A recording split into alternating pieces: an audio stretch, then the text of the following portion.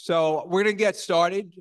Uh, once again, I'm Professor Thomas Mitchell here at Boston College Law School, where I serve as the director of the initiative on land, housing, and property rights, an initiative I founded uh, last year when I moved to Boston College from Texas A&M. I want to reiterate some uh, thank yous I made yesterday to Boston College generally, Boston College Law School in specific, in providing startup funding to make this initiative possible. Uh, I want to thank various staff members who've been very involved in the um, in putting together this conference, specifically our communications and marketing team, uh, led by uh, Nate Kenyon, Amanda Crowley, and Sam Gelly for uh, our administrative assistant for the initiative for tremendous amounts of work on the uh, on the conference. Um, and I want to thank anybody else I left out um, in terms of putting this together, because I'm sure I'm leaving some folks out. Sorry for that. So we got off to, I think, a great start yesterday. Um, excellent graduate student panel. I want to thank Dr. Dewayne Goldmon again from the USDA for his uh, amazing kind of overview and contributions. But one of the goals yesterday was also to humanize the problem of heirs property ownership and, you know, I heard tremendous reactions from folks who attended yesterday in terms of the media panel, uh, maybe particularly with the uh, participation of Kim Duhan uh, from North Carolina. Um, and also what we saw and witnessed from the viewing of Gaining Ground, the fight for Black land. I think that obviously humanized this. So I'm, I'm very happy about that. Today, the theory of the case um, is we have this crazy schedule. Um, I, there was some thinking behind this, and I'll just tell you my theory of the case of why I have folks on a forced march today. We have, you know, a number of um, stakeholders kind of who are present in the conference who, um, who some of them are recently engaged on heirs property, uh, other folks have heard about it, but uh, have, uh, you know, kind of the beginning stages of understanding. So what I wanted to do was give a view of the waterfront, not knowing what uh, any particular attendee here, what might be their point of entry, right? So the idea was to give you as broad um, uh, exposure as possible. So we're going to have panels looking at the quantification of, of kind of heirs property. We're going to have uh, panels talking about the problem of kind of will making and estate planning and gaps with respect to heirs property owners. We're going to have uh, a number of folks who work uh, for various federal organizations, kind of writ large, agencies and uh, government-sponsored entities and the Federal Reserve Bank. And we're going to look at um, heirs property issues as they manifest themselves in terms of other issues besides the abuse of partition law. So with respect to tax issues, tax foreclosure, um, limited access in most states to the homestead exemption, which could make uh, home ownership more feasible. And then we're going to look at how heirs property plays out in the urban context. And one of the manifestations of the heirs property problem that oftentimes is talked about in the urban context is the problem of tangled title. And so we'll hear about that. You know, this, this panel from yesterday and then the panelists and the speakers from yesterday to today represent just all stars at, at every level. Um, and so I had a wish list of who I wanted to speak and who I wanted to serve as panelists. You know, I was kind of reaching for the stars, but also sometimes I'm a pragmatist, right? So, you know, I had my my backup plan, you know, plan B and plan C if, you know, getting all the all-stars wasn't going to work out, which, you know, usually that doesn't work out. But what I was really amazed was is as I talked to one person after another, they just said yes, right? Um, and I also want to reiterate my thanks to Fran Miller from uh, Vermont Center of Agriculture and Food Security for organizing uh, this outstanding panel you hear about later. and to Andrea Bopp Stark from the National Consumer Law Center for organizing uh, this panel on property tax um, matters. Um, and so, you know, one thing I've learned is that when you go to a conference or gathering, folks are not there for the person making the intro. Folks are not going to remember the intro. So I'm right on time as Nate's telling me to wrap it up. And so we're going to proceed to the uh, our first panel on quantifying heirs property method methodologies and um, and the significance. So could those panels come up?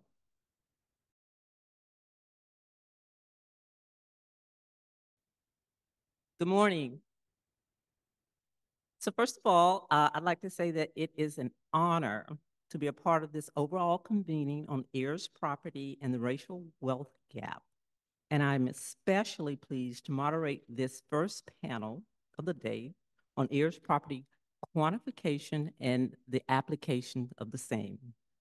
So certainly questions about how much heirs property exists and where is it? These questions are fundamental to understanding how heirs property ownership impacts both social and physical spaces.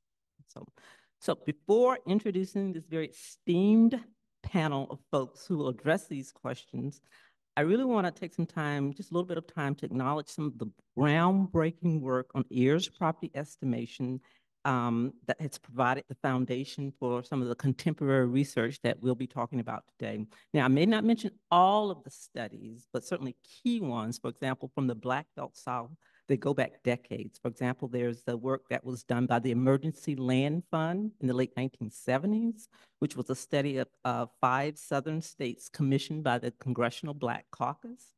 And then there's the work that's been done by Faith Rivers and some others shedding light on land takings in coastal South Carolina that involve estimations as well. And then there's the work of both the Alabama and Georgia Appleseed studies. And then Janice Dyer's work in Macon County, Alabama, it really was, has, has been pivotal for drawing attention to um, notations and tax records and the importance of that for identifying heirs property parcels. And then there's also work that's been conducted um, in Appalachia, okay, by Brady Deaton, uh, an economist. His work in the early 2000s really has laid the groundwork for some initiatives currently getting off the ground in central Appalachia that uh, have to do both with title clearance and the expansion of agroforestry um, investments for landowners in that part of the South. So well, the proliferation of big data has facilitated methodologies that automate heirs property identification. And I think this map that you uh, that's shown here on the screen right now. So um, this map is just one example of that, just one output from an analysis of that kind of data, uh, uh, that kind of um, data use. And so this map is from uh, some research that I participated in, that I was a part of, along with Dr. Rebecca Dobbs, who's now with the Forest Service. And while this kind of very, I think, um, easily digestible sort of these depictions, these maps. They're very, they're very good to look at. They're very good to sort of uh, give us a very kind of visual uh, idea of understanding of where heirs property is and its intensities. It's also very necessary to look more closely at the limitations of data and the techniques used to derive such estimates. And that's what our panelists will help us do this morning. And so with that, I want to introduce our panel members. We have Maria, Maria Evans, who's Vice President for Sustainable Community Partnerships with Fannie Mae. Natasha Moodie, she's a Research Associate with the Housing Assistance Council.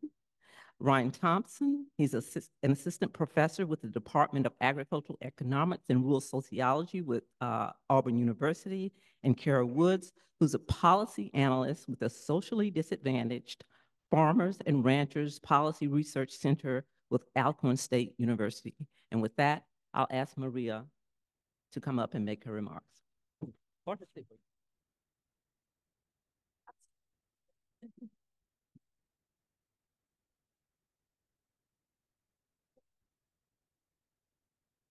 Good morning, everyone. Perfect. Yeah. Thank you, Cassandra. Um, I also too just want to express my gratitude to be part of this panel. Um, I think in terms of this particular topic, this is a collection of people who've made significant contributions in terms of research um, and studies and the application of that research in communities. And so it's really a privilege for me to be part of this, this panel and this discussion. I have not, um, unlike my fellow panelists, I've not dedicated the better part of my career to this particular topic. Um, I actually have come to this more recently in my career, but it's something that has part is part of my lived experience. Um, my early uh, childhood I spent growing up in Puerto Rico. And um, some of my earliest memories, and, and definitely the first home that I remember, is a home that I always thought of as my grandmother's home. And um, my entire, uh, my immediate family lived there with her. Um, and then the homes that were sort of adjacent to that home were uh, filled with my extended family. And so for me, it was just very normal to be uh, basically on a street where everybody you were you were related to in some way.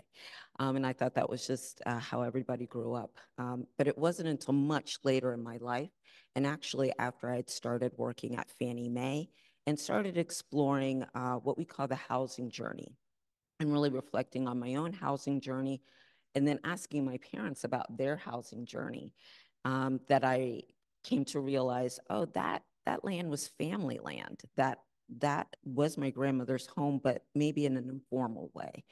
Um, and so I I asked my parents about that time and and what it meant to them. And I think my mom's response was, uh, I liked her perspective. She said that that time in their lives was very pivotal was the word that she used. That was a time when our family could live rent free, mortgage free, and enabled my parents to save uh, money to um, eventually buy a home in the DC metro area and become first time home buyers. And she said it was very consequential for us because it gave us stability. And I, I just appreciate that framing that she gave and, and that perspective um, I do think she's right. It was very consequential in a positive way for our family. And here's where my lived experience starts to intersect with my work because I recognize that's not the housing journey for all families. And so at Fannie Mae, when we think about individual housing journeys and where this comes into play, um, uh, our work starts to then take a little bit more definition. So let me just talk a little bit about uh, Fannie Mae's interest in heirs property. Um, but let me start with uh, who is Fannie Mae for those who are less familiar. Uh, we are a mission-driven organization. We operate in the secondary mortgage market, meaning we engage primarily with financial institutions. Um, we bring uh, liquidity, stability, affordability to the housing finance system. We um, we finance one out of every four mortgages in the US, so pretty significant footprint. What my team does, specifically the community impact team, we take that mission and bring it to communities. We engage with local leaders, with nonprofit organizations, with homeowners, with renters. Um, we specifically engage on topics like access to affordable housing, um, housing stability issues, whether we're talking about property durability, or even the resilience of the individuals who live in those homes. We also engage significantly with communities after natural disasters as they're looking to execute their long-term rebuild plans. Um, and then we also look for ways to bring our colleagues along. How do they see that mission in action? So, but it's been primarily through our disaster recovery and resilience work that we have encountered this issue of heirs property. Um, we work long-term with lo uh, local leaders, uh, local regional lenders as they're executing their rebuild plans. And uh, oftentimes we're really in the position of being listeners, listening to people's stories, trying to understand some of the barriers that they're facing, some of the challenges that they're encountering. And what we hear from local leaders is that the most significant impediment in their ability to execute their long-term rebuild plan and bring their entire community along are issues with unclear title. what we hear from nonprofit organizations who are stepping in to serve local residents, fill in the gaps, help people stabilize, are the number of clients that they're serving who do not have clear title makes it that much harder for them to get back on their feet. What we hear from homeowners when we're, um, oftentimes it's because they've been denied benefits, is uh, when we ask a few probing questions, it's usually related to title issues. And so in that in that moment when you really need support to stabilize your life, to restore um, order to your and some normalcy to your life, when you're looking for funds that uh, will help you repair your home, you're either denied benefits outright or you receive a fraction of the funds that you're expecting to receive. And so in that way, heirs property, tangled title, cloudy title uh, really emerges at the least um, opportune time. So our team in trying to support communities as they're rebuilding realized, okay, we need to know a little bit more about this issue. We cannot be effective if we're not uh, a little bit more uh, conversant in this issue. And so we started to uh, just really take an interest um, and try to figure out what it is that, you know, if this is being identified as the most significant impediment, um, it's a recurring theme, what can we do? We we also just wanted to start with understanding how prevalent is this issue initially and we've been doing this work now for about coming up on 10 years. Um, initially in the early days we were primarily working in communities that were uh, impacted by hurricanes so kind of texas up to the carolinas. So we were thinking maybe this is more concentrated in the southeast. We were also curious whether or not there was a correlation between heirs property and race or income levels. These were just some of the questions that we, we were asking ourselves. One thing I'll just mention quickly about Fannie Mae, though, is that um, while we're known for helping people become homeowners, getting people into homes, we are maybe a little less known, but equally committed to the idea of helping people remain homeowners. So how do we help people sustain home ownership? And we think about housing stability from the perspective of, again, the durability of the property, but also um, the resilience, the, the financial and the economic resilience of the people living in those homes. Because that we know, we know that uh, without being able to sustain home, home ownership over time, people will not be able to access the wealth building benefits that home ownership affords. And so we knew that there was some connection there with with title issues. So this is just a little bit of the, the context our team started to really engage in this particular issue. We wanted to be effective in supporting communities. We kept hearing this issue about uh, heirship, tangled title, um, and we wanted to, to make sure that we were approaching it from a data-driven perspective. So uh, as we did a little bit of research, we started to find information um, it wasn't helping us answer that central question though, because a lot of the, the studies we were finding um, and many of that you mentioned, Cassandra, um, included data sets that had um, a mix of different property classes. And so again, since Fannie Mae is really focused on residential properties and we couldn't isolate uh, the, the residential properties, we continued to, to look. And that was sort of the, our, our a reason for wanting to reach out to the, the data science team at HAC to see if we could find a way to um, put together some research that would lead to an establishment of a national baseline of the prevalence of residential heirs property in the US. And so uh, it was sort of with that in mind that we reached out to Natasha and her team to help us uh, to help us achieve that goal and and meet that need that wasn't already being met. And so I think that's a good time to turn it over to you, Natasha.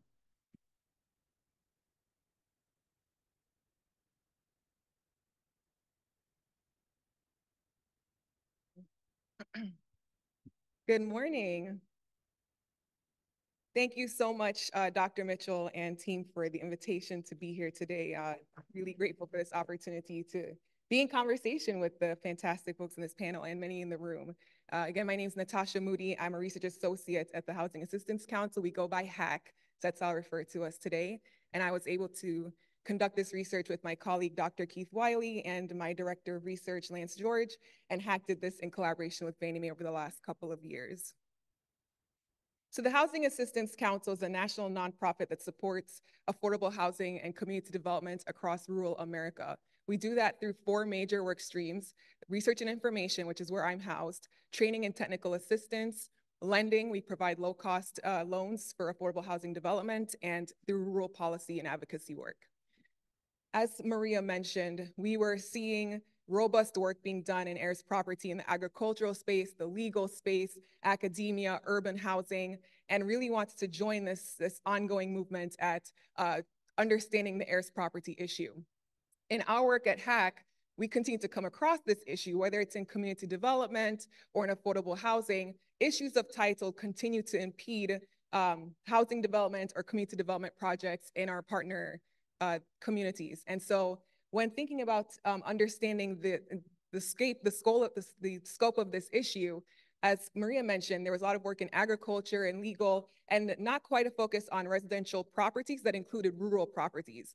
Um, sometimes you may hear the focus on rural and agriculture and housing on urban, and we don't want our rural residential folks to get lost in that conversation. So this partnership with Fannie Mae was a great opportunity to look at residential housing.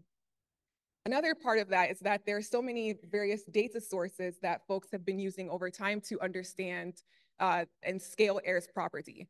And we had access through our partnership with Fannie Mae to a robust data set that's used often in the mortgage space and it's tax and assessment data. And we wanted to be able to take advantage of this opportunity and be able to present a methodology and an analysis of a data set, another data set to see if this can contribute to the ongoing work. Another reason that we were really interested in this work is that we are an intermediary. So we do not work directly with residents. We support organizations, local organizations across rural America. And our partners, we're asking how can housing, how can housing organizations join this work? And how can we understand which households to target, how this issue impacts their community? So we aim to create a reproducible methodology that we can share with our trusted local partners that they can take this baseline, add their local identifiers, and be able to scale um, heirs property in their local regions and be able to have targeted outreach and solutions. So for our methodology, we aim to identify residential properties owned by multiple real persons with no indication of a formal title transfer after the death of an owner. And we did this by trying to identify two major categories of uh, residential properties. The first are properties that we think are most likely heirs property. Um, the indication shows that they're currently heirs property. But we are also interested in identifying regions where there may be clusters of residential properties that were at risk of becoming heirs property. When we're thinking about the solutions from the housing aspects, we thought we wanted to, to include those properties both to um, be able to inform solutions and to just understand what the issue may look like today and in the, the, the near future. We approach this by looking at both owner characteristics and property characteristics within tax and assessment data to be able to identify these properties. While we are conducting our research, we noticed that when we were um, implementing our methodologies to the data set that we had access to, there were some states where we were pulling up significant housing issues. So there were significant housing issues. For example, we're seeing states where 85% of, uh, of, of homes did not have any mortgage lending in the last 30 years. That is a housing problem, and we were noticing that with our indicators, we were not specifically pulling out heirs property in some of those states. And we want to err on the side of caution and be conservative to, to present a baseline. So within that, um, that process of conducting the research, we implemented a standard correction for some of those states that resulted in six states being omitted um, from this particular research. We will conduct further analyses on those six omitted states uh, beginning at the end, towards the end later in this year um, and trying to procure additional data sets to be able to um, dive deeper into those six states. But for 44 states in the District of Columbia, our very conservative estimates of identified residential heirs properties was 500, sorry, 580,371 res- residential properties, which amounted to about 0.6% of all residential properties that were in our database. The total assessed value for the identified properties was $32.3 billion. And this is a significant amount of equity tied up in these properties. And the reason that we use total assessed values because that, that was the data that was most available to us in the data set. We know that assessed value does not fully encompass all of the wealth that's tied up in these properties due to a variety of factors, including bias in assessment practices. Um, but those were the data that was that were available to us. We also want to note on this map that regions that are not highlighted on this map, we are not trying to say that there is not an heirs property issue in those areas.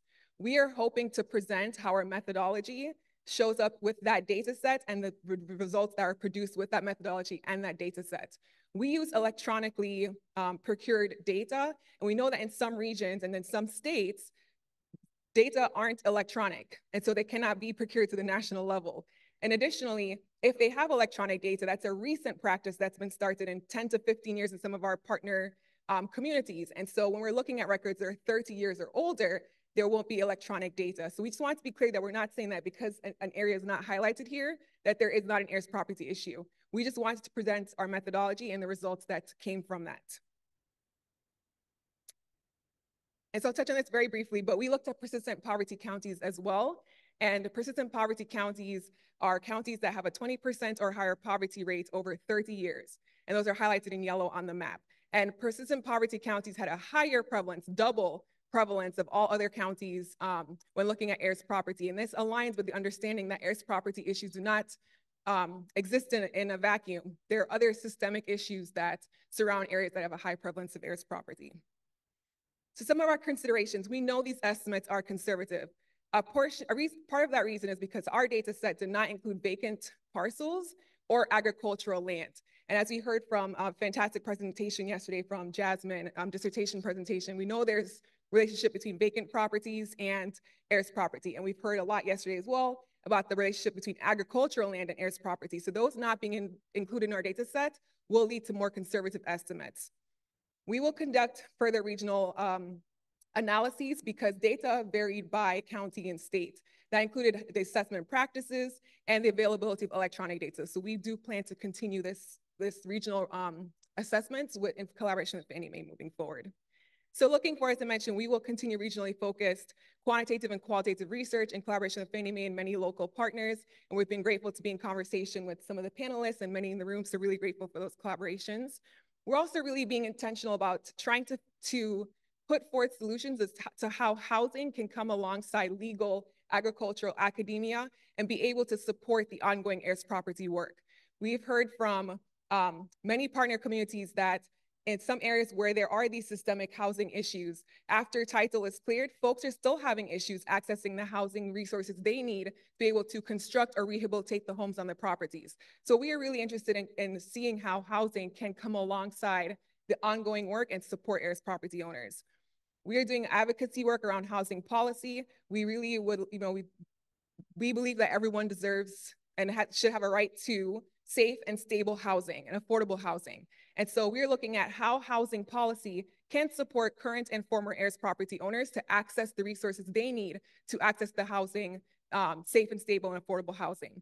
We're also looking at housing finance solutions. So are there ways that housing finance products can support heirs property owners and former heirs property owners to be able to, again, access the housing, safe, safe housing and stable housing that they need. Um, when we talk about wealth, you know, the wealth tied up in the property, owning land is a significant piece of that. But and another piece alongside that are the structures on the property if it's residential property. Are there structures and where the quality of those structures will affect the wealth that's tied up in that land?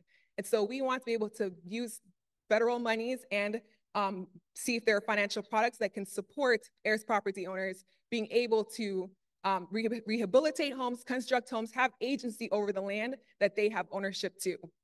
And so thank you very much for the opportunity to share today. That's a bit about HAC and look forward to the continued discussion. Thank you. I'll turn it to Ryan.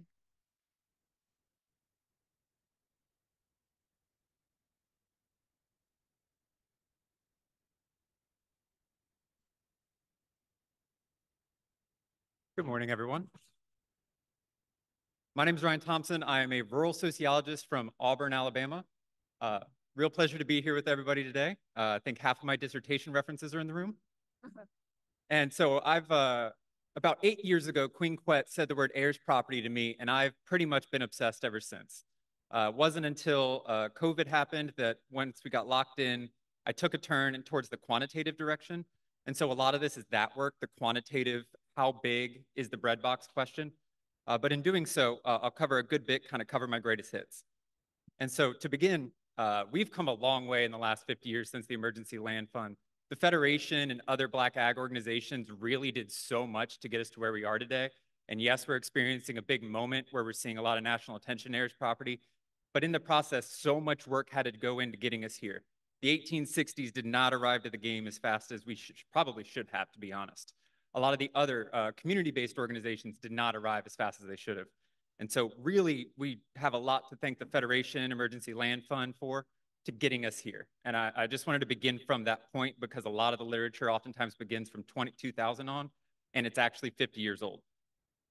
And so furthermore, uh, diving into my data geek side of me, uh, here's my bibliometric analysis of all heirs property research over the last 50 years. Uh, there are some dense pockets. Thomas, I think you have like eight articles that are highly central here. Cassandra's work as well, uh, bringing the U.S. Forest Service into this space.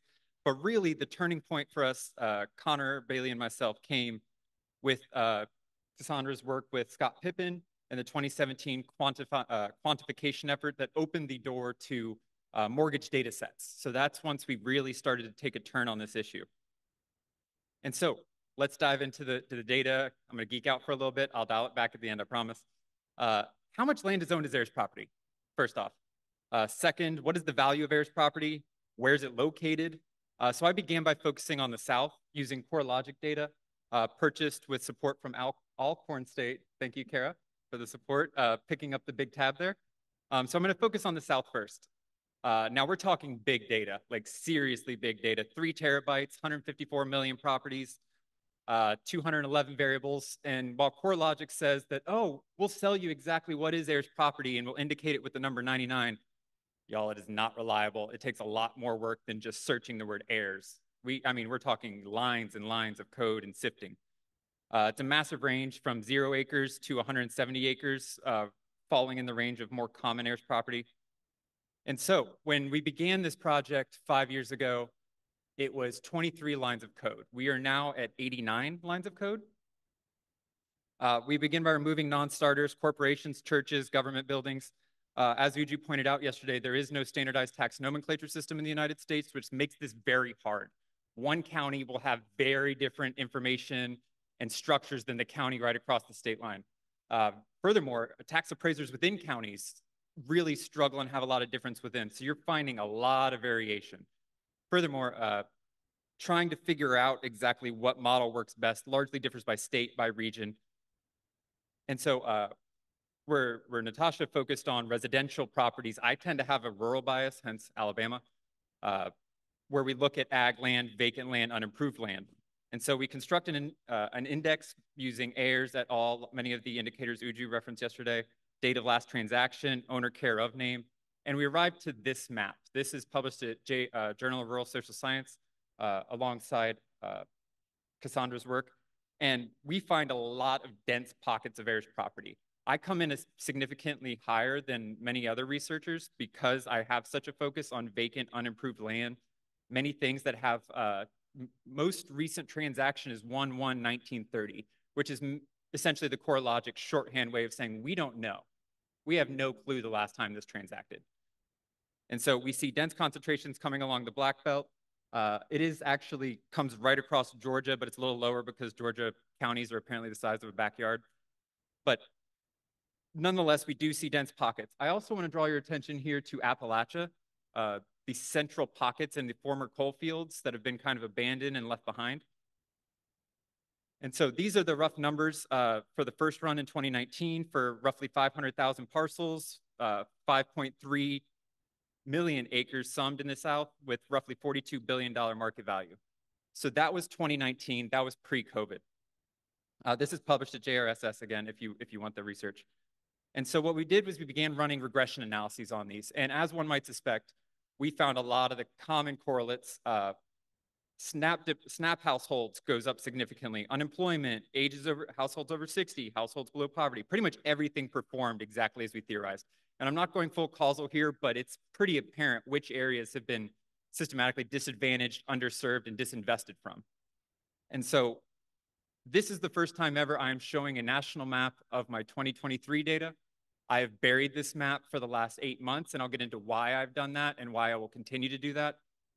But nonetheless, um, my numbers being significantly higher than, than most, uh, 1.6 million total parcels throughout the United States, 13 million acres trapped beneath a clouded title, uh, 4.43 billion in total value, also using uh, appraised value, which has a lot of problems with it. Market value also does.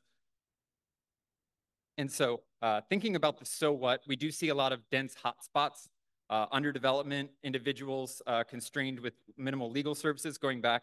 There's some pockets here that don't historically perform as we might think.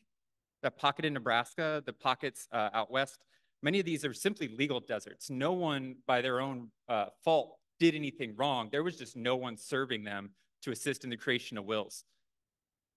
And so what we see is a, a, systematic creation of persistent poverty through systematic and structural factors, uh, minimal legal services, uh, collapsing roads, decreased tax base, closing of schools. Uh, coming from Alabama, we have counties that are 95% absentee owned, meaning outsiders own our state. And seeing this occur time and time again, we see this victim blaming or a culture of poverty argument and yet we don't even own our own land. And I think heirs property fits into this because it serves powerful interests. And if it didn't, we wouldn't have this outdated structure we still see today. And so this community corrosion hypothesis is where I'm starting to pivot more to, looking at the long-term effects of clouded title and what this does to local communities. Uh, in getting to work with different groups, I've moved away from more like large-scale theorizing and more towards practical, grounded solutions. Uh, I point to Southern Rural Development Center and the Train the Trainer team. Uh, we've trained over 200 extension agents over the last year. Uh, thank you, Alcorn, for supporting and coordinating this, but like actually on the ground doing the work. Uh, and so while I've buried a lot of my maps, I've done this because I realize the developers are starting to use our work for nefarious purposes. They reach out, they're in touch. They're saying, oh, we would just love for you to give a short talk and a list of where we might be able to invest. And they use this language of opportunity, and yet they're kind of shouting the quiet part out loud. And in doing so, I've started to become a little more paranoid, perhaps rightfully so. Uh, I know, Cassandra, you're also uh, going through something similar to this where our work is being used to make the vulnerable more vulnerable. And that is something that I think we have to start to grapple with in an ethical framework and figuring out what that looks like. I think we're in a new uh, situation here how do we go about doing this research without making the vulnerable more vulnerable? And so in thinking through a lot of this, uh, not all heirs property owners have stage four heirs property. A lot need to have that kind of hope at the end of the tunnel. Uh, yesterday's panel really spoke to this. But in thinking through it, how do we go about inspiring people to get their land cleared, free, and, and out of uh, a clouded title? And so with that, I'll uh, go ahead and turn it over to my colleague, uh, Dr. Kara Woods.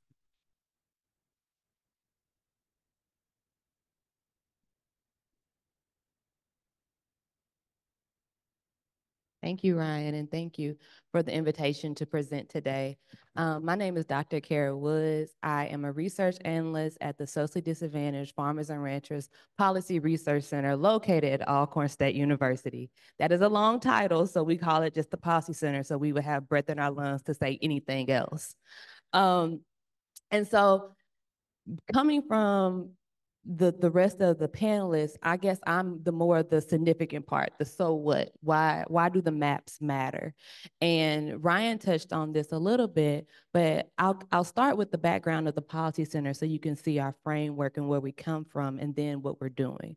So the Policy Center was authorized in the 2014 Farm Bill and it was designated to be at an 1890 land grant university. There, we have six people on staff. So a lot of our work is done through sub-award contracts like you know, Ryan Thomson, Dr. Uh, Robert Zabawa at these different institutions. We do work with CBOs as well. And there I manage the six priorities of research that we have. And one of those research priorities is land loss among African American farmers. That is our only research priority that's specific to a certain race. And the reason why, as you saw in Uju's map yesterday, is that there has been a very significant decline in Black ag land. In the same, in Dr. Goldmon's presentation, it has been a significant decline in Black farmers over the past 100 years. And so at the Policy Center, we're seeing Black farmers as an endangered species. And so we're making sure that all of our policies, our advocacy, our work is geared towards that. So within that research priority of Black uh, farm loss in Black farmers, um, we are, heir property falls into that. And so with that, we have been able to fund several actually heir property research studies that have looked at the magnitude of heirs property, looked at the efficacy of the heirs property uh, partitions act. Um, we looked at the nomenclature surrounding and the classification of heirs property. Um, we looked at several different things. Now let me get back to why the maps matter, okay? So at the Policy Center, like I said, we try to work with all and everybody, but we do have a little bit of priority for the 1890s. Working with Southern Rural Development Center, John Green and his people in Mississippi State, we're able to work across the nation. So uh, Southern Rural Development Center has 13 states, and the Policy Center has all of the states plus the Virgin Islands and Puerto Rico. So we're a lot of places and we try to address a lot of things. Um, this means that partnerships really matter. So when we get great resources like Natasha, like Ryan, we try to bring brilliant people together. And I think this conference does a great job of that because we have a lot of brilliant people. And one of the first things that we have done with SRDC is the Heir Property Trainer Trainer. So everything that we have done has been a baby of something else. It's been a sub-product of something else, working with the Sarah Group, um, Heirs Property. So we have an Heirs Property Trainer Trainer Network. Ryan alluded to this. What this was, was we got about 30 brilliant minds together that were across disciplines. So we had academics, lawyers, uh, extension workers, researchers, and said, let's really try to knock out what heir property is in three stages overview, prevention, and resolution. And so from that, we actually have a physical toolkit workbook that we have been presenting across the nation. We've done seven presentations, one in Spanish in Puerto Rico. And so we are trying to address this so people have a knowledge base first off. But then you have a piece where you can prevent it. So, you know, heirs property by nature is kind of morbid. You are talking about death all the time. But that's not very uh well, it's taboo in certain cultures. So we're trying to open up that door to say the first thing about heirs property is you got to die. I mean, like, and so what what is the legacy? What is the first steps? What do you want to do to prevent anything dealing with heirs property? That's, you know, maybe because I'm in this group, you can laugh, but that's not always the same thing that we get as we're going through these stages across the nation, right? But that's part of it. The last piece is the resolution piece. So we're looking at our lawyers, right? Our wonderful friends, our wonderful JCs, our wonderful Mavises, and who are really doing the grunt work, policy and individual wise to help resolve this heirs property, whether it's trust, whether it's wills, really going to where they actually need to be in these specific areas. Now, from that, we've had other babies, right? We've had other sub products, and one of those being the Heir Property Practitioner Network, where a group of lawyers have come together. And like I said, those uh, dead and dirt lawyers, you know, those those D and D lawyers that uh, have been doing the work, like Jesse Williams. You know, I'm shouting out these names because they're important people who are doing the work right? And so I, you know, my name or Alcorn or the policy centers gets brought up, but we're really a hand that kind of pushes things around. We like to be a connector to what's actually need to be done for our farmers. We don't have a membership, but for our farmers and for the legacy of what we're trying to build, that's what we want to do. Um, and so this is why, let me go back to the maps. Through the heir property trainer trainer piece, um, 1890s have had funding through FSA, through Farm Service Agency to get grant money to then take this training network and go into their specific counties to present this. So when you look at the maps, unfortunately, like Ryan said, you can target where you need to go. You can say these specific counties have a mass of heir property. That means that those people might be more vulnerable. They might need a more of an education standpoint. Let's make sure that as we're going to these counties, we're going to them, them first, okay?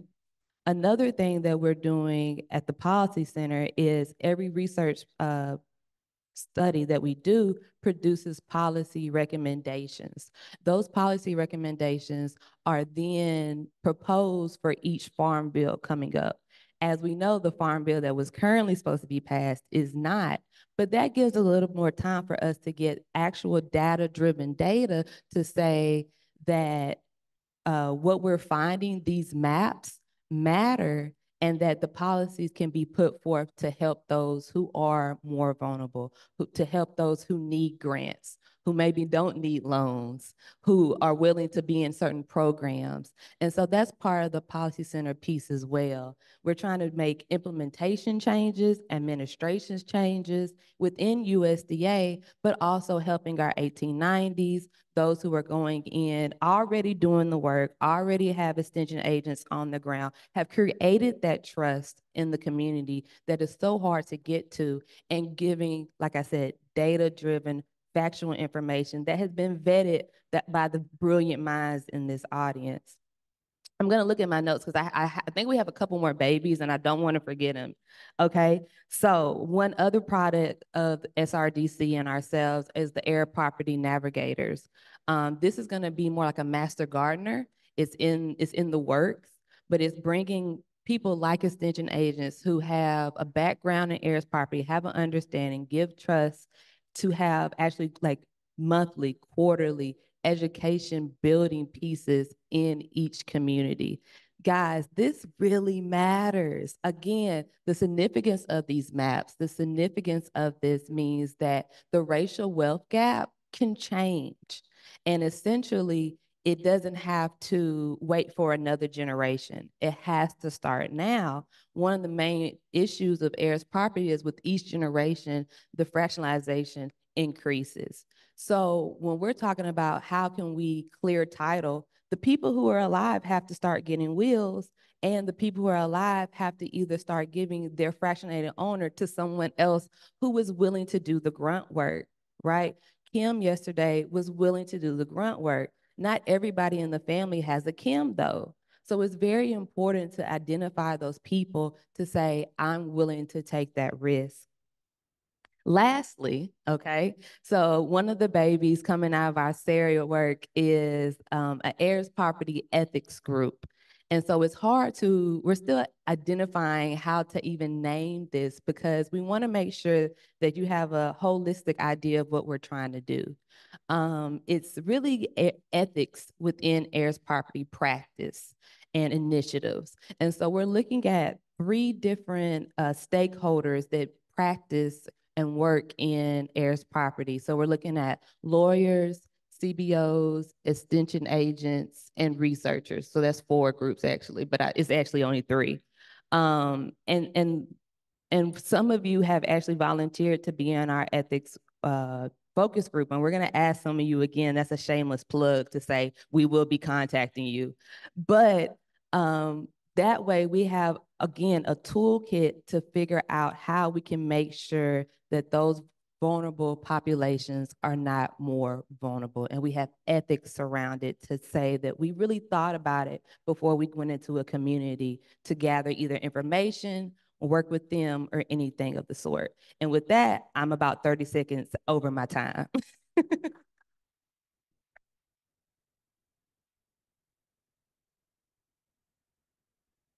All right, so um, uh, thank you panelists for uh, just an excellent discussion here. I really appreciate all of your inputs, very uh, insightful, very deep, uh, very intentional. Thank you so much to each one of you. Um, at this time, I'd like to open up uh, the floor to any questions that anyone might have.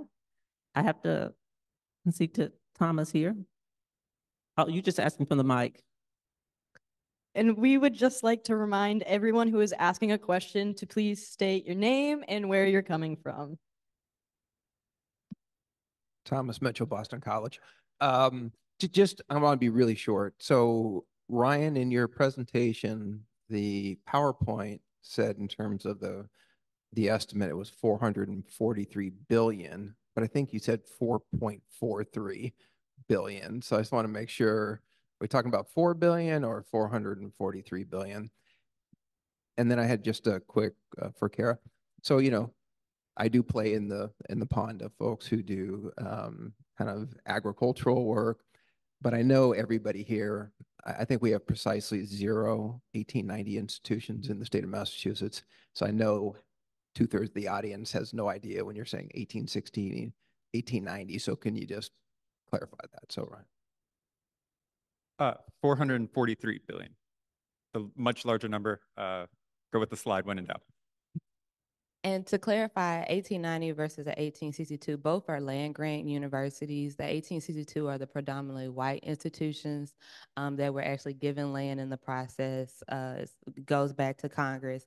Eighteen nineties are more of your Fort Valley State, your Alcorn, your Tuskegee, and there's nineteen of those. Um, out of that FSA money, I think fourteen or fifteen of those uh, nineteen have said yes and are doing those heir property trainer train workshops or trainer workshops in those uh, prospective states.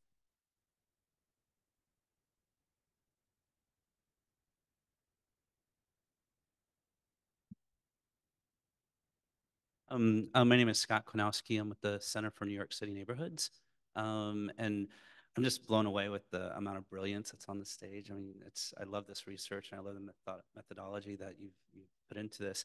I mean, I guess my biggest beef maybe is that it, that, and the big sort of incomplete picture is the urban errors property issue. And, and so when we're quantifying how much errors property exists nationally, I don't think that um, the, the amount of heirs property that we see in New York City is even included in any of these figures, and it's and it's significant. And, I, and a lot of the conversations I think we were having yesterday too is it doesn't really apply to the urban heirs property situation because you know vacant properties are virtually non-existent in New York City, um, but we have a ton of heirs property, and and the more we dig into it, the more that we see and you know, and some of what we've even seen is, you know, there's, we just did this big, deep investigative report of one of these predatory investors, one of these scammers, and he had acquired 157 residential heirs properties over a, a very short period of time. And when you're talking about New York City, it's like, you know, our median house home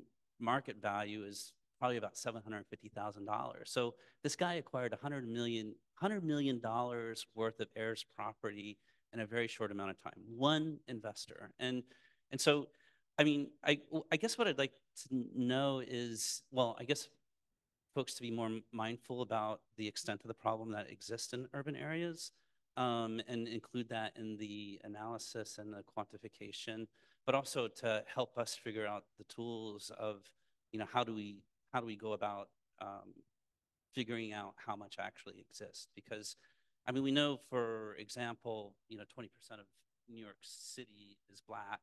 Um, when I was doing direct legal services, 75% of our clients were, were black. And we know that the rates of home ownership among black um, residents in New York City is much lower than it is for white residents. And so the, the problem's huge. Nobody really understands it. And um, so, I mean, what, how do you suggest that we develop a methodological approach to, to and including include um, the air, urban areas property into this whole analysis. Sorry. Thank you. Sorry.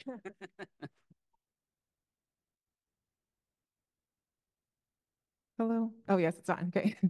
Uh, thank you, Scott, for the, for that comment because, uh, that, that is one of the limitations that we're transparent about in our research is that our methodology with the tax and assessment data leans towards single-family detached homes, that it- favors those types of residential properties.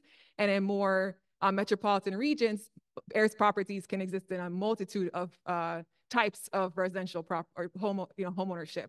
Um, and so within our data set, um, the way that the, the data are aggregated, uh, it depends on how this, the municipality reports the assessment of the property. Um, I'll use an example of uh, South Florida because that's where I live. So I was able to see firsthand how it, impacted that type of region where we have potentially heirs properties that are con- condominiums. But the way that the, the building is assessed is as one building. And that's how the data are reported when they're aggregated. And so the way the methodology and the data are set up, we're not able to really pull out individual condominiums, which would lead to an undercount in a region like that. And I'm assuming something similar potentially in New York. And so um, I actually really, uh, we were really inspired and, and, influenced by the Pew Research study, where they used the death records um, to be able to do that. On a national level, we weren't able to do that at this juncture to get access to that national master death file, which Ryan and I've talked about a little bit. But so on a local level, I think finding other data sources that don't rely on the tax and assessment data that can pool like condominiums or apartments or you know attached homes together could be a potential um, step towards that. Yeah, so we've been talking a good bit, I think everyone on stage about what an urban model looks like. My my model and work uh, was actually focused on Macon County as our benchmark. Thank you, Robert, for going and censusing the uh, Macon County, Alabama. Uh, urban areas have so much variability within them, and they kind of often oftentimes defy being comparative. So the Pew study of, of, Pittsburgh differs a lot from, say, New Orleans or difference from Jacksonville.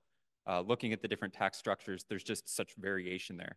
And I'll give an example. Uh, Horry County, South Carolina, Myrtle Beach, uh, has this weird thing where they like to classify all uh, timeshares as tenants in common. I, it, it, working through one city can just take forever. Uh, as Sarah Stein can attest that just working in Jacksonville, uh, Christopher Smith, who I believe is here uh, with Jacksonville LISC, is also finding this one neighborhood to the next is almost like a completely different world. How do we go about tackling that variability, I think is um, kind of the next phase of research for a lot of us. And then how do we design one that goes across cities is a whole other one. But yeah, great question. And thank you for your work. It's our, it's our biggest limitation.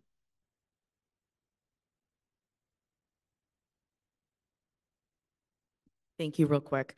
Um, uh, Ryan, I saw on your research that you had also measured some, or JC Fisher, Alabama, sorry. I saw that you had um, measured some other factors other than race in your research. One of the factors I saw in the lower left-hand corner um, was something about gender.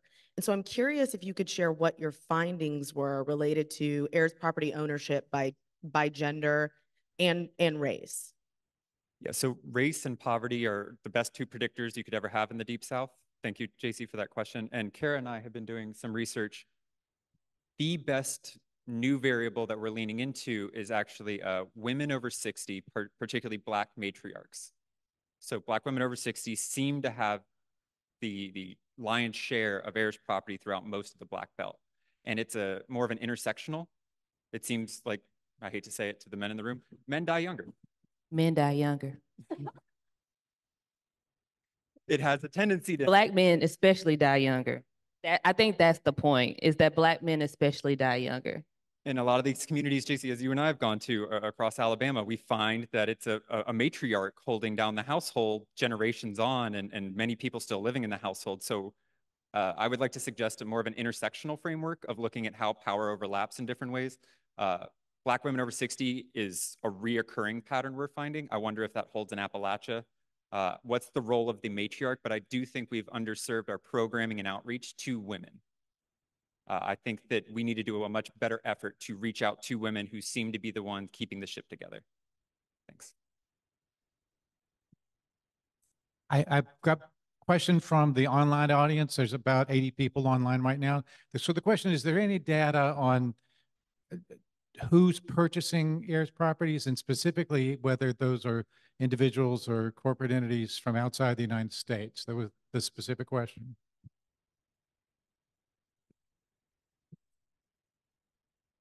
You want to talk about the heir hunters?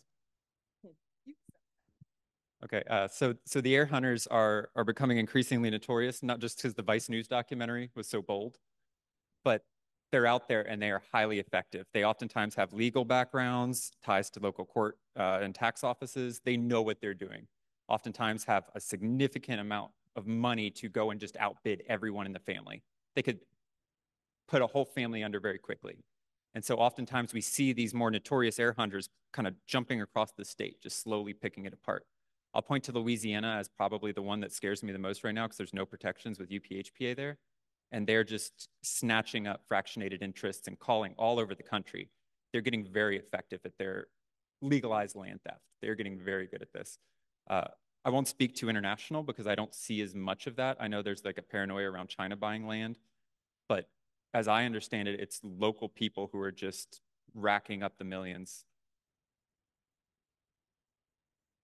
I just like uh, uh, interject here a little bit and um, maybe bring in the UPHP. So this is the Uniform Partition of Heirs Property Act. I won't go into the particulars of it because, of course, Thomas Mitchell, he's the let's, say he's the architect of that. But that is in place, and it's something that uh, should be a buffer, should act as a buffer between this kind of um, like a predatory buying up of these heirs properties through partition sales. So if uh, I don't know if we could have maybe a little bit of like sort of discussion about the, the, the how that works. You know, if anybody has maybe uh, Professor Mitchell, Thomas, maybe you have some um, uh, some, some thoughts on how um, maybe effective you think the UPHPA is in the states where it has been enacted as uh, a bulwark, as, as something in between this kind of predatory buying up of properties and these property owners. How effective might it be very generally?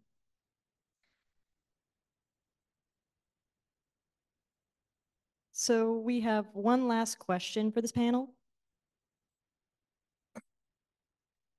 Good morning, everyone. Rodney Benson from Redondo Beach, California. I have heirs property in the state of Texas. And my question or comment is more directed towards um, the young lady from Fannie Mae. I forgot your name, I apologize. And the last young lady who spoke.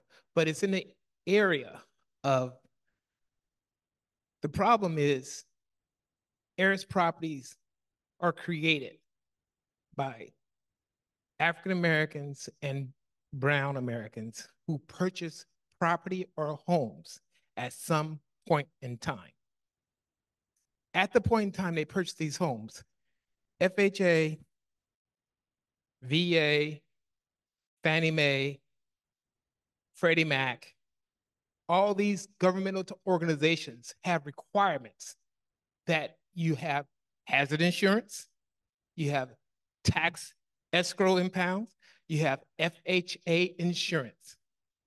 What prohibits these organizations from insisting that African American and Brown Americans have a will at the time of the closing of their loans? Therefore, you keep these properties out of future falling into crevasse for these heirs hunters able to pick them off when the person who originated the loan long ago passes without a will. Thank you for that. No, I appreciate the question and the comment actually, and I agree with you. That is actually something that we're looking at is what can we do to prevent more heirs property from being created? And one of the things that we're looking at is can we, at time of closing, encourage the homeowner to have a will, to put a will in place? They're already sort of at that at that moment. They're signing a lot of documents. It can be somewhat overwhelming, but why not take that next step and protect the asset that you've just spent months uh, going through trying to acquire. So I totally agree with you. And that's something that we're looking at, seeing if there's a way that we can partner to make sure uh, that more people have access and, and that's available to more people right there at the time of closing when there's sort of that captive audience and most thinking about the asset and then how do you protect that asset. Appreciate that. I also just like to add that you have to have cultural sensitivity in some things. And so essentially, not everyone is open to talking about death, creating a will, even purchasing a home. Um, you know, some people are not willing to take those steps and they're more willing for their children to take those steps. And so essentially, we can't, you know, it's, it's hard to make somebody take that step. Um, you can only provide information. I think JC said this beautifully yesterday is that sometimes, unfortunately, you need the stage four heirs property to give people a jolt to what is really important to them and say, now I'm ready to try again. Kara, But Kara, we gotta, we gotta. Okay. The next panel's supposed to start in two minutes, it was Thank nice you. but outstanding panel.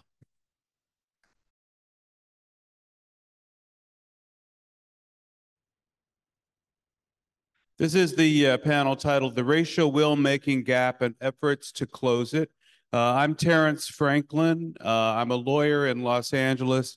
I do trust and estate litigation. So I see a lot of things that go wrong, but I also see a lot of people who come in who don't have estate planning. And so things have gone quite wrong. Uh, so I think that's part of the reason why Professor Mitchell asked me to uh, moderate this panel. I'm just here to uh, listen to some amazing things that our panelists have to say. And uh, given the fact that we have a limited amount of time, I'm not going to do introductions.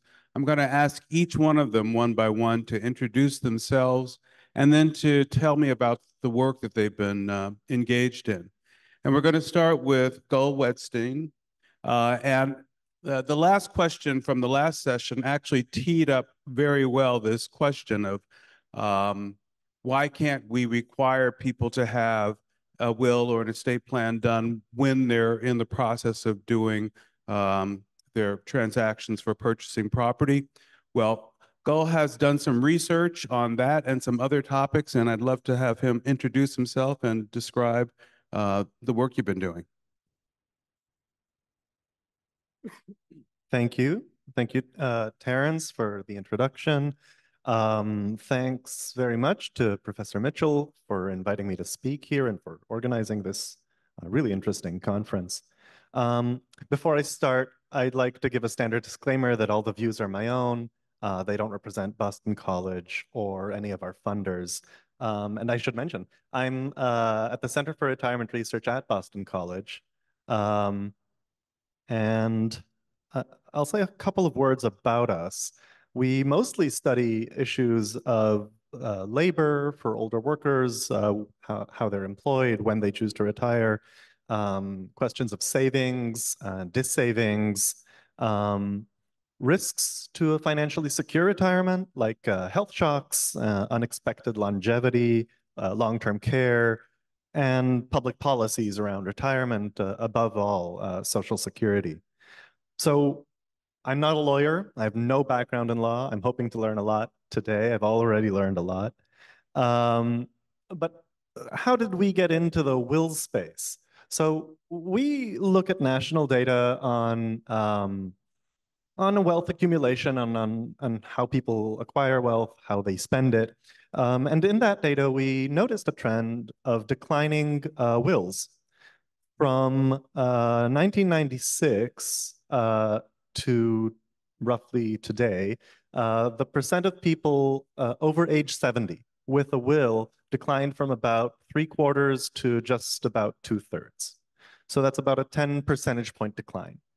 Um, that share has always been and remains higher for wealthier households. It's uh, higher for white households. And um, when we pointed this out, we were approached by uh, Wells Fargo, in fact, which is one of the largest mortgage lenders uh, in the country, to see if there's any research that could be done on narrowing the racial wealth gap by nudging people to write wills, um, kind of linked to the mortgage process, much like the question that closed the last session. Um, and we thought that was a really interesting question, and so we took that up. And the, the research ended up having three parts. Uh, the first one was just setting the stage. What's the relationship between uh, will writing, uh, between intended bequests, uh, between and, and realized bequests, what actually happens when people pass away. Um, the second question was, is it possible to nudge people, to incentivize them to write a will um, in general, um, with money or at particularly opportune moments that li in life, like when they're closing on a house? Um, and can such interventions help close the racial will writing gap? And then the third uh, topic that we uh, have not yet studied, we're in the process of studying, is can closing the will writing gap um, narrow the racial wealth gap? So today I'm going to talk about the first two uh, questions because the last one is still ongoing.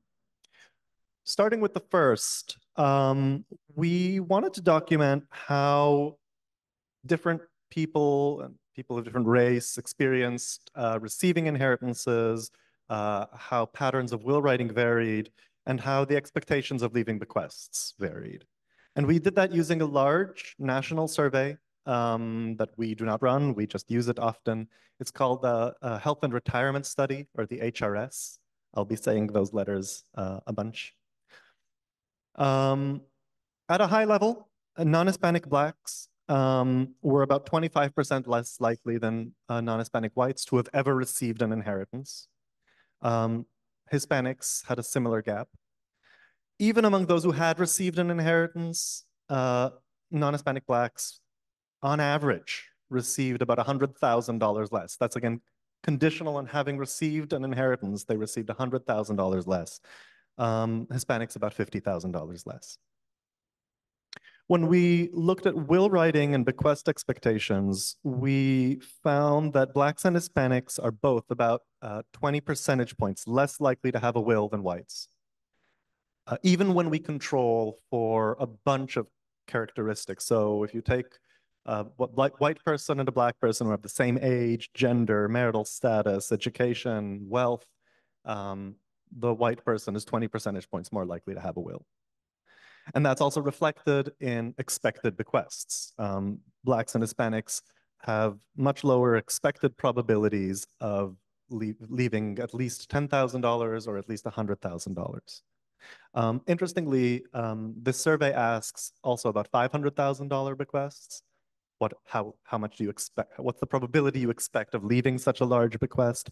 And there we actually see that it flips. Um, black and blacks and Hispanics and other uh, race um, minorities actually report higher probabilities of leaving $500,000. And I think the way we um, interpret that is when um, people of color end up accumulating such large bequests that it's even feasible for them to leave them, they're actually very committed to uh, leaving a legacy. So the last question this paper wanted to answer was, uh, do wills help translate these expected bequests into realized bequests? And so here we looked at a subset of people in the HRS who were interviewed at some point. Um, the survey has been running since 1992. Um, people who were interviewed at some point and then subsequently passed away. And when that happens, the, the people who run this survey, they do a really good job. They uh, follow up with heirs, nexts of kin, and um, try to see what happened to the estate, who got it, how much was left. So unsurprisingly, the, expect, the ex reported expected probability of leaving at least 10,000 or 100,000 or $500,000 is strongly related to whether people actually did that.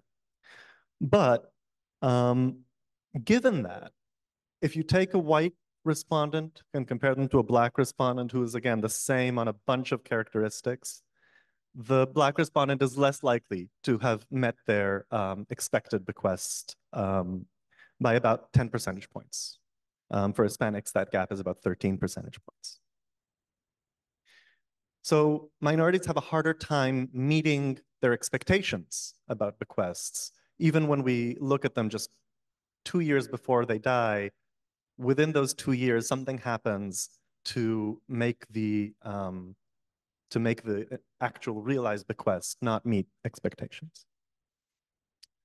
Nevertheless, across race and ethnicity, and for all of these target bequests, having a will was associated with a significantly increased probability of meeting your expectations. So wills, at least descriptively, look like they help um, help people achieve their goals. And that can be in at least two ways that we've thought of. One is mechanical, kind of legal. Um, it smooths the process, it preserves the wealth. The other is that it might focus the mind. Um, people who have planned to leave something might um, take steps to make sure they have that when they pass away. And so these suggestive results motivated the second paper, and here I'm uh, gonna get to the question that that ended the last session. Um, we wanted to see whether it's possible to get people to write a will um, when they sign a mortgage. And to do that, we ran our own survey. Um, we surveyed about 3,000 people. And we asked a series of questions on wills, on ex expected bequests. If a person said that they had a will, we asked when they wrote it, um, why, how much they expect to bequeath, and to whom. And if they don't have a will, we ask why not, and how much assets they might have to leave. Of those who don't have a will, we randomly assign them to four groups, one of four groups. The control group was just asked, would you consider writing a will? The first intervention was a mortgage intervention. We asked people to imagine they were getting a mortgage. Um, we asked them to list their various assets, which is what they would need to do anyway if they were writing a mortgage. Um, and we asked them if at that time the bank offered free legal and financial advice in writing a will, would they take up that offer? A second treatment group had exactly the same setup, but they were also told the bank would give them $500 if they wrote a will towards the closing costs. And a third group was asked uh, nothing about a mortgage, but also asked to list their assets and then asked if they were opening some account with a bank, a savings account, a checking account, would they then consider uh, writing a will if the bank offered uh, legal and financial advice. So about one third of respondents had a will. Um, they were more likely to be white, they were more likely to have high income, they were older, more likely to be married, more likely to have children. Um, so that was not surprising. Um, typically, they had set up their wills during their 30s, 40s, and 50s. Um, the most common triggering life event for writing a will was having a child. Um, other common things people reported were the death of someone close, which uh, made them think about mortality or made them experience the difficulty of dealing with an inheritance that didn't um, have clear uh, uh, estate planning. Uh, another common uh, reason for writing a will was the recommendation of a relative or a close friend. Regarding intended heirs, two-thirds were uh, of intended recipients were children, um, about 7% were grandchildren. Other family members were about one-fifth. Um, and then for unrelated individuals or organizations, which could be religious or charitable groups, that's about 8% of recipients. Regarding those without a will, the most common reason for not having a will, about half of people said that they simply hadn't gotten around to it. Um, another 20% said that they had named beneficiaries on their important assets like 401ks that require you to name a beneficiary. So all of these findings were consistent with prior research um, regarding the characteristics of people who have wills and don't, and in particular, the finding that procrastination is a real impediment to will writing, um, also consistent with a lot of research. What was much more surprising to us was what we found on the experimental side when we tried to see whether mortgages uh, could help nudge people into writing a will. And unfortunately, the answer was not so much. Um, both of the first two treatments, um, the just would you consider writing a will while getting a mortgage and also would you consider writing a will if the bank gave you $500 while writing a mortgage? Both of those were less likely to result in a will than um, the control group that wasn't told anything about mortgages at all. Um, the finance. Why do you think that was? Oh, well, um, I, will tell you now, and also the results that are coming up are consistent with it. We think that the mortgage writing process is already overwhelming. There's already um, so much going on. It's a big burden bureaucratically. It's a lot of paperwork. It's just people are overwhelmed. Um, I'm going to keep going and, and I'll show you why I think that. Um, the financial incentive also didn't uh, do much to help with this. Um, one issue with interpretation was that people um, with the control group who were just asked, would you write a will? They weren't given a time frame for doing it. And they could probably think, well, I'll do it someday. Whereas the mortgage people kind of needed to do it now or never if they wanted this free um, advice and, and money. And so we did a different comparison just among the treatment groups. So the mortgage group, the mortgage group plus $500, and the opening another bank account. Um, and when we did that, we actually found that the occasion of opening a checking or savings account was much better for uh, people in terms of uh, getting uh, a will done. Um, and it was even better than if, if you give them $500 on a mortgage versus um, no money at all, but when you're opening a some simpler account, um, the simpler account still won out there. Um, why I think the complexity matters. We, we divided people um, into two different groups uh, based on a number of different dimensions. So one such division was, um, why don't you have a will? The group that didn't have a will because they already had named beneficiaries on their major assets, we considered them quote unquote sophisticated. They have a good reason for not writing a will. Um, everyone else was unsophisticated. Again, not, not seriously taking the word sophisticated here. Um, but the sophisticated group here responded really strongly to the $500 incentive. Uh, the unsophisticated group didn't at all. They actually responded really strongly to being in the less complex bank setting as opposed to the mortgage setting. Um, when we define sophistication, uh, I see time's up. Um, I'm happy to answer more questions later. Thanks, Gal. Uh, now we're going to go on. Uh,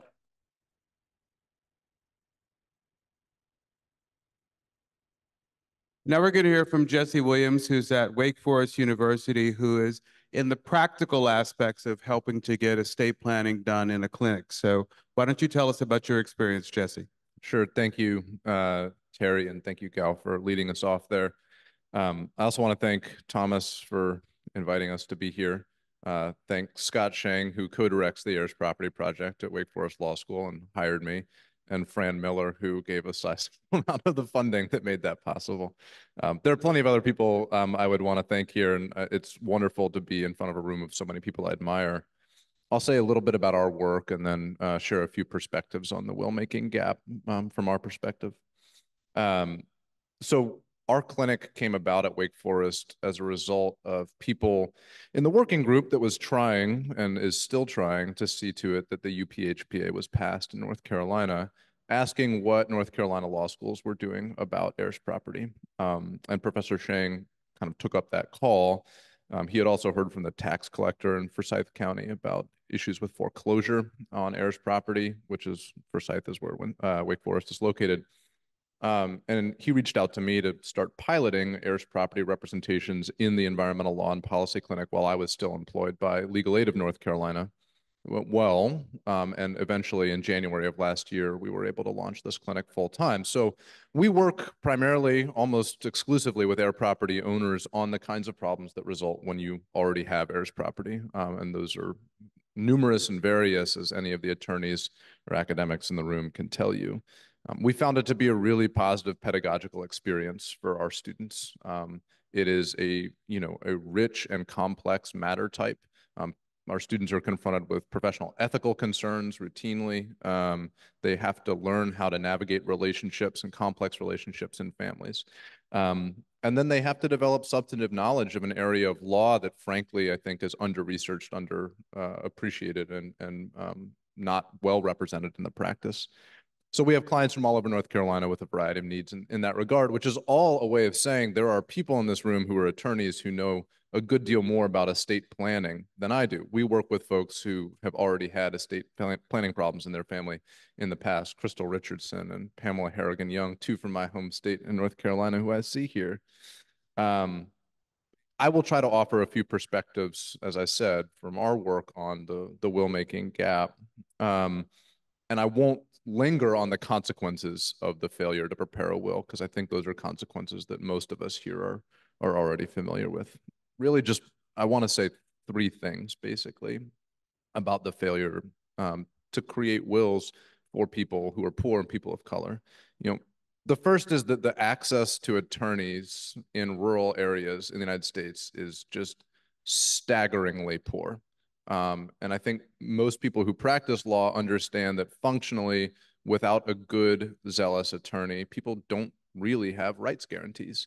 And so we talk about access to justice, but I think it's a misnomer. You know, these are places where people do not have their rights protected systematically. Um, to take one example, in Gates County, North Carolina, which is in northeastern North Carolina in the Black Belt, it's a population of 10,000 people, and there are two attorneys who practice law there. Um, so if you do the math, you think there are 5,000 people in that county of age to need estate planning services. And you imagine that both of those attorneys prepare one estate every day, no breaks, no weekends, no Christmas that's seven years of work to prepare wills for everybody in that county. So, you know, that's not going to happen. And Gates is somewhat exceptional, but there are a dozen or more counties in North Carolina with fewer than 10 attorneys and comparable populations. Um, and that's to say nothing of cost. It's to say nothing of conflicts. It's to say nothing of people's mere ability to drive and get to visit one of those attorneys. And we know, and Scott, I always look at you when I think of heir property in urban areas, that some of those barriers are present in urban places as well. Um, I think it's a failure of the legal profession, um, but it's also a systematic, um, common problem in rural spaces that the basic features of infrastructure and social infrastructure are not present, protected, um, or incentivized to locate there. So that's one perspective on this problem. I think that viewing this as a problem that is going to be solved purely by um, adding attorneys to the picture. Um, and I'm very glad that you're going to speak about broader and higher level solutions, um, is short-sighted and it doesn't accurately appreciate the scale of the need, especially in rural places, especially in Black predominated rural places.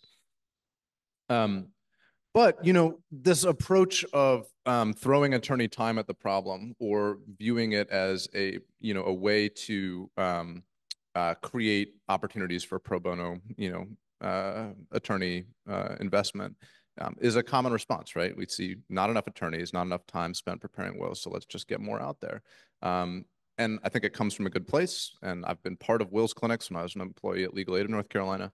Um, but I think a conversation also has to be had about um, preparing the right will for folks um, and preparing it in a way that is um, respectful and honorable. You know, um, Kara, you were speaking a little while ago about how uh, talking about death is hard.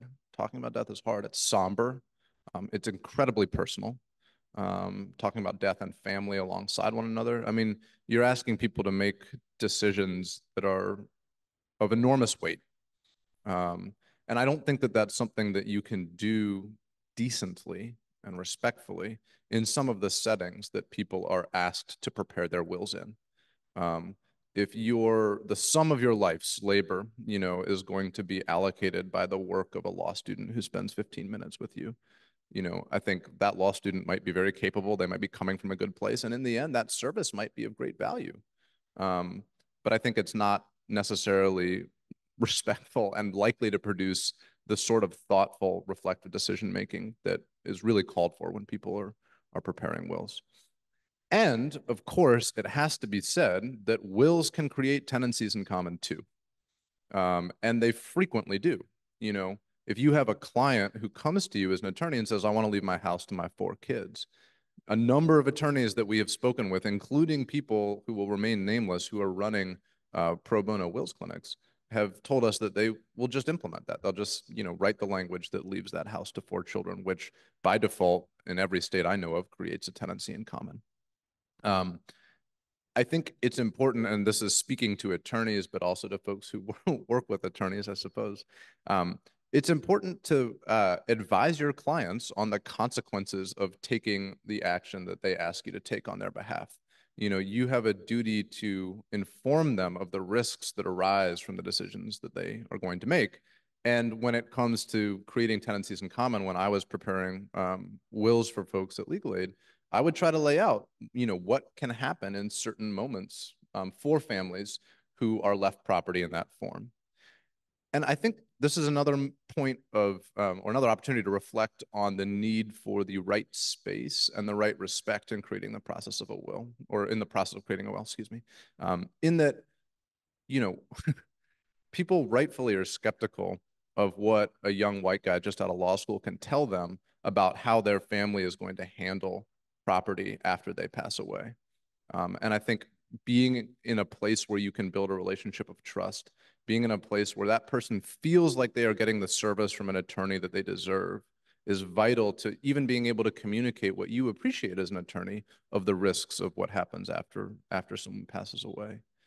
Um, so having access to attorneys at all, having access to attorneys who are able to treat you with respect and create the decorum in which you can make somber decisions and can advise you about those somber decisions. These things I think are very important.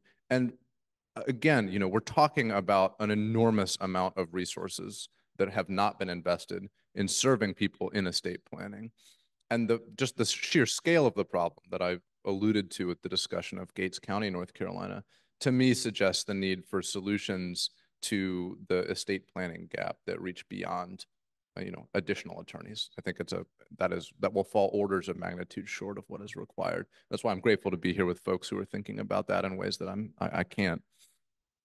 I'll say one more thing about this, um, which is that when we talk to our clients about where heirs property came from in their family, um, often our clients tell us things that subvert the conventional narrative that it's merely about ignorance or about access. In many cases, our clients tell us that their ancestors created heir property deliberately. And I think that's important to reckon with um, as we think about the will-making gap. Um, it's very hard to keep land in your family for generations. It's just really, really hard to do. Um, if you have in every generation a single owner sooner or later, there's going to be someone who drinks or who gambles or who just gets unlucky or who gets defrauded.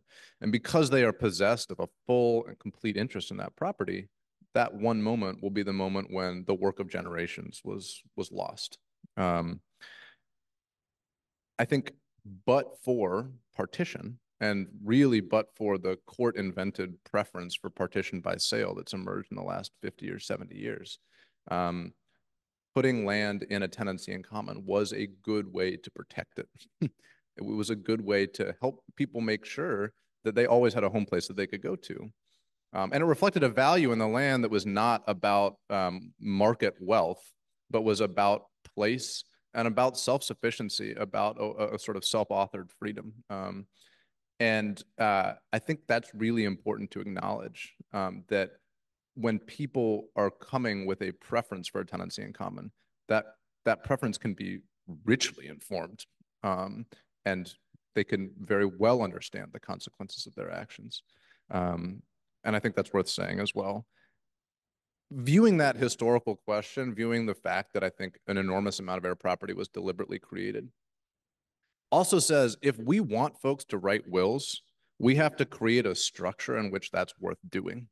Um, there are plenty of people we've talked to. We were just at a community meeting in Winston-Salem not long ago where someone said, yeah, I'm supposed to inherit some of this house and I don't want anything to do with it. You know, it's an albatross. It's tax, it's repair.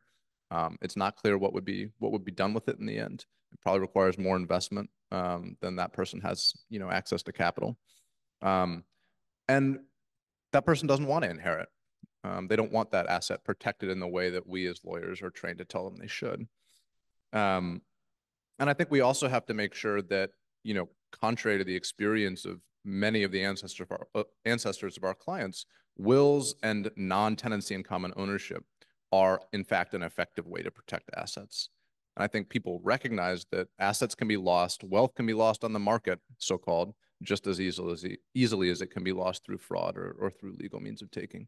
So in addition to talking about a failure of um, attorneys to provide access to will-making services, failure to do them well, I think we also have to zoom out and think about a structure that doesn't incentivize people appropriately to protect assets and doesn't guarantee that taking the step of making a will will actually protect those assets in the really long run.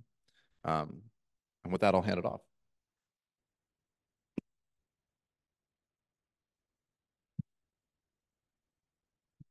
Thanks, Jesse, for that perspective and especially for the uh, respectful appreciation for the history of how these decisions were made. Uh, now we're going to turn to Kiva Terry from um, Howard Law School, who's going to give us a little bit more perspective about estate planning and how we can try to address these issues with heirs property. Thank you. Thank you, Terrence. Good morning. Uh, my name is Professor Kiva Terry. I'm on the faculty at Howard University School of Law. Um, I am delighted to participate in this panel, and I'm grateful uh, for the invitation. Um, at Howard, we have taken a three pronged approach in our efforts to address the racial will making gap and the problem of heirs property. First, we have expended substantial efforts to enact legislation and legal reforms that will enable wealth preservation. Second, we are determined to grow the pipeline of diverse trust and estates attorneys, especially Black trust and estates attorneys. And third, we are committed to increasing financial literacy in our community. And I'll discuss um, each in turn. So, with regard to legal reforms, for the past several years, Howard Law faculty and students have conducted research uh, and contributed um, notably to the report Strengthening Probate Administration in the District of Columbia. As you know, Howard University is located in Washington, D.C. And this report identifies a range of legislative, regulatory, policy, educational, pro bono, and practice changes that will aid the citizens of the District of Columbia, especially those who navigate the probate estate administration process without, uh, uh, without legal counsel. And these proposals, some of them have uh, been passed, enacted by the DC Council already, um, and others remain under consideration by the DC Council.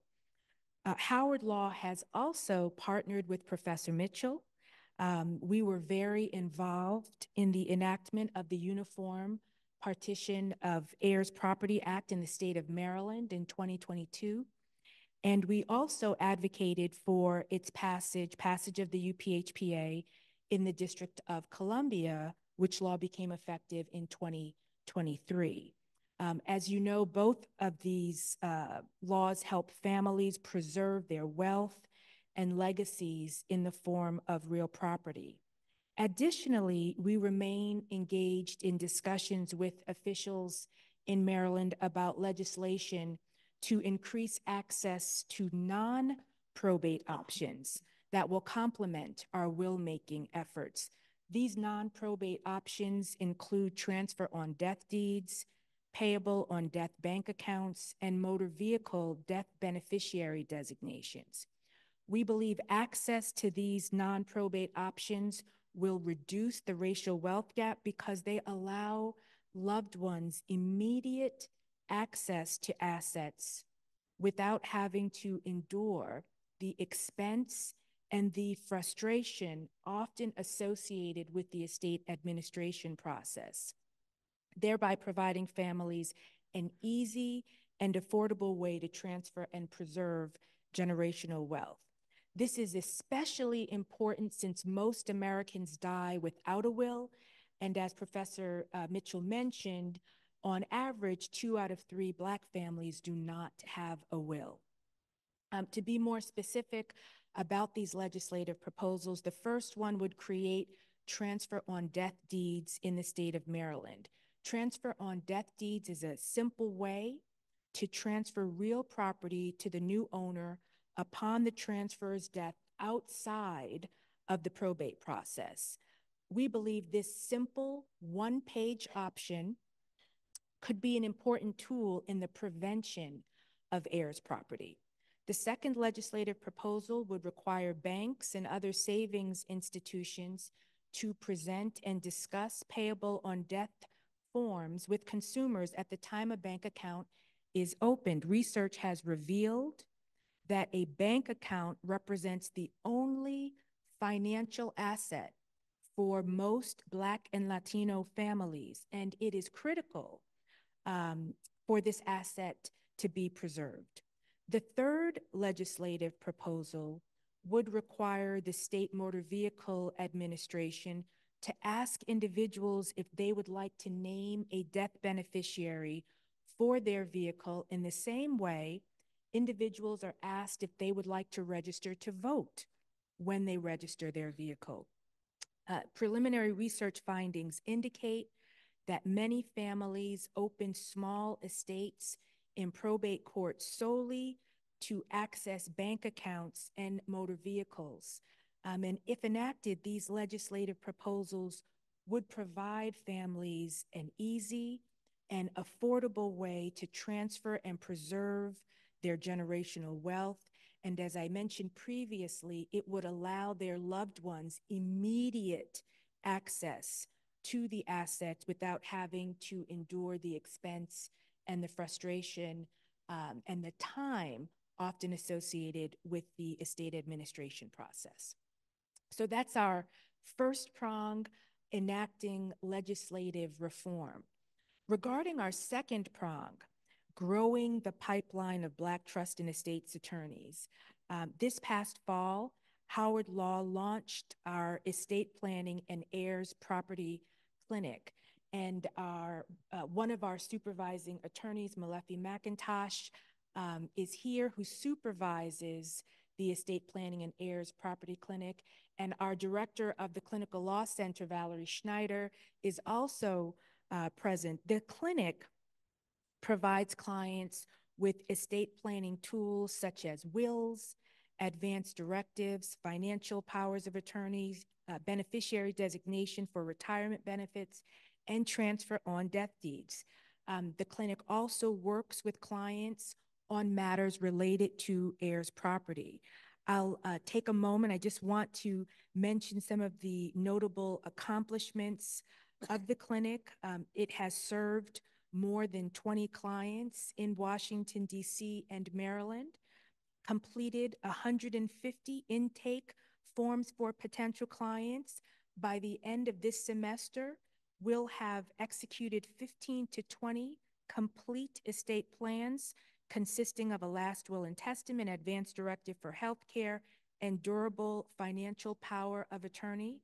They have counseled clients on establishing and maintaining effective plans for non-probate assets, participated in several outreach events for communities with historically low rates of estate planning, and most importantly, they have provided intensive training for 20 law students who are now well equipped to practice in this area upon graduation. Additionally, we have also expanded our curriculum at Howard to offer additional experiential educational opportunities to our students, such as internships for academic credit with probate court judges and internships for academic credit with nonprofit organizations that provide estate planning and will making services to our community and provide assistance to help resolve heirs property matters.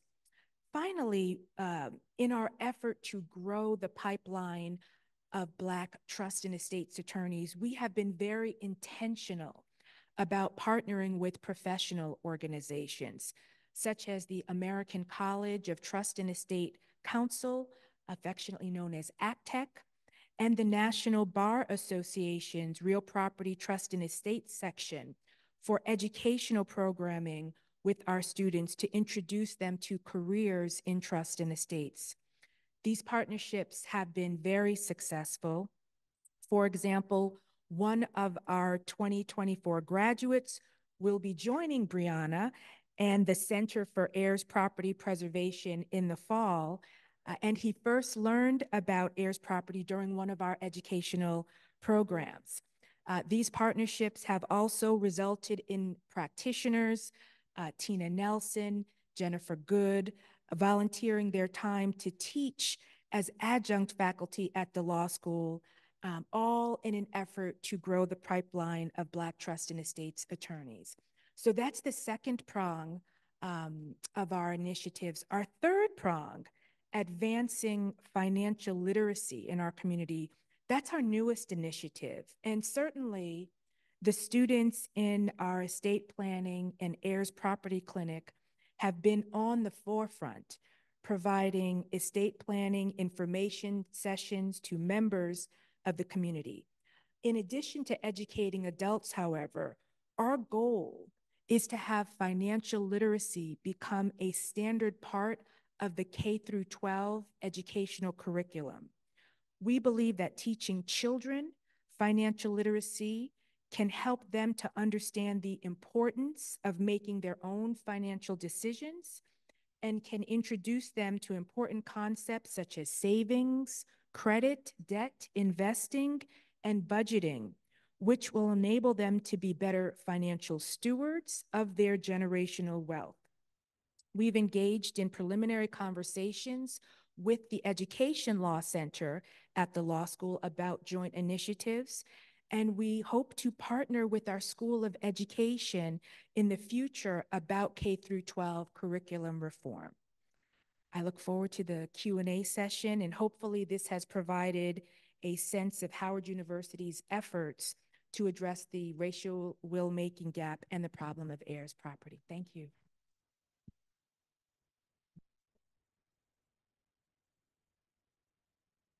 Thank you, Kiva. Uh, I love those three prongs. And one of them I just wanted to draw attention to particularly is that I know that the National Conference of Bar Examiners is basically removing trusts and estates as a requirement for bars across the country, which means that law schools don't really have an incentive to hire professors to teach trusts and estates. So students don't have the resource to access the classes, don't know that it's there. And so for you to choose to be intentional at this time when uh, there's a, a wave that says the trust and estates isn't important, I think is essential. And I think that's what we're all here for is to try to figure out how we can avoid these issues. So just make that note. Um, um, do we think, I mean, part of what I think has been fascinating about this whole conference is the chance to share ideas that are good ideas here and there across the country where either siloing to lawyers or to other specific categories of employment or research, policy, et cetera, uh, that occurs so much. How can we try to um, make sure that we're continuing to have this kind of cross-fertilization of information and knowledge, uh, resources of, of, of, of, data that we can access across the country. I've heard about so much today already, the, the deathanddirt.com, uh, et cetera. Do any of you have thoughts or ideas about how we can try to um, share these ideas more nationally? Um, one suggestion that was uh, made by Professor McIntosh, he and Megan Wernicke are the supervising attorneys for our estate planning and, and heirs property clinic. And they have um, encountered clients who, although they live, the clients live in Maryland or Washington, D.C., they have interest in heirs property in other parts of the country. Um, and they've had difficulty finding legal resources to assist. And so, one suggestion was for there to be um, more of a, a, network, not just a listserv, um, but where there's really contact information provided about heirs property attorneys throughout the country a resource that can be utilized um, by those who may find themselves in that same situation. Clients domiciled in one particular state or jurisdiction, but with heirs property interest in others, and um, having that uh, immediate resource available for legal counsel to assist them. Uh, I'm pleased to say, Kiva, that I think such a network sort of begins to exist and uh, in terms of sharing contact information and connecting people directly to attorneys. I know that's something we're working on now, getting live on the website, or is that already live, Fran? It'll be it'll be discussed later. Um, but the Heir Property Practitioner Network is a is a group of attorneys who focus on this, um, who are in touch with one another, and has been just speaking personally. Uh, invaluable to me in learning how to do this better um, and in um, creating a sense of community among the attorneys who do this work. If there are attorneys in this room who do heir property practice and are not affiliated with the network, please talk to us or attend the, the one o'clock session and, and learn more about it. I'll also just say on a personal level, I've been really grateful um, to learn from Genevieve at St. Mary's and Heather Way at Texas, Molefi as well at, at Howard. And I think the community of clinicians who work on this are, are nodes for sharing that information and sharing that knowledge and making sure that it goes into the, the hands and, and the hearts and the heads of, of students who are going to go on and, and practice afterwards. But of course, there's always more we can do in that regard. And I would say as an academic that um, I guess I found conferences like this one to be the best way to reach other research that's been done. I think for practitioners, there's probably other networks that are more effective, but um, but I think uh, the, the, work that Professor uh, Mitchell is doing is really great for bringing together different strands of disciplines and uh, research. Um, I want to make sure that we have space and time for questions from the audience or from uh, the web. Um, any questions? There's one back there in the back. Please remember to say your name and where you're coming from. Hi, Ken Biggis. I'm from Philadelphia. We uh, manage a housing counseling organization and work with uh, community legal services to do estate planning work. My question uh, entails like a scalable model that can do estate planning work, considering, and I'll give you some context. We do education to the public about estate planning, and the demand for those that want to like prepare their documents exceeds the capacity of those that other practitioners that can prepare the documents. So curious to know, and this might be sacrilegious, a uh, room full of attorneys, how can this could be um, built up where it can be by like I don't say bypass, but just make sure that those documents in place. Thank you.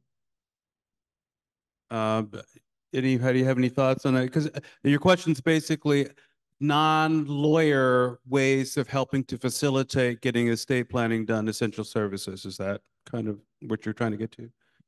Any thoughts or reactions from the panel? Yes, I'm a strong advocate for uh, non-probate options. Um, I believe that is a way to structure estate planning um, outside of the probate process and perhaps without the need for attorneys, especially with regard to simple assets such as bank accounts, retirement accounts, motor vehicles. Um, these are some of the legislative initiatives that I, I mentioned, um, trying to increase access and, and information sharing with community members about these non-probate options notably transfer on death deeds. Um, that may be something that we might not um, encourage without legal counsel, but it's certainly a simpler process um, than the will-making process and a, a way in which to prevent heirs property and to allow for the legal transfer of uh, real property upon a, a person's death in a, in a very easy and affordable way. So I, I'm all about non-probate options. I, would like to second that. I think um, for 401ks, for example, the requirement of naming a beneficiary is great. Um, for things that are in cash, I think that works really well because it's easily divided. It's easy to name the beneficiary. Um, houses, I think, are where we really need a lot of thought, because you can't divide them very easily. That's a part of the problem. And I think uh, they're definitely the largest asset for most families. I, I know in California, we're considering legislation to increase the, um, the, uh, uh, non-probate transfer, uh, jurisdiction amount. I think it used to be two hundred thousand, considering going up to seven hundred and fifty thousand in California. Uh, so again, non, non-legal ways to adjust policy or legislation to make that, uh, to facilitate that. And I'll just touch base quickly on a couple of things that we have in um, Los Angeles that we've developed based on uh, other concepts from other jurisdictions is legal services centers that are pairing with law firms uh, to provide those legal services both on a pro bono basis, but also to get training for lawyers through the uh, Trust and Estates group within a legal services center so that lawyers are learning how to do the trust and estates to provide those services to the Black and underserved communities. And so we were able to raise funds to create a fellowship um, so that there's a, a lawyer who's running this program. And then Los Angeles County has also contributed as well to create a um, leaving a legacy program to provide estate planning for free for people who qualify for the service. So again, I think it's sharing these ideas across the country and figure out, hey, this worked in your jurisdiction. How can we make this work in mine? Are there other questions from the room? Um, so we're moving that way. Good morning. My name is Courtney Brunson. I am the Racial Wealth Gap Partnership at the Boston Foundation. Really excited to be here today. I wanted to uncover a lot of um, the things that you all mentioned earlier that we heard earlier today, which is around education around these issues, but specifically cultural competency education. There was a lot of um, what you all mentioned about, you know, people not doing it because they're unsophisticated or because they made a mistake, but because it was deliberately done and by design and how we can educate people in K through 12 education, but also educate people providing those services about the complexities around this. So I'd love for you all to just speak a little bit more, not just about the education of systems as they exist, but also making sure that all actors in these systems have the education and the training to work with people and understand what considerations they have in mind and that they're particularly trying to put forward to help their families move on their wealth. Cultural competence. Anybody want to take that? And I can I can start here, and I guess I would say, um, you know, there's an enormous amount that gets encompassed in cultural competence training. I think one thing that I'm really grateful to my clinical professors in law school for instilling in me, and something I try and instill in our students, is um, a default assumption that when your client makes a choice or articulates a preference, um, that they have good reasons for that and that that's an informed preference. Um, and that it's something that if it doesn't make sense to you, probably first requires you to understand their perspective better, um, as opposed to um, inferring ignorance or inferring short-sightedness on your client's part. Um, I think if there was one thing to say about um, working with clients who have, you know, limited experience with attorneys or who have preferences that often grate against attorneys' training and sense of what is correct, um, that might be the place to start. Um, and I think, um, you know, if we can do more of that work in clinical settings and law schools, but also in attorney mentorship, um, that will go a long way. I would say though, one more thing, which is that the obstacle to that kind of um, reflectiveness or thoughtfulness, and none of us practices it perfectly, more often than not is not um, mendacity or um, uh, a desire not to take clients seriously. More often than not, it's time, um, I think, for many attorneys, and it's a sense of pressure where you don't feel as though you have time to engage as deeply as you would like with your client. And I think this is a, uh, you know, that refers to the tension I described earlier, which is that estate planning is a process that requires a real relationship and intensive time commitment to do well in some instances. Um, and it's also one where the demand is orders of magnitude greater than the supply. Um, and that's a very hard problem to solve. But I know, you know, the folks in the Howard Clinic and others in this room are working on training the attorneys who can begin to fill that gap. I think that's really exciting. I think that's um, a perfect segue. Uh, I do believe that as we grow the pipeline of diverse trust and estates attorneys, those conversations will filter um, into the larger trust and estate bar. Uh, uh, there's research that has um, documents kind of cultural compatibility being an important consideration with regard to the selection or access to legal representation. I do believe also that um, our partnership with professional organizations, it, it is a two-way street. The practitioners are sharing um, their expertise and experience with our students, and our students are also able to share a certain cultural perspective with the practitioners that I do believe aids the practitioners in their work. And so that is a way in which we're addressing um, some of the more systemic challenges with regard to um, cultural consciousness and introducing that kind of thoughtfulness into the process as we engage um, with ACTEC, with the American Bar Association, with the DC Estate Planning Council, um, some of these professional organizations who may not have been exposed um, to diverse communities in the same way, we can introduce those conversations and um, some of those considerations in a more deliberate and intentional fashion. I, I think there were some questions in the middle. Um, is, is there a microphone for the, the couple people in the middle who are trying to? Uh, I've got, or, I've got actually a quick but but broad question. My name is Julie Miller. I'm at AARP as Director of Thought Leadership for Financial Resilience, and I'm curious as we as we think about cultural considerations, what are some of the maybe broad overarching pieces that anyone would offer up in terms of age and generation as well in intersections here? Uh, the question was about um, how cultural background differs by age. Did I hear that correctly?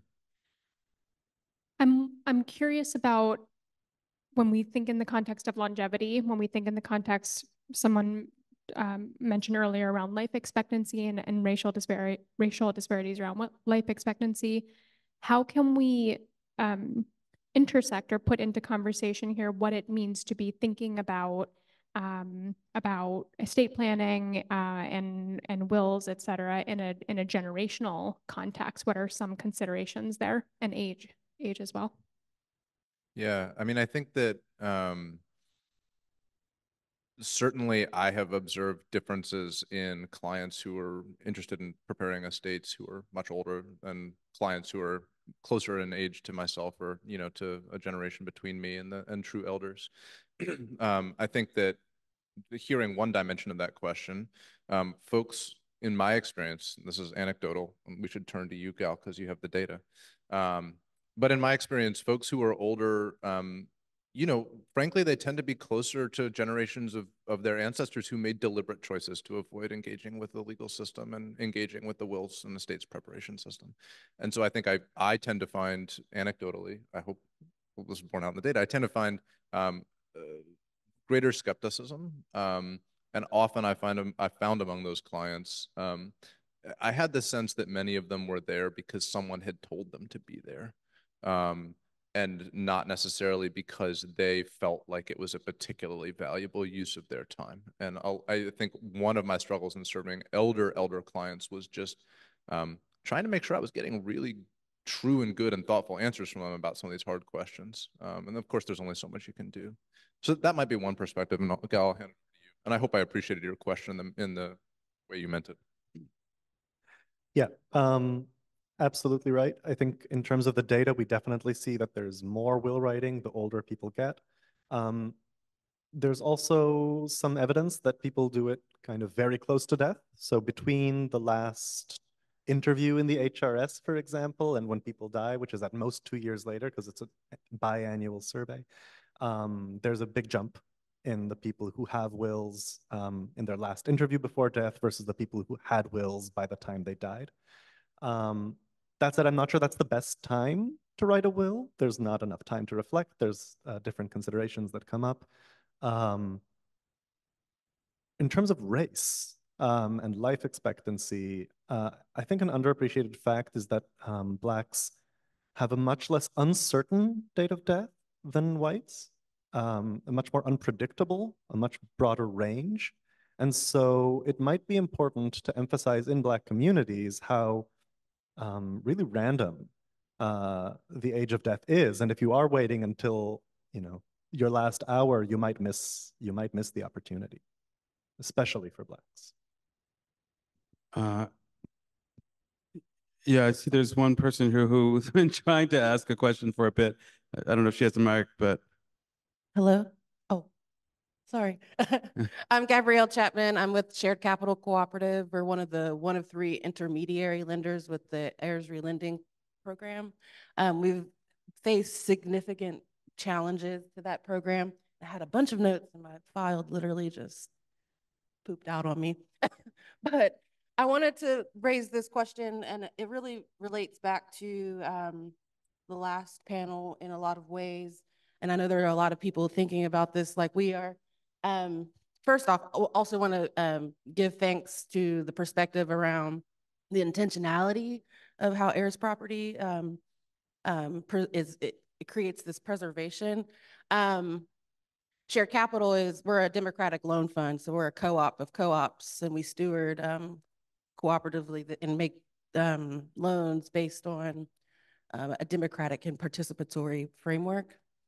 Um, so we're encouraging people to consider trust as an option and thinking about how to, to steward land and commons. Um, so that's a piece of it.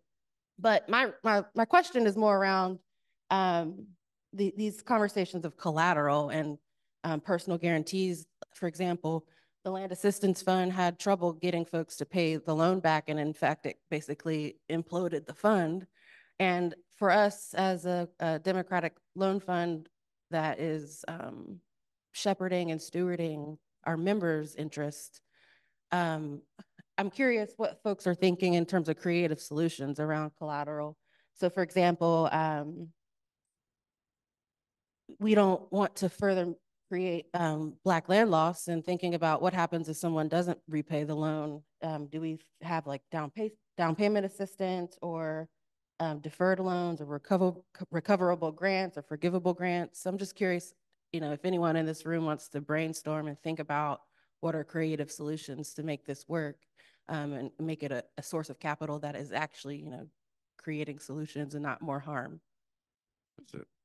Uh, broad ranging points. I think we only have about a minute or less. Anybody have any uh, response to that question?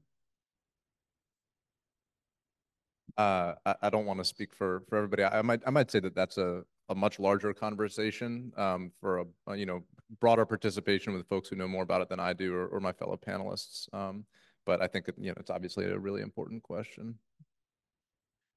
Uh, I think we're just about out of time, and I appreciate everyone's uh, thoughts and suggestions and comments and questions, and certainly this amazing panel. I hopefully will continue to have these robust discussions and how we can use estate planning as a way to try to address this issue and uh, try to reduce this crazy racial wealth gap. Uh, thank you so much, panel. We really appreciate it.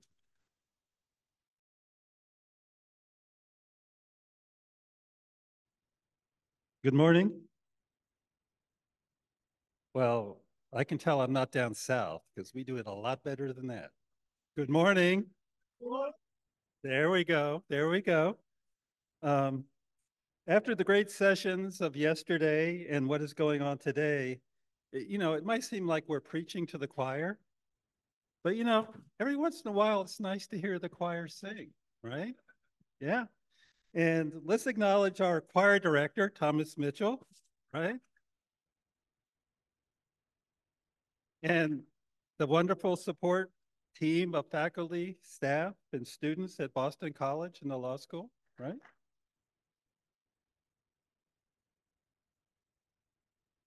Now, this session will look at government agencies and how they're addressing, you know, this important issue of heirs property. And we have some great representation on this panel, but I also would like to acknowledge that there are other USDA agencies that are involved here. Um, at Tuskegee, which is one of the 1890 institutions. Uh, we have a relationship with ERS and Clayton Michaud, he's here. And we have uh, other government agencies, right, They're not just USDA, they're other government agencies. And for example, FEMA. And in the way of bringing yesterday and today together, uh, looking at the media, I'd like to do a shout out to uh, Hannah Dreier with the Washington Post, who did work with uh, documenting cases of FEMA not serving uh, Black landowners. And she did a really interesting uh, study and story. FEMA changes policy that kept thousands of Black families from receiving disaster aid back in September of 2021. But I also like to go back to USDA a little bit because, you know, 2018 Farm Bill, the first time heirs property is put in there, right? It's, it's to get actually into the Farm Bill. That is how farmers can get a farm number. Um, the relending program, things like this. And then also USDA NIFA, because it provides critical financial support that we could then use to address heirs property. It supports, for example, the Policy Center. We heard Dr. Kara Woods and that organization and the great things it's doing. It supports the Southern Rural Development Center. John Green is here somewhere. And the things that they're doing, organizing a regional heirs property support network.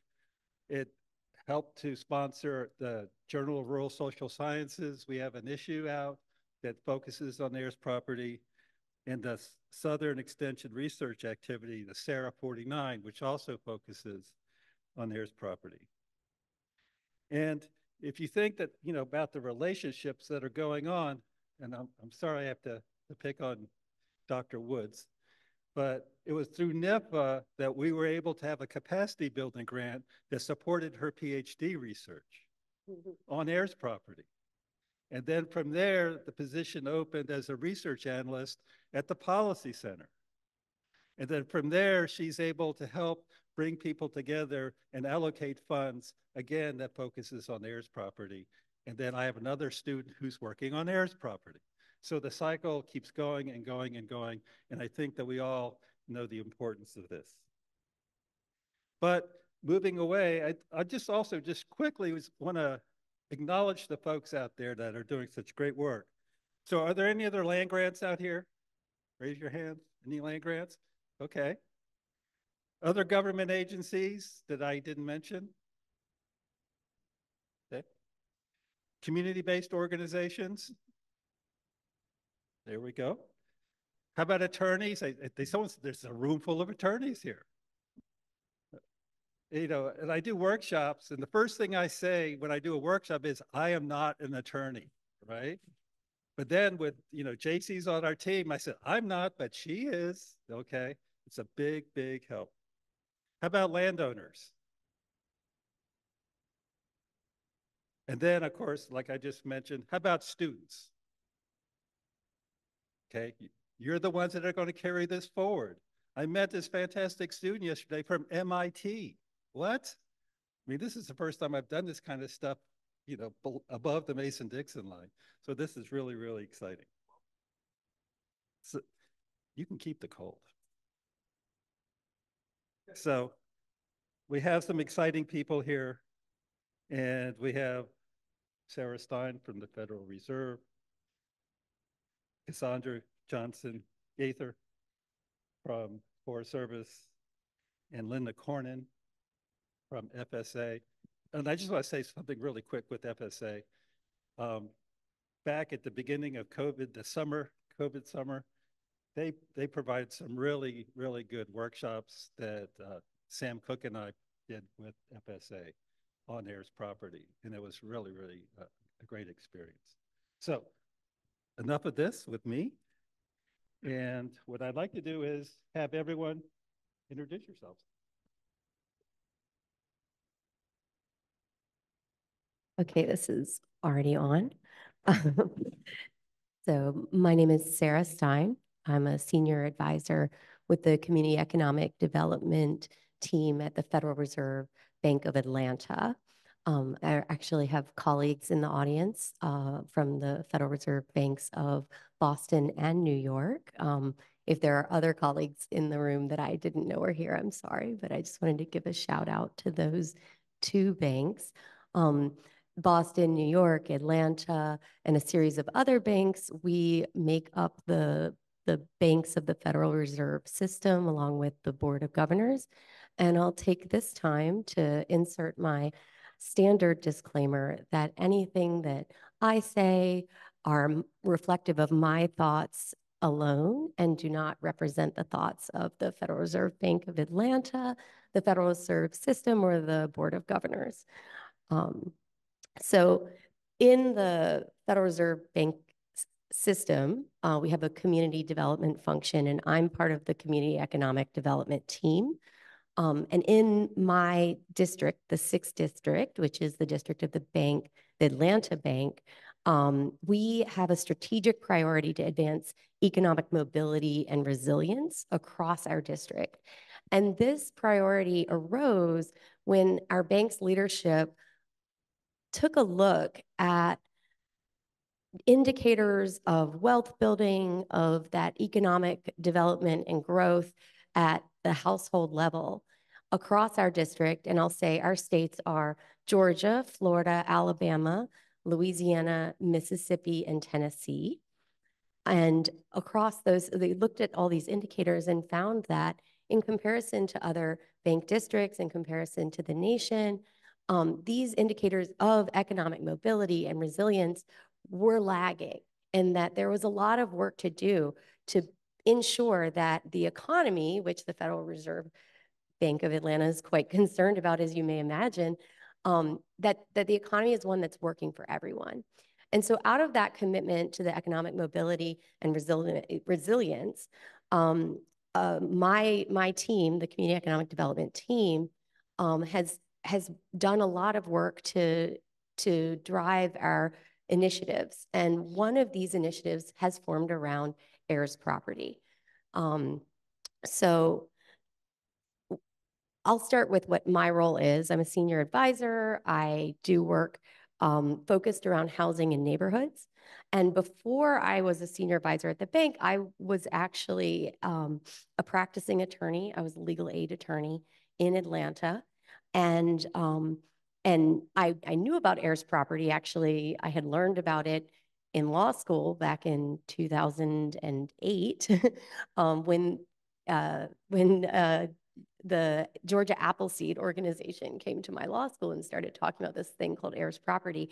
Actually, in my property class, which in contrast to Thomas's experience of his property law class, I I was very lucky to get um, a gentleman named Professor Frank Alexander as my property professor, and I adored property law.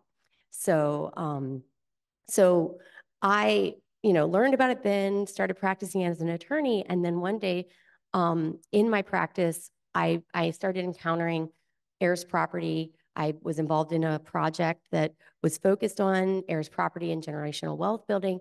And part of that project, I went to this convening at the Federal Reserve Bank of Atlanta.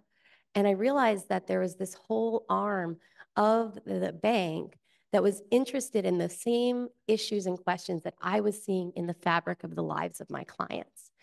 And and interested in what its role could be in shifting the knowledge about these issues, the narratives about how to address them, and in connecting people who are already doing that work with one another and with people who want to do more of it.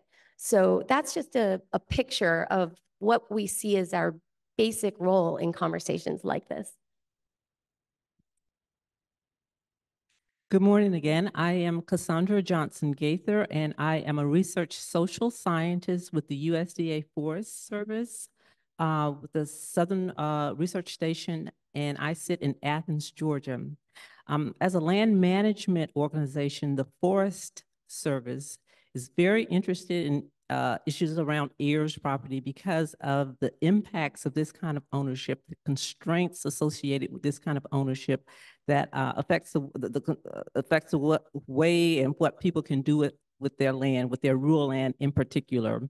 And so one of the ways that the Forest Service has come into this space over the past 10 years or so uh, one very visible way is through its participation and support of a program called the Sustainable Forestry.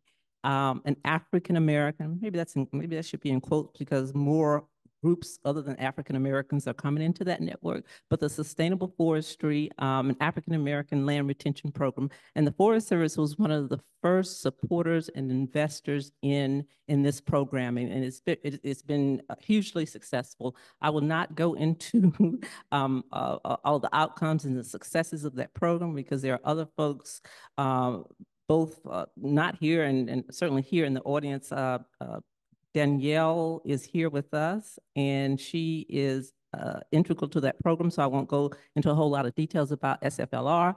But the Forest Service is very interested in this topic uh, beyond a quantification question. So I've been uh, involved in some efforts to estimate how much heirs property that is that is. But my my superiors, they're asking me, they're go they're going, well, okay, and now what? Now that we know that now that you quantify, like say uh, heirs property, say across the nation, and we see that it concentrates in the South, what what do we do about it from um, a forest land management perspective?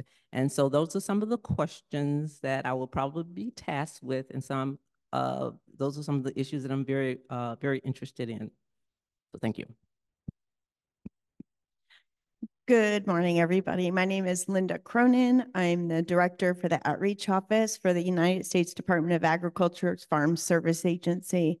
Also joining me here today is our first equity, first ever equity officer, Latrice Hill in the Farm Service Agency, which is really exciting to see that commitment. And also Darlene Canales is in the back. She is, she's been on the ground as a loan officer. She now works in Washington, DC, work, uh, originally working on some of the highly fractionated land program work and now working on customer service and experience work, as well as um, an advisor in the um, farm loan office, uh, deputy administrator for farm loan programs office.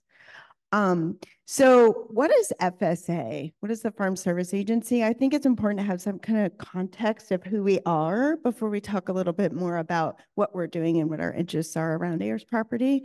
The Farm Service Agency has nearly 11,000 employees strategically placed across the country, 2,400 plus offices, in fact, uh, across the United States that works to support farmers and ranchers through various programs, including access to credit, um, conservation and environmental programs, disaster assistance for weather-related causes, and um, also safety net programs that help um, with pricing.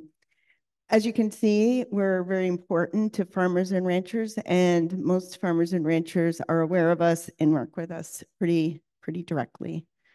The outreach office, um, which is where, where I work, we do a lot of outreach, education, technical assistance, and um, a very growing grants and cooperative agreement um, business, which we're starting. And I'll, I can talk about that in a, in a little bit. We have the Beginning Farmer and Rancher program also in our office. We focus on underserved in the broader marketing of our programs and services. In addition to that, there's a network of state outreach coordinators represented in each state to make sure that we're um, fulfilling those needs. Thank you.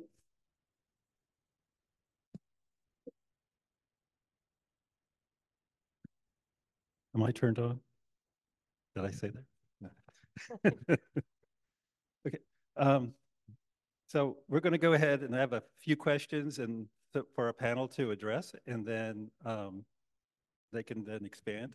But I do, I do want to say that it's been a pleasure working um, with Sarah and her colleague Ann Carpenter and how they brought a really, really cool team together to work on this issue. So, but Sarah, um, why is it important for your institution to address heirs property and what precautions must you take in doing so?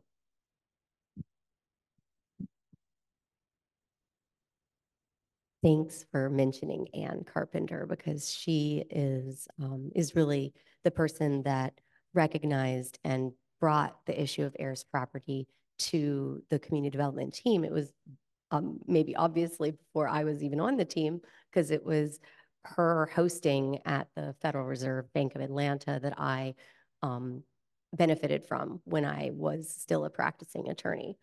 Um, and I would say that the the reason that it's important for the Federal Reserve Bank of Atlanta to have its eye on heirs property is that, well, I mean, I think I've already mentioned that we have a, a deep commitment to economic mobility and resilience and to building um, and to doing work that can advance that in the district. And part of that work is listening, so engaging with communities and understanding what issues are arising, and then being responsive to that listening with doing research. We have we have good capacity to do research, to support research that is also being done, to find a place where our particular strengths and resources can be brought to the issues that we hear about.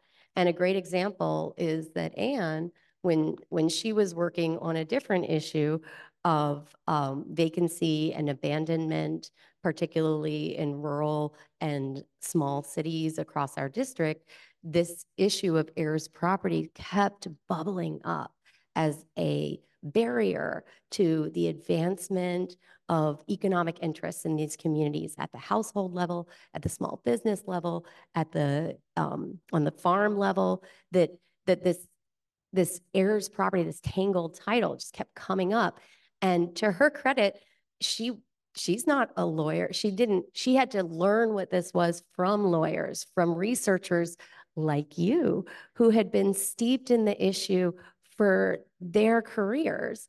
And so it was that that listening in a project that had nothing to do with heirs property, at least on its face, that led her to start finding that expertise across the district and across the nation and um, and bringing those conversations together and then honing in on what kinds of questions she might be able to help address and so she did one quantification uh, analysis of heirs property.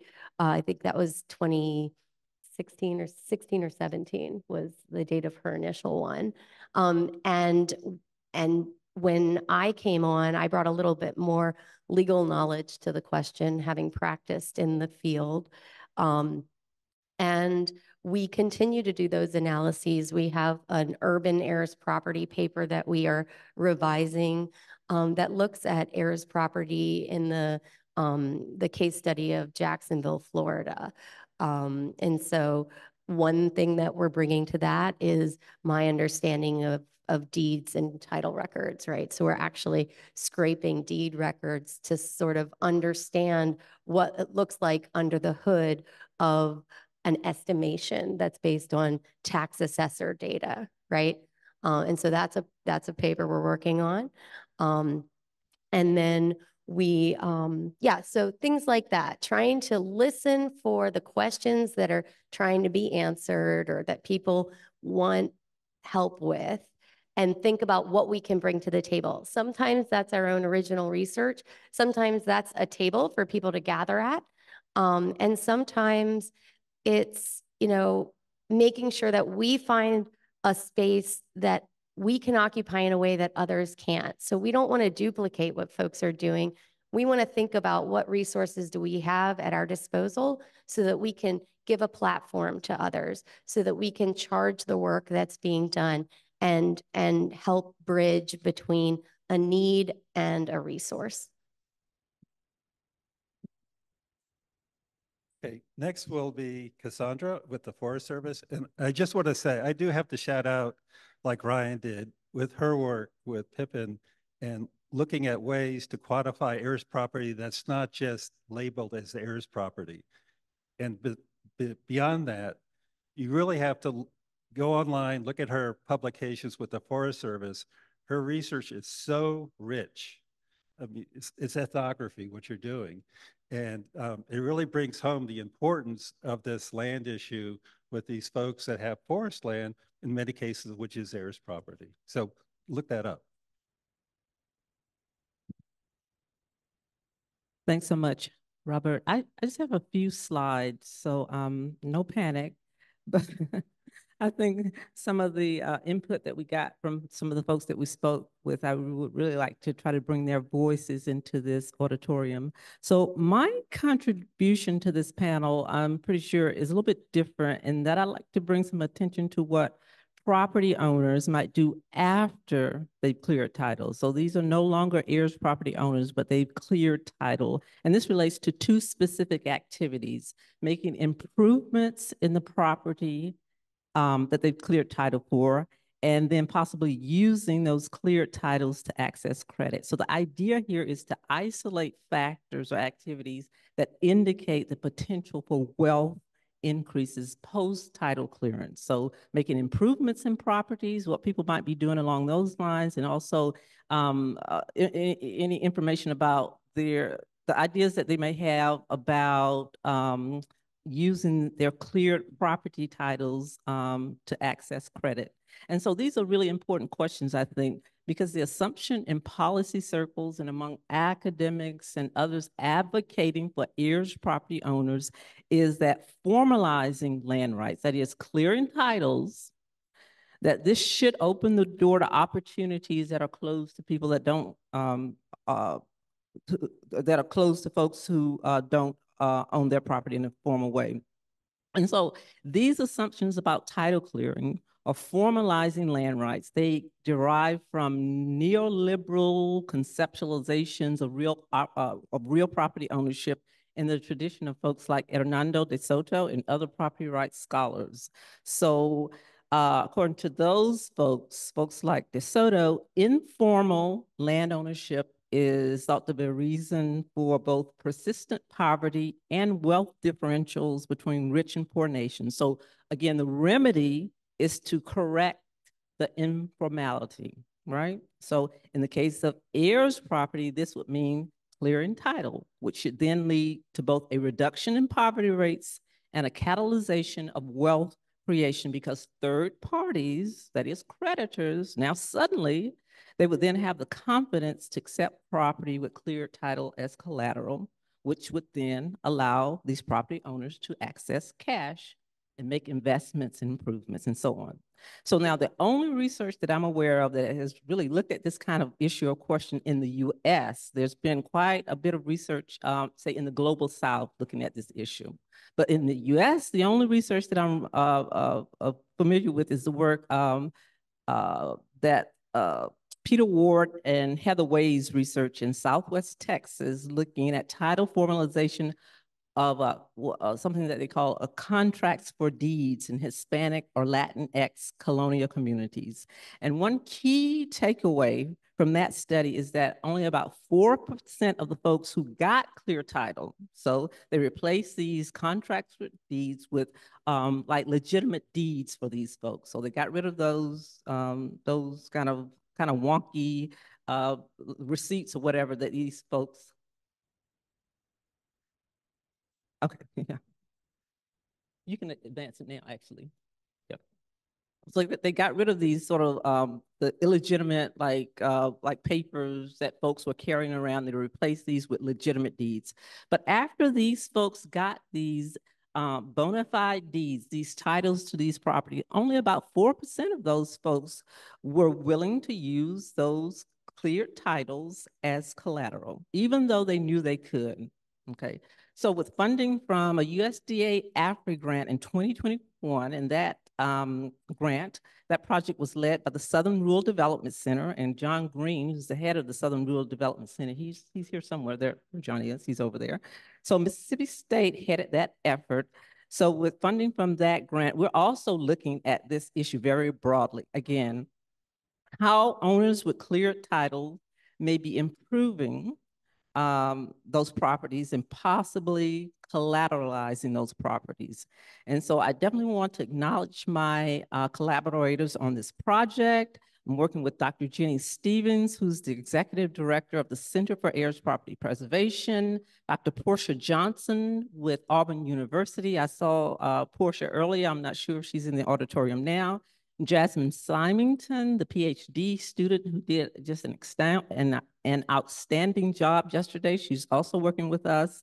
And most recently, who's come on to this project is Josh Walden, also with the Center for Heirs Property Preservation um, in Charleston, uh, uh, South Carolina, and he's the Chief Operating Officer of the Center for Heirs Property Preservation. So we're using a two-pronged approach to look at these questions, you know, using both qualitative and now some quantitative methods. So in terms of the qualitative approach, we're talking to property owners, right? And so far, we've interviewed 27 owners with cleared titles for 25 properties in seven states, Alabama, Florida, Georgia, South Carolina, North Carolina, Virginia, and Missouri. All research participants were African American, and they included a mix of both rural and urban property owners, right? And so, uh, yeah, rural and urban property owners. You can advance the slide, okay. So in terms of credit access, because I don't have a whole lot of time, I just want to um, focus on this credit access piece, okay? So about 20 of the 27 respondents expressed very strong opposition to using their properties to secure any kind of credit. I mean, when we talked to these folks, there was almost this really like palpable aversion to doing anything with those titles that might increase the risk of them losing their property. And this is not unlike the folks who um, uh, provided responses to the issue of um, collateralizing their property in the Texas colonias. But then four families, and this represents seven individuals from four families, they had attempted to use their clear title to access credit from a bank. Um, and in all cases, this was either for a mortgage to build a home or to obtain financing for substantial home improvements. And so all of these individuals who had who had attempted to collateralize their properties. They were rural landowners, but none of them had applied for funding through any USDA program. So they had all gone to banks, okay? So of the seven people who had attempted to apply for loans with these clear titles, using those clear titles as collateral, five ran into problems. Okay, so next slide.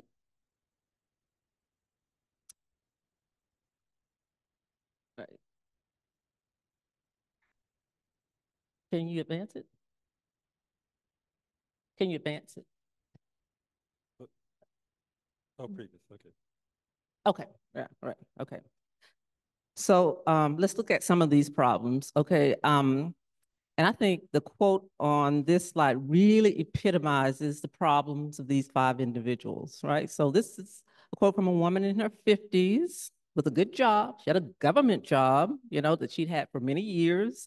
And she really described this nerve wracking experience trying to get a mortgage for a site built home in a rural area of South Carolina. She couldn't get a loan. And what uh, ended up happening is that the builder, who was also a woman, a white woman, she ended up getting the, I guess, a construction loan, and so the loan was in the in the in the, in the builder's name. And then there was another case um, in North Carolina, North Carolina fa uh, family. They had cleared their title and they had put it into an LLC, and they were trying to use that title to build a home that would cost just under $500,000, say $486,000. But similar to the woman in the previous example, they were turned down by two major banks. Now, you know, when I say, you know, these banks, these are major banks that probably everybody in this room would be familiar with if you heard the name. You know, of course, I won't mention them. But so in the case of this North Carolina family, so after being approved by one bank, you know, the four these these applicants, um, they were told, you know, uh, they were initially uh, approved, but then they were told, well, the, this bank, we don't lend to LLCs, right? And then they go on to another bank. Initially, they were approved. Then the other bank told them, well, you need a credit score of 700 uh, or 720 or more. So just a lot of details associated with this particular example. It's pretty long and winding. This is sort of a back and forth tale of these folks constantly coming back to these banks and asking questions because these are pretty savvy people. You know, these are college educated people who sort of know the ropes and, you know, they knew how to articulate their situation. And finally, with this particular example, um, one, I guess the family spokesperson, he actually had a conversation with the bank president. And even have, after having that conversation, things didn't go anywhere, right? Um, go on to the fifth slide. Okay. And so I think the reluctance of some of our respondents to assume debt, it suggests that title clearance may be a necessary but not a sufficient factor in terms of wealth generation. Of course, there are a lot of limitations to what we've done so far. This is uh, a purpose, purpose sampling, qualitative sampling is not random, uh, a, a, random methodology so, to select uh, these folks, and it's a very small sample size. But um, still, and we can't generalize beyond um, our sample, the folks that we spoke with. So to get a better idea, let's call it a more objective sort of take on uh, people's attitudes about credit access. So we are we have the opportunity again to uh, collaborate with the Center for Heirs Property Preservation, and we can get uh, I guess data for about 360 properties that they've cleared title for, right? And so these clearances, they date back to about 2005 or 2006. And so um, with access to uh, these records, at the most basic level, what this will allow us to do is to actually count the number of people count the number of both count the number of both voluntary liens, that is mortgages or loans, and involuntary liens for property with clear title. And we may also be able to, to, to do some modeling with that data. So, so you can advance. So coming out of the analysis that we've done so far, we'd like to suggest some what I think are pretty practical takeaways.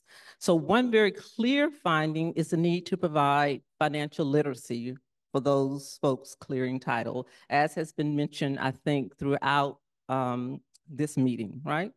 And so another suggestion relates to credit scoring metrics. So although most of the folks that we talked to really shied away from pledging their property to secure a loan, you know, some people wanted to do that. And so with a larger sample, we might actually find that there's even more interest in doing that. But of course, just because somebody wants to access credit doesn't mean that they uh, can access that credit. Because as we know, African Americans also tend to have lower credit scores or ratings, higher debt to income ratios, less job insecurity, and so on and so on. All these factors that det would detract from uh, their ability to uh, access credit. So in terms of heirs property owners who've cleared title, so even after title clearance, some of these constraints remain and they loom pretty large, right? And so as things currently stand, title clearance can't rectify these additional issues. But then, so um, uh, what if clearance, title clearance could somehow be reflected in credit scores, right? And credit scores. So uh, if property owners who've cleared title are able to have that effort reflected in their credit score as a factor that could raise their credit score, that should enhance that individual's credit worthiness, other factors equal, okay? So uh, again, uh, title clearance has no bearing on credit scores. As these are determined by weighted factors like payment history, amount of debt owed, and length of credit history, and so on and so on. But um, there are increasing calls for credit scoring models to incorporate a range of reasonable factors that demonstrate financially prudent or other socially responsible behaviors. And certainly title clearance is um, these activities certainly demonstrate those kinds of behaviors. Um, I have actually spoken with uh, Pamela Foohey, who is a bankruptcy and consumer law prof at Cardozo School of Law at Yeshiva University. And um, she verified that credit scoring models can include a wide range of criteria and that it would not be too far-fetched to somehow incorporate title clearing to capture that in, in calculations of um, alternative credit scoring. Thank you. So, Linda, FSA, what what turns you to this? What brought you to the heirs property area? Oh, thank you. I'm sorry. um, so there's a lot of work um, and it kind of started really with the 2014 Farm Bill. I want to just mention some of the programs that we have. Um, 2014, the highly fractionated land program, um, loan program, which is very similar to the heirs property program Dr. Goldmon mentioned yesterday, um, was enacted. And then fast forward, the 2018 Farm Bill um, established the heirs property program. So um, the farm loans um, team at FSA has been working hard to get that program up and running. I think we've heard from folks. Um, we have uh, three intermediary lenders right now. I don't, I'm looking to see if she's in the room. One of them is here. Oh, there she is. Shared Capital, as well as Akiptan and um, Cherokee Nation. So um, there's a lot of challenges with getting that program set up. Obviously, there's geographical different laws in different states, um, different focuses that areas have, and other things that um, that that we're working through um, through various uh, ways. One is through some cooperative agreements. We've heard from Alcorn today um, in the policy center to do training and education, and then creating that pipeline to help um, get to those clear later clear title places that you were just talking about. So, um, and there's so many other people like in this room and, and around the country that are doing such great work on this. Um, so that's one, that's kind of one place. Um, another place I should mention around loans is um, access to credit is is always a challenge. Um, of course, I'm talking from the context of farmers and ranchers who are running businesses with their farms. And so access to capital is critical for them to grow um, their businesses. So um, in addition to those programs, the Farm Service Agency has, um, uh, well, you can go get a loan at a bank. And sometimes that's hard, especially if you're from an underserved community. There's also guaranteed loans where the federal government will guarantee with banks. Um, so um, maybe a little bit riskier loans will be approved. And then also the Farm Service Agency does direct loans um, with um, participants that maybe can't get credit elsewhere. So that is an important piece um, because there there can be some assistance there, even if there isn't an intermediary lender in your area to try to help with some of the other aspects of farming. Another challenge with heirs property is getting a farm number because getting a farm number, you need to have, um, you know, some sort of control of the land. Um, a lot of the programs across USDA, not just in FSA, but um, in other programs, you need to have that. So there's been some things to do to clear up and offer oppor other opportunities to prove that availability. So that those are some um, some things that have been done so far. I also want to talk about something that I'm really passionate and excited about. As you look at federal policy, um, Congress has a really hard job because they're having to try to make rules and um, do things to try to cover as many people as possible. And so while doing that, um, sometimes our policy is very broad and it doesn't necessarily touch each community the way that it needs to. So we have grants and cooperative agreements that we're working through to try to help communities support the work that they're trying to do whether it's trying to um, expand urban agriculture in urban areas. We have some pilots that were authorized in the 2018 Farm Bill, and we've been doing some capacity building with cooperative agreements there. Whether it's programs like the Increasing Land Market and Capital Access Program, where we're working with organizations to um, do all to solve the problems themselves to, to, to identify opportunities that they can solve some of those problems for land access themselves. And that that's around um, that could be around revolving loan funds that could be around subawards to help with down payment assistance technical assistance education outreach easements and other things that that, that can be done so these are, we're breaking new ground. And I, I, I can't sit here and talk about loans and improvements and access to capital without mentioning our administrator, Zach Ducheneaux, who has done a tremendous amount of work to really um, improve access to capital and continues to do that work. And, and that's been a huge commitment to him.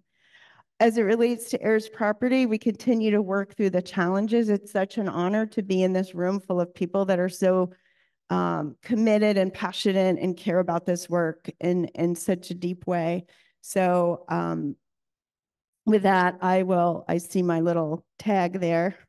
Um, I, I will stop, but I do want to say that, um, um, I started my job with a farm service agency. Um, when I went to school, I wanted to, I thought I wanted to be a lawyer actually. um, and actually a dream was to go to Boston, to, to come here.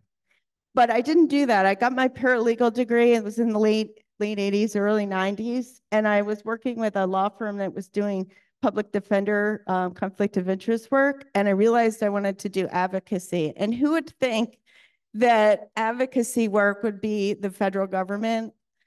But I will tell you that the federal government is full of advocates that really care about the issues that we're working on. And it's an honor to work alongside all these experts that are doing this. And one more thing I'm going to just add, we had talked about earlier today, the pieces around um, um, uh, estate planning and requirements, whether there should be requirements or not for estate planning and things like that. I do want to mention on the heirs property program that the CDFIs um, do work to have succession planning as part of the plan for that. But for our other programs, we do not require that. So I just wanted to kind of steal that conversation because it has come up a couple times. Thank you. And I do want to do a quick plug with FSA. Uh, we are celebrating our 30th anniversary with our socially disadvantaged farmer and rancher technical assistance project. project. And we have two numbers, 15 and 27. That is for the past 15 years, we have helped farmers, socially disadvantaged farmers in the Black Belt, $27 million in loans, and most of them coming from FSA. So we appreciate your work.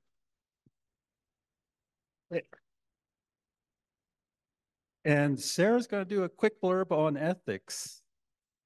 One thing that I can't get off the stage without talking about really as quickly and briefly as possible, um, but thoroughly. Uh, so it came up in the first panel today for those of you who online were still online at that time, and those of you who were in the room, that a lot of the work of of intervention in heirs property is understanding what are the ethics of what I'm doing? What are the ethics around it? How can I avoid making the folks that I'm trying to maybe help more vulnerable? And in that listening posture that I sit in, in, in at the Atlanta Fed, our participation in what was known as the Steering Committee for Heirs Property and is now also become SERA 49, um, was in over the last three years, this increased understanding of what heirs property is, this mushrooming of interest and desire to address the issue, and this, along with that, influx of funding and new players in the room. And and with that came a lot of, let me just say, a lack of context. I would, I, I think a lot of folks I heard on these calls and in conversations we're getting concerning emails and questions asking for probably with really great intentions, asking for information or proposing projects that really weren't necessarily informed by the deep work that those folks have been doing for years and the understanding of unintended consequences around this issue. Um, questions of cultural sensitivity, questions of uh, dot maps showing where heirs property is and how that might put a target on somebody's back. Um, maybe questions around the focus on quantification without a, an understanding of qualification, understanding of quality around, around what this all means. And so out of those conversations, we formed a project um, and we are in the research phase of that project to look at the ethics issues around heirs property. We're focusing on three stakeholder groups, three intervention groups. One is researchers, so anyone who's doing heirs property research, whether you are academically affiliated or not. Um, The second is legal practitioners, folks that are doing those interventions, the wills clinics, the title clearing, whatever your legal solution is, that that's you, you are, we want to hear from you, particularly if you've been doing it for a while and you got some hard-earned lessons.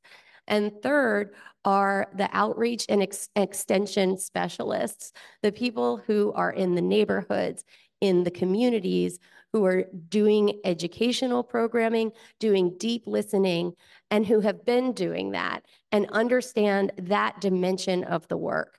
And so we will be conducting focus groups and we will be recruiting you to our focus groups. So if you are interested in joining this study, we have a little QR code. We've got a lot of these. Um, and by we, I should mention, this includes folks at the Southern Rural Development Center, so John, um, and uh, folks at Auburn University, which is Ryan Thomson and Portia Johnson, and then I and then the Alcorn State Policy Center. Um, and Kara Woods is here, Dr. Kara Woods, who spoke on this very topic earlier. So I just wanted to mention that because I promised my team that I would plug that in this panel.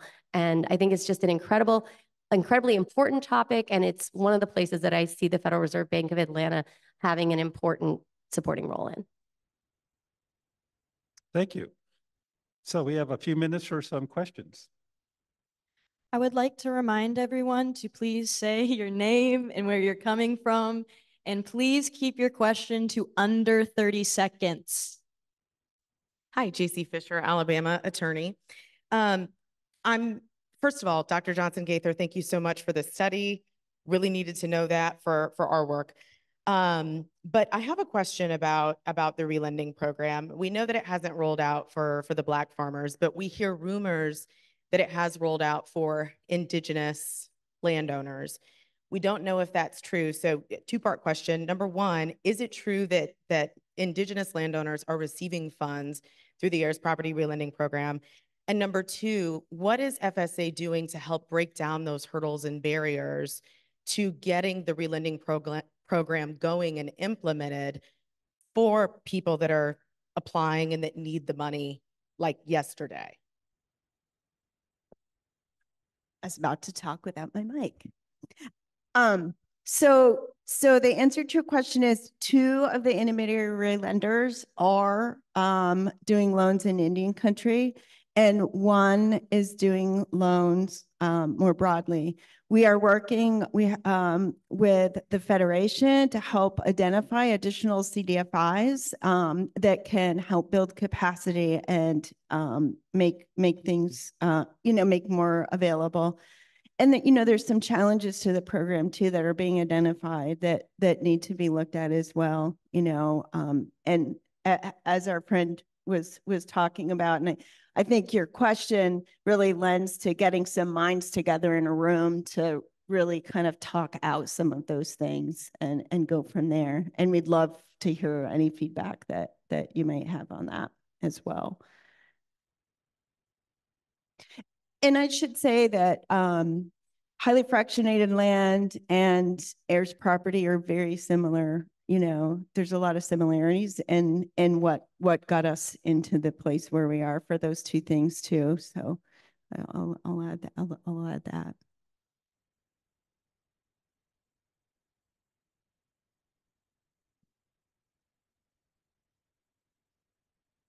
Uh, this is Kim Addy from the Atlanta Wealth Building Initiative.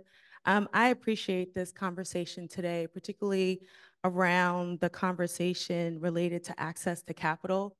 And I, I, these conversations always remind me the importance of uh, grounding us in history, which is really important. And I've heard elements of that through the conversation, but it's never um, lost on me when we talk about the relationship between Black people and capital and what it's wrought with, right? So when you think about uh, Black folks that have literally been capital um, for access to land um, and making that transition from being considered capital to overcoming policies that restrict capital um, is never like this straightforward thing. It's always going to be um, a difficult uphill battle.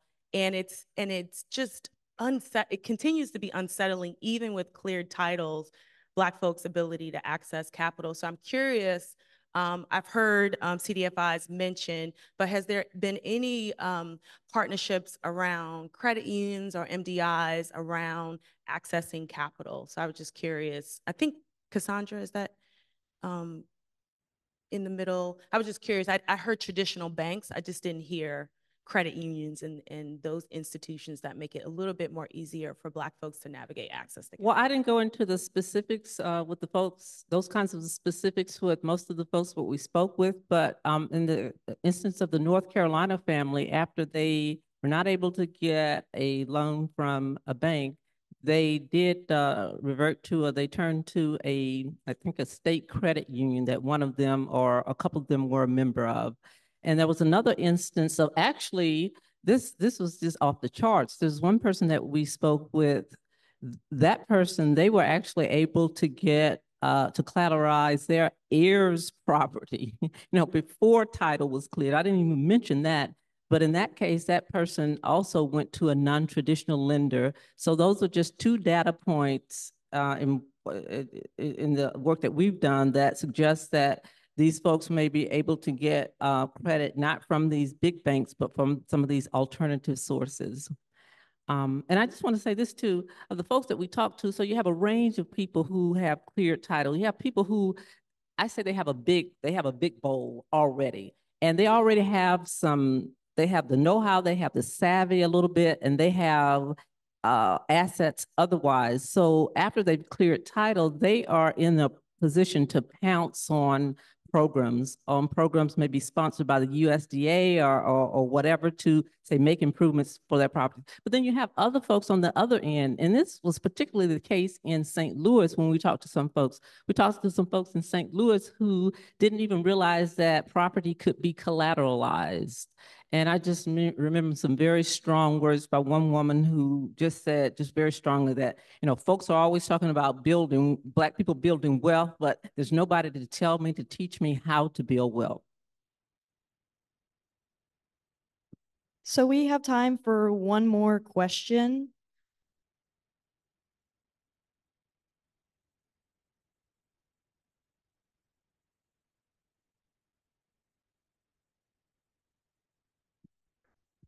Hi, thank you. Zoraida Fernandez. I'm just down the street in Brookline, Massachusetts. I have a question about um, thinking about ethics and um, thinking about people once they maybe access the credit and have uh, the loan. What is the federal government doing to support the people in actually making those payments so that then they don't lose their home? Um, because people have um, for example, you mentioned the colonias in South Texas. People in, are in very economically precarious situations. Um, and, you know, they're one emergency away from defaulting on a loan payment, or maybe the Federal Reserve raises interest rates and their, their loan rate goes up. So my question is, what is the federal government doing then to support people so that they can um, make those payments and keep access to the capital and and not end up, you know, unhoused basically. Well, we got a shout out in that, so I'll take the question. Um, so for one, I, I think I should just make sure everybody in the room understands we're not the federal government, right? We're a nonprofit bank and the like I'm not a federal employee, but we are obviously affiliated with the federal government. So um, we don't make fiscal policy, right? So we have no control over federal dollars that are designated through the legislative or the uh, executive branches of the federal government.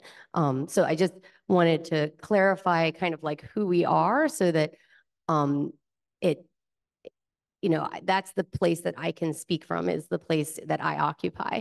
Um, now, one thing that you said really resonates with me, which is that a loan product is not always the right product for everyone. And your mention of ethics, I think that what that with the way that that resonates for me is what I'm hoping is that as we do this ethics research, for instance, Um, the, the, there's the people that will be getting the knowledge from, and then there's the people that we hope will take that knowledge and, and, and learn from it. And so right now, we don't necessarily have policy makers as a group of people that we are doing focus groups and receiving knowledge from. But I do think that they're a target audience for the gathered knowledge and maybe a deeper understanding of how to think about policy formation in a around heirs property in a way that has a more complex and comprehensive understanding of the the the individual or the family or the community that would be receiving that program right? And and that's hard to do right? And so hopefully this research could bring some nuance to that.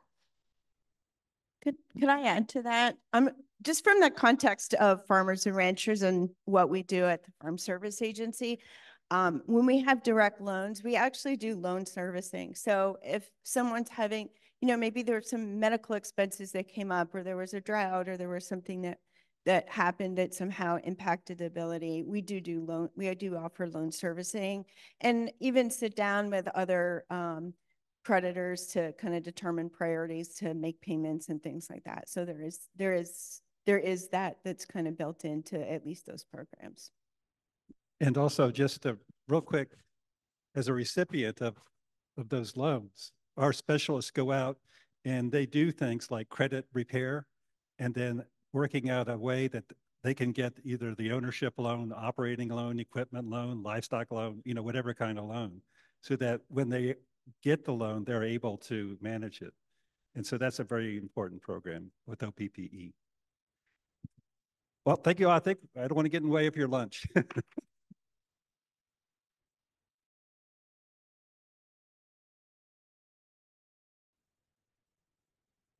Good afternoon. That was pretty good. Um, so my name is Thomas Mitchell, Professor Mitchell. I'm at Boston College Law School, as you know. So this has just been a tremendous conference uh, up to this point. I can't think of a conference I've been that I could say is comparable. You know, when I say a conference, when I'm looking through the the program, you know, we have eight different conferences here in terms of the various topics. They could be conferences all by themselves. Um, and I've just um, just been stunned by the all-star cast of panelists and speakers. It's just been tremendous. So I want to thank um, everybody again who's spoken up to this point and folks who will be speaking later this um, afternoon. I also feel like in some ways this is like a family reunion um, multi-generational in terms of my career. Uh, folks I met in the mid 90s, uh, you heard from Heather Way, Robert Zabawa, and um, you know, it's been kind of a reconnection. I mean, one of often what we have is, you know, in life, there's opportunity costs, cost benefits. Um, so I used to spend a lot of time in my early career uh, traveling to places like the rural South and Appalachia multiple times and just met tremendous people in various places, spent times with them in their homes, in diners, community centers, churches.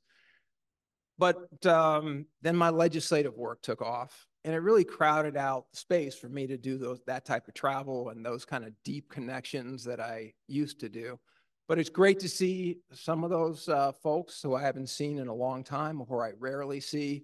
But like a family reunion, there's been new generations of folks, folks I've gotten to know in the last, you know, five or 10 years who are also uh, just awesome people. So I just kind of, A, get that kind of vibe.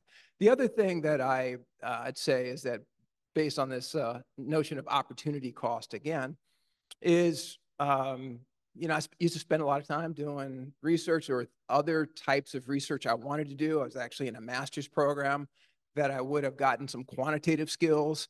And once again, some the way my career evolved, it crowded out that time. Um, but just to see the wealth of experience and research and scholarship, um, I realized I'm not essential, right? So if, if, if I can play more of a supporting role or a cheering role, um, that's, that's fine. Um, all right, so just I want to just kind of give a, a, little bit of a, a presentation here. I'm going to talk for about another 12 minutes. um, unless Nate tells me I can't, and then I'm going to override him and buy a couple of minutes, uh, and then we're going to go into a fireside chat, or not, Nate. Um, all right, so just just kind of big picture.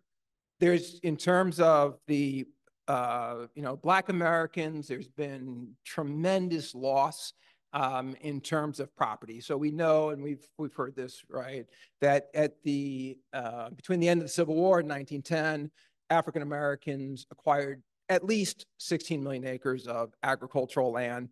The most recent agricultural census shows that there's 4.3 million acres, at least as I read the ag census. I know we have all these USDA people and other ag folks who can feel free to correct me. Um, to the extent that you all were feeling energized and hopeful and happy, let me let me be a, put a damper on that. The um, you know when, we look at the gaps between black and white home ownership, I mean one of the shocking things that we should be you know distressed about and demoralized is that in with the most recent data in 2022, when we look at the black-white home ownership gap, where it stands at 28%, at least according to the most recent statistics I've looked at.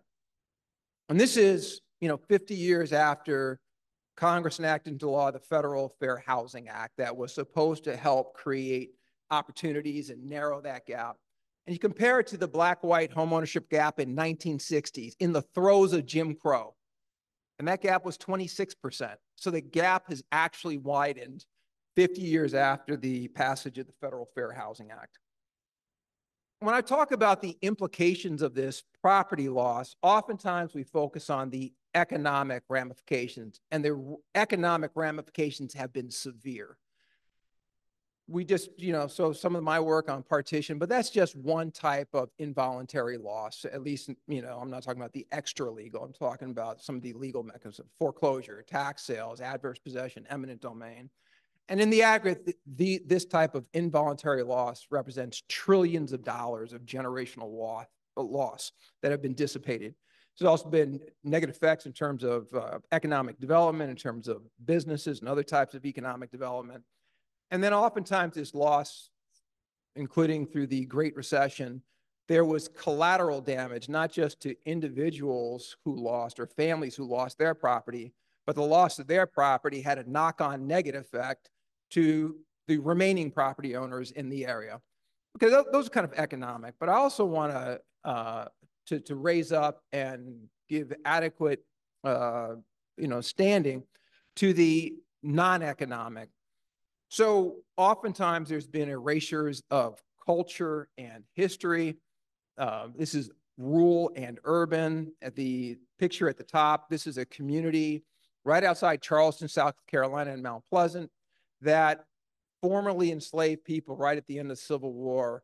Um, you know, 200 families were able to get 10 acre plots. Um, and then you had back, I think this was in 2006, 2007, there was a one of these 10 acre plots. The community was trying to acquire ownership of it to you to build a community center. They had had a couple that had burned down or uh, otherwise been destroyed. And you had a uh, local real estate development company that outbid the community by $1. So the property, the court ordered it sold for one million two hundred thousand and one dollar, which outbid the community that bid 1,200,000, but no recognition of the kind of the history of the culture. A lot of the roots of my interest initially in that led to heirs property really ironically is from my growing up in San Francisco. Um, so San Francisco is the city in the US that has had the largest decline in a black population of any major city in the last 50 years. 1970, 13.5% of the population in San Francisco. African American today, about 3%. And that 3% is disproportionately homeless and very poor. Um, but some of that I personally witnessed the through urban renewal and the displacement of African Americans. I just, you know, I'm, I'm, i will say this, uh, that it, at the time I was growing up, if you ever, this is one particular neighborhood that's kind of well known called the Fillmore District in San Francisco. And when I grew up, if you ever were reading the San Francisco Chronicle, the Examiner on TV, anytime they talked about the Fillmore District, the narrative was that it was crime ridden, uh, pimps, prostitutes, drugs. Fast forward to, you know, uh, uh, several decades, now that folks got pushed out, so the city now is marketing it as the like historic, jazz district. And what I didn't know was that in the 1940s and 1950s, there were more black-owned jazz clubs in the Fillmore district than anywhere west of Harlem in New York. Um, and so now that folks have been pushed out, the city now is marketing for tourism the rich, uh, you know, jazz district. So let me skip. You're going to hear later on about some of the these problems of tangled title. That's often um, specifically used in the urban context. Oftentimes, talk about some of the problems of clear title. But once again, these have economic ramifications, um, and these are three studies that that I've looked at. We're talking, you know, hundreds of millions of dollars in terms of the economic impact of holding it with unclear title versus clear title, but also then some of these other effects in terms of health, safety, and crime impacts. We've heard, obviously, we had a panel on um, the kind of racial will-making gap. Um, this is just to kind of add to the study that you heard from our wonderful researchers at Boston College. This is a study that um, that I became familiar with. I was asked to give a, a talk at Washington University in St. Louis about 10 years ago by an economist, Robert Pollak, and he worked with two other uh, economists. And this is the first time I saw data on the racial will-making gap. So when you look at the gap, it's it's severe, right? So uh, in terms of there's a 40% overall gap, um, but as I, I think I mentioned last night, one thing I find particularly shocking is that the, not surprisingly, the will making for every race and ethnicity is um, those with higher levels of education make wills or estate plans at a higher rate, those with lower. So that's true across every racial gap. But when you look at the most educated African Americans, those with at least a college degree, and their will making gap is 32%. And then you compare that in this study, and I let me say in the study, I should emphasize that, to the will-making gap for the lowest educated white Americans in the study was 57%.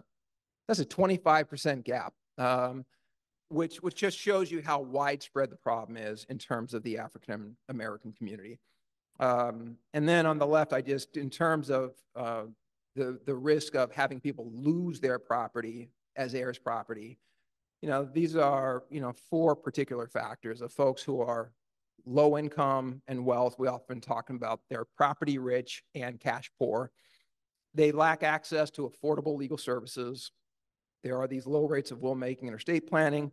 And then typically the property that, that African Americans got initially was not prime real estate, whether we're talking in the rural context or the urban context. But all of a sudden, the real estate values are rapidly appreciating, making it a target. When I began my, uh, my research and work in this area, the heirs property was only understood to be a problem that impacted African American families who owned land in the rural South, and even more specific, that was always talked about as farmland. One of the things that's important to note is that heirs property impacts families of many races and ethnicities, though it disproportionately impacts Black and Brown communities. And that fact has been vital in my legislative reform efforts, pointing that out. So we haven't talked a whole lot about, and we're only going to talk about this a little bit, maybe in the fireside chat, we'll follow up too, about you know, there's been a lot of reference to I was the principal drafter of this model state statute, the Uniform Partition of Heirs Property Act. Let me just quickly tell you, it has a lot of bells and whistles, but I think of it as having three major protections. So protection number one is if you have somebody, whether they're a family member or an outsider who's bought a family member's fraction, fractional interest, and they go to court, file this legal action, and they seek the forced sale, the remaining uh, common owners or um, have the right to buy out the fractional interest of the person who is seeking the forced sale. Second, the most state statutes across the country, and this kind of goes back to the partition statutes from England. There's two major remedies. The court could either order it divided or sold. Most state statutes said that the physical division, we're actually talking rural properties, bigger properties, was the preferred remedy. But state court judges over the last 50 years basically undercut that and made the forced sale the preference. So the UPHPA says, no, we agree with the historical preference. It's a weak preference, so we're going to bolster it. So courts have to take into account a range of both economic and non-economic factors before they can order um, the property sold, including family heritage, including what would be the impact if somebody was forcibly removed from the land in terms of their quality of housing, like, um, and that has to be taken into account. Third, that if the court orders a forced sale, as opposed to all of the state procedures that used a forced sale mechanism, mechanism that predictably led to what we call a forced sale value, which is you know a third to 50% below the fair market value. We've replaced that with a sales procedure um, that mimics a sale under uh, fair market value conditions is actually something that I was doing some international comparative research I found in Scotland and used that as the model. Uh, so where are we now in terms of the UPHPA? I, let's just see. I see you, Nate, in my peripheral vision, not ignoring you. All right, so kind of makes the point about it's more universal than it was initially understood. We have 21 states, the District of Columbia and the U.S. Virgin Islands that have enacted it into law. We are on the cusp. I don't want to jinx that. Some may say we're doing well in Arizona and Michigan, and it's passed the House of Representatives in both states. In Arizona, it's it was assigned to two committees. It's already got a unanimous vote in one. So we're we're looking good, kind of on that front. Let me see if I can get out of this. And anybody from New Jersey, we've failed, I think, two or three times in New Jersey, but our sponsor this year is the um, is a state senator who's now the majority whip, and so our chances just went up. Let's see. Okay, the um, the slide is not advancing. I only have one or two slides left. I'm not sure why it's not advancing. Okay. So is a lot of this you've heard at this conference, and, and this kind of comes back to the state of the field 25 years ago, right? Not much scholarship. Um, there was this groundbreaking report from the Emergency Land Fund that somebody already referenced. Um, little media attention and little interest among elected officials and policymakers. So just wanted to quickly summarize some of the developments here, but I've learned even in this conference about far more developments than I knew about.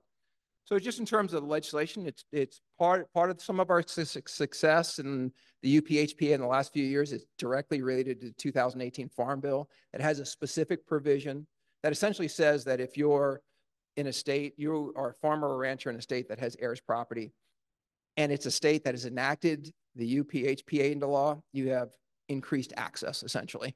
Um, as a result of that, we got states that we never would have been able to get Mississippi, Florida, Missouri, actually Illinois. And, but there's been these other legislative efforts. You might hear from Heather Way today about her just uh, incredibly important statute in Texas in terms of the homestead exemption. Um, and then we've had some other ones. We've had some appropriations in terms of the federal government, but at the local government, the city of Philadelphia has appropriated about seven and a half million, as I understand, to help folks uh, clear title. And you have in Washington, D.C., I think as a result of the mayor and some of the folks in the city council learning about heirs property through the UPHPA, they allocated a million dollars to two legal service providers who are both in the room. Um, and then we've had this constellation of law schools who are doing great work. And then there's been these other kind of good developments. We've heard about SRDC, Southern Rural Development Corporation, and many other organizations. I'm going to wrap up now before Nate uh, gets the, you know, pulls me off. So I think we're then going to transition into a fireside chat that we're going to do with our esteemed dean, uh, Dean Odette Lienau, who joined us last year from Cornell, and we've been incredibly fortunate to have Dean Lienau uh, serving as the captain of our ship. So let me move it.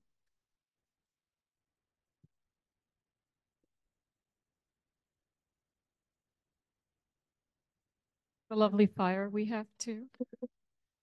Um, Thanks so much, Thomas, and thanks to all of you for coming. It's such a pleasure to be here with you. I had a chance to see the documentary that was shown last night at the showing in DC last year, and it was incredibly moving and informative for me. So uh, really lovely to be here with all of you. So it's such an important range of work you're doing, Thomas, and I think it is a demonstration of some of the ways in which you see very technical law that seems on first blush incredibly dry and quite dull, um, the deep impact it has on people's lives and at sort of a very personal level. So I want to actually get a little personal with you, um, if that's okay with some of these questions, to hear a bit more about some of your motivations in thinking about the work here.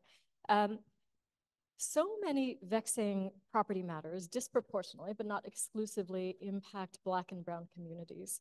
And you've spoken a little bit about this, but I would curious if you want to speak a little bit more about how you became interested in these broad issues, sort of as a young academic, as someone interested in public engagement early on. So I, oh, I was supposed to invite Kiva up. Kiva, are you in the room? Um, anyway, so Kiva Terry is a law professor at Howard. And then she had wanted to say something. What she, I'm sorry, Kiva, I'll just say it for you. She was like, I just wanted to remind the audience that Thomas is a graduate of Howard University School of Law. Okay. I am a proud graduate of Howard University School of Law. When I was in law school, I had a number of my professors who were trying to encourage me to be a law professor. Um, and I get it, you know, they saw some talent, and oftentimes when people see that in a mentoring role, they want to replicate, have you replicate what they did. But I always knew I wanted to do like policy work, other work, and I, you know, I didn't see many of them doing that work. There weren't as many Kiva Terrys at Howard when I was a law student, right? So I had to be kind of convinced. So they, um, after a couple of years in a large law firm in DC, working 90 hours a week, um, they approached me again. They said, listen, there's this program at University of Wisconsin Law School. It's a pipeline program to try to encourage more people at Howard to become law professors. And the thing you had to do was write a five-page research statement. And I kind of thought about what I'd done in practice. I did insurance coverage law. Um, and there was nothing passionate that I had about that. So I just said, you know, instead of doing what the typical person does of uh, saying, well, what do I have an expertise in and carrying that further, I just kind of took a step back and I said, well, you know, what, what really, when I think about my life, are things that animate me. And one was this displacement I saw growing up in San Francisco. Um, the other thing was when I went to college, I went to college in Western Massachusetts. My dad was born and raised in Newark his dad died when I was like a junior in college. They were estranged, I think. I don't know if my dad saw his dad after he was 18, but my dad felt this obligation that somebody should go to the funeral, and he felt like hypocritical, like for him to go. So then he asked me to go. And so, you know, two things about that. When I met my family in Newark, I mean, they're desperately poor. Like totally different situation than I grew up in. So it was one of those, but for the grace of God, there go I moments. But the other thing is the family showed me these photo albums. And some of them went down, went back to my grandfather growing up in Americus Georgia, right near Plains, Georgia, as a sharecropper. Um, and I just wanted to learn more about my family's history uh, in the in the rural South and the African American experience generally. So I spent a lot of time at libraries and I was trying to think, okay, what property issue could I come up with? And I just didn't see anything, but I found newspaper articles talking about heirs property, typically in a county newspaper in the South. And I was like, that's unbelievable. I just, we didn't learn anything in law school about that. And that's something I'd like to pursue. That's so interesting. Um, so that was one of my questions also was specifically heirs property because uh, like you, I was in law school a while ago and I had not heard anything about this. It didn't come up in, in treatises and in law school casebooks. And, um, and so that's interesting that, that that came about. So you started doing this work more than 25 years ago. I wonder if you could describe a little how you saw the shifts over that period, right? And kind of the emergence of this idea, including your bringing it forward. What are the key changes that you've seen over that period of time? Yeah, so I think, you know, there was a small foundation when I started. I mentioned the Emergency Land Fund. Um, not much legal scholarship. And I think that, um, you know, a couple things happened. I, I think that through the uh, my time as a master's student and the type of research I was doing, which um, part of it was doctrinal, but part of it was field research. Um, you know, perhaps my scholarship was a little bit more robust and elaborated than some of the scholarship that had preceded it. Um, but then, you know, something lucky happened, and this is why we had the panel on the media um, yesterday, was that these two reporters at the Associated Press were able to convince their bosses to do this study on black land loss. And um, that study was groundbreaking. It won awards. It got the attention of the American Bar Association. It had a direct impact on my career in that at the time I had been doing my research pre Torn from the Land, the AP. You know, I, I think, you know, property scholars found my work interesting, but it was niche, marginal, backwater. Um, and when they were doing their research in the South, and they stumbled upon this issue of heirs property, they said, well, who's the national legal expert? And they're like, oh, there's this first year law professor at Wisconsin. Okay, yes, I do work hard. Um, I'm, you know, moderately smart, but I think I was occupying the field because it was not seen as a field that had rich opportunities. Um, so I think the the media that first of all helped get, and that maybe took it to another level. Um, I think even when we drafted the Uniform Partition of Heirs Property Act, the received wisdom is it's going to be dead on arrival. There's no way that any state's going to pass this thing. And I think part of the legislative success we had ended up picking up steam, and that contributed. But then you had a number of other organizations that just, you know, from you've heard some of the research, you've heard some of the community engagement, uh, you've heard some of the legal services. Um, it just started picking up momentum. Um, and um, yeah. That's great. So I want to ask a little bit about some of your specific experiences with this legislative work. Um, about 430 people have served as the principal drafter of a uniform act for, for the Uniform Law Commission. So some of you may have already heard, but this is a key way that legislation gets passed and then spread across states, right? Um, it's sort of a model law that then sometimes will get adopted or debated at the state level or possibly other levels as well. Of those 430 people, you're just one of three African Americans to serve in that role, um, and one of about a half dozen people of color. And I wonder if you'd be willing to share a little bit about that experience with us. Um, you know, some things maybe we could guess at. Is there anything that's surprising? I wonder if you'd be willing to talk a bit about that. Yeah, sure. So um, I was after the AP, I the American Bar Association got interested specifically their real property trust and estate law section they put together a task force called the Property Preservation Task Force and asked me to serve on it. And we had, you know, three different levels of um, projects that we envisioned. One was low hanging fruit, have the ABA sponsor some continuing legal education programs. They do that routinely. But the reaching for the fences was to submit a proposal to the Uniform Law Commission asking them to form a drafting committee. Every year they get about 50 to 60 proposals. They accept three to five. And when I did the research of the history of the Uniform Law Commission at that point, I didn't see a single thing they did that was trying to advance social and racial justice. So in the year and a half we worked on our proposal, you know, we would meet every two months. It was before Zoom. It was like old school conference call. And the meeting would start with some gallows humor, like, hey, when we finally submit this puppy, do you think we have a 3% chance or a 4% chance that they'll accept it?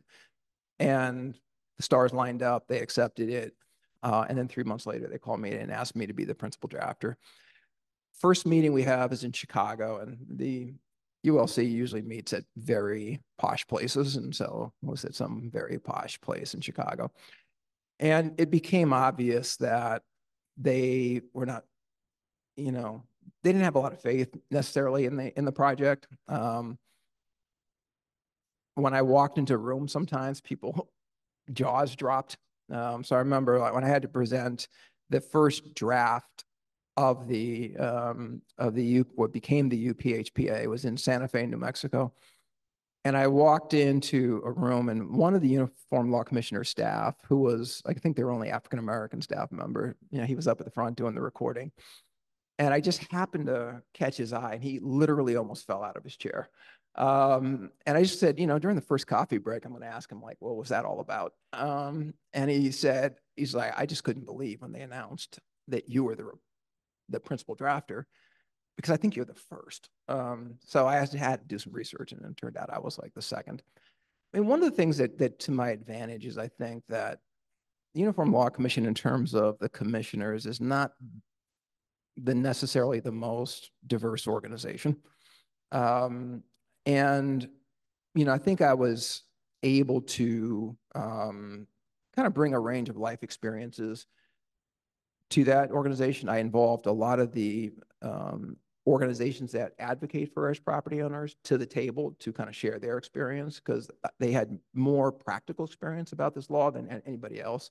So I think that that was just in terms of my approach was um, trying to be as inclusive as possible, trying to bring people who are impacted, hear their voices, and then trying to translate that into the law. Hmm.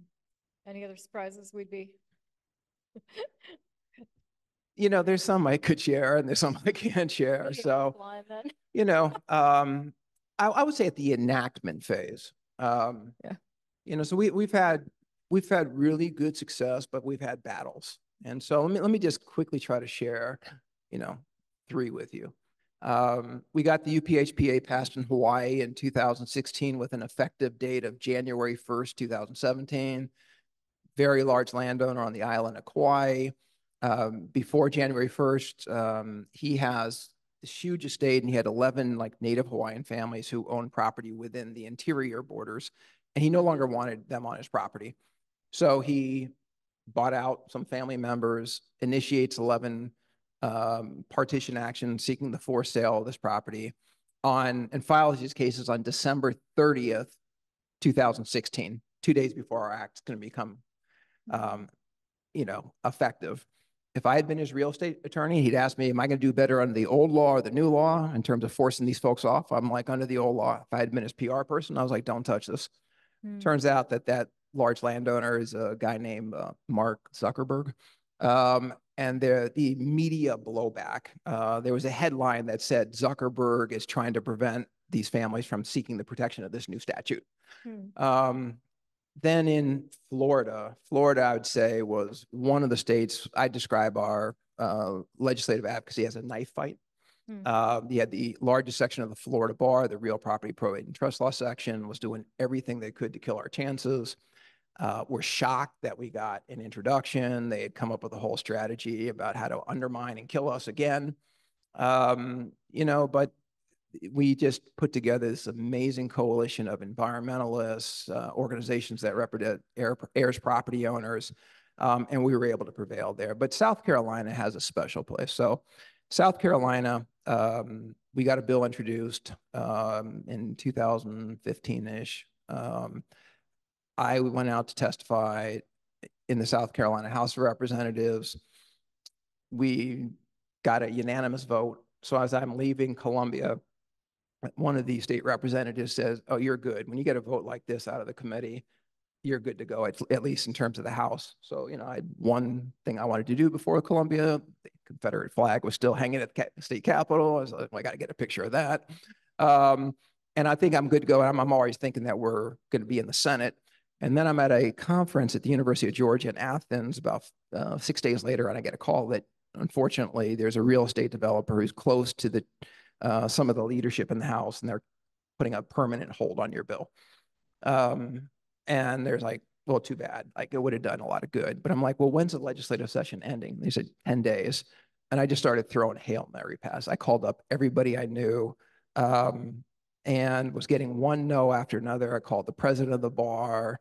Um, and then at the last minute, I was actually in a car wash in Madison, I remember. Um, I thought, well, what these state bar associations, they have a board of directors. So maybe that's another group of people I can call. So I said, let me start with the chair. And I called the chair and he said, oh, I'm an adjunct law professor at University of South Carolina. I know all about heirs property and I'm very sympathetic. But what we need to do is find a, you know, a powerful real estate attorney in South Carolina who could speak to the leadership in the House. Um, and he said, give me two days. Uh, he found somebody. There was a Saturday meeting. They released the hold. And so now we got five days left. And so every day I'm monitoring it and Monday goes nothing, Tuesday, Wednesday, Thursday, Friday, nothing. I'm calling people I know in South Carolina. And at 15 minutes before the end of the legislative session, our bill passes. We go to the Senate, next, same thing in the Senate. Everything's going well until it's not. I get this call.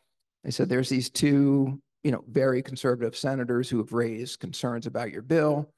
Um, one seems amenable to getting some evidence from you that his concerns can be addressed. I addressed those concerns. The remaining one was a guy um, um, named, um, uh, what was his name? Um,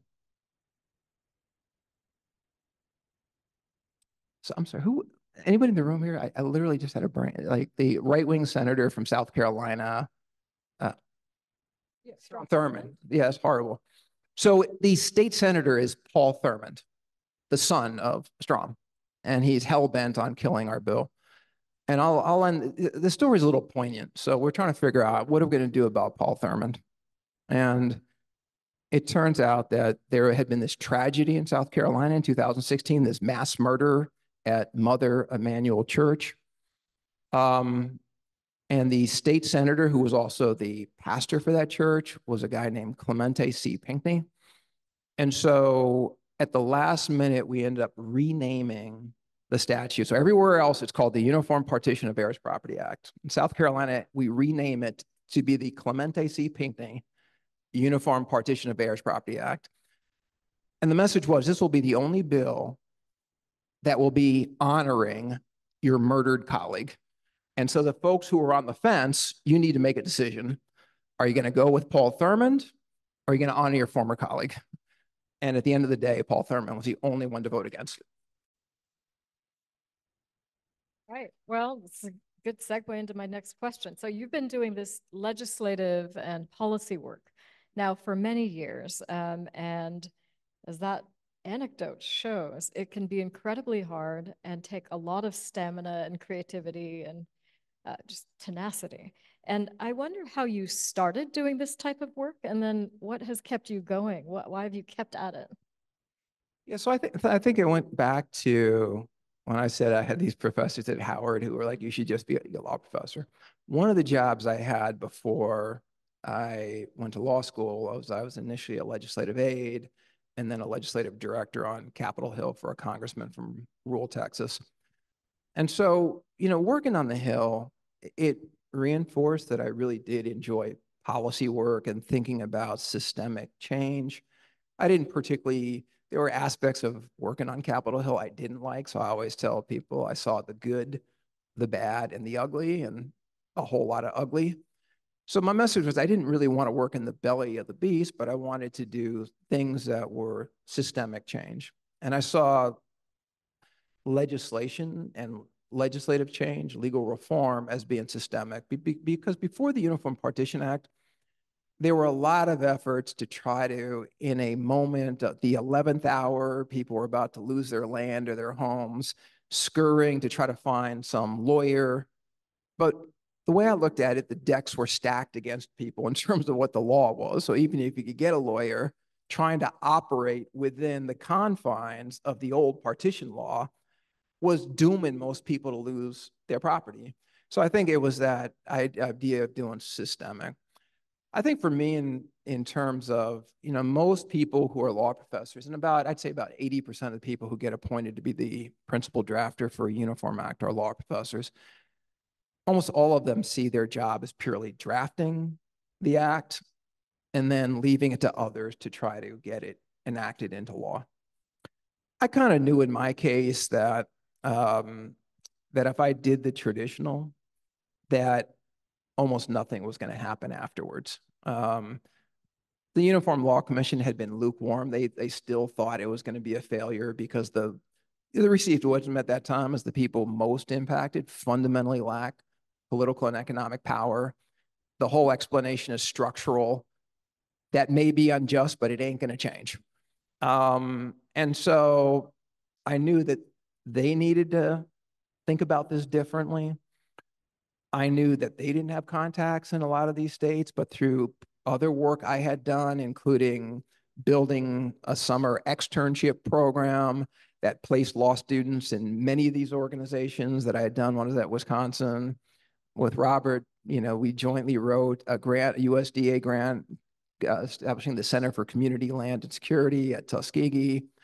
I just kind of knew some people. And so, you know, for me, it was like if I was really committed to changing the law, right, as opposed to adding a line on my CV saying I was the principal drafter, I was going to have to stay engaged. Um, and so I just, I felt, you know, at the end of the day, that I am trying to promote social and racial justice and systemic change.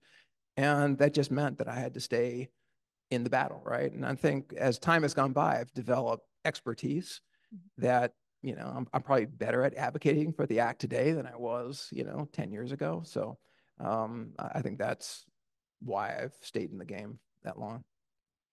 One of the things that I think is so notable uh, about the map that you showed earlier, about where this has been adopted, where it's been um, you know, presented to the legislature, is that it's a mix of red and blue states. And especially given the link to issues of racial and social economic justice, which are not the favorite topic in some of these states, I wonder why you think there's been bipartisan support. How has that been built, sustained? How stable is it? Yeah, so I, so I think the first, um, there was actually a moment of crisis during the drafting of the Uniform Law Commission. And it was that Santa Fe meeting that I referred. So after you, or when you're drafting a Uniform Act for the Uniform Law Commission, you have to present your first draft um, at their annual meeting, which is always in July, but in a different different places. And they literally read it like word for word. You're up there for hours. And so up until the evening before that I was going to present, the focus was on racial justice. It was on black landowners, and that had been from my research, from my field research, from um, a lot of the networks I had developed. So I'm about to walk into the very lovely dinner, and I always forget what state he was from and what name, but one of these, there's 350 of these people called uniform law commissioners. Every state gets a certain allocation, and they're all appointed by governors. Um, so they're connected people. So one of the uniform law commissioners sees me and he pulls me aside before I walk into the dinner. He said, you know, there's a real problem with your act. And I'm like, please tell me, like, what, what's the problem? He said, it's being generally referred to as the Black Act that's being drafted by the black principal drafter. In other words, it's being marginalized and it's in real trouble. So I canceled my plans to go to the dinner. I went back to my hotel room, ordered, you know, room service, and was up till five or six in the morning. And the whole evening, I'm thinking, I've got to reframe this thing if it's going to survive. And I remembered, you know, in various like trips or interactions I had had, I had meetings with folks who said, oh, this is a problem in Appalachia. And I remember that from a, a, a placement at this summer program I used to run in Eastern Kentucky. And I remembered somebody said, I think it's a problem like in the Colonias, you know, and, and the Texas-Mexico uh, border. And then there was a random former dean at the University of Connecticut who was a law professor who had reached out to me at some point and had told me that his wife's family owned 350 acres of heirs property in Maine.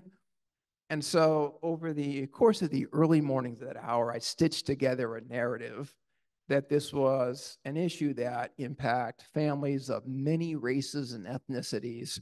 Um, and I gave examples from impacting Latinos and uh, poor whites in Appalachia and even upwardly mobile whites, right? And then I presented it the next day. And I think that helped it survive. Now, that was the strategic of just keep the project alive.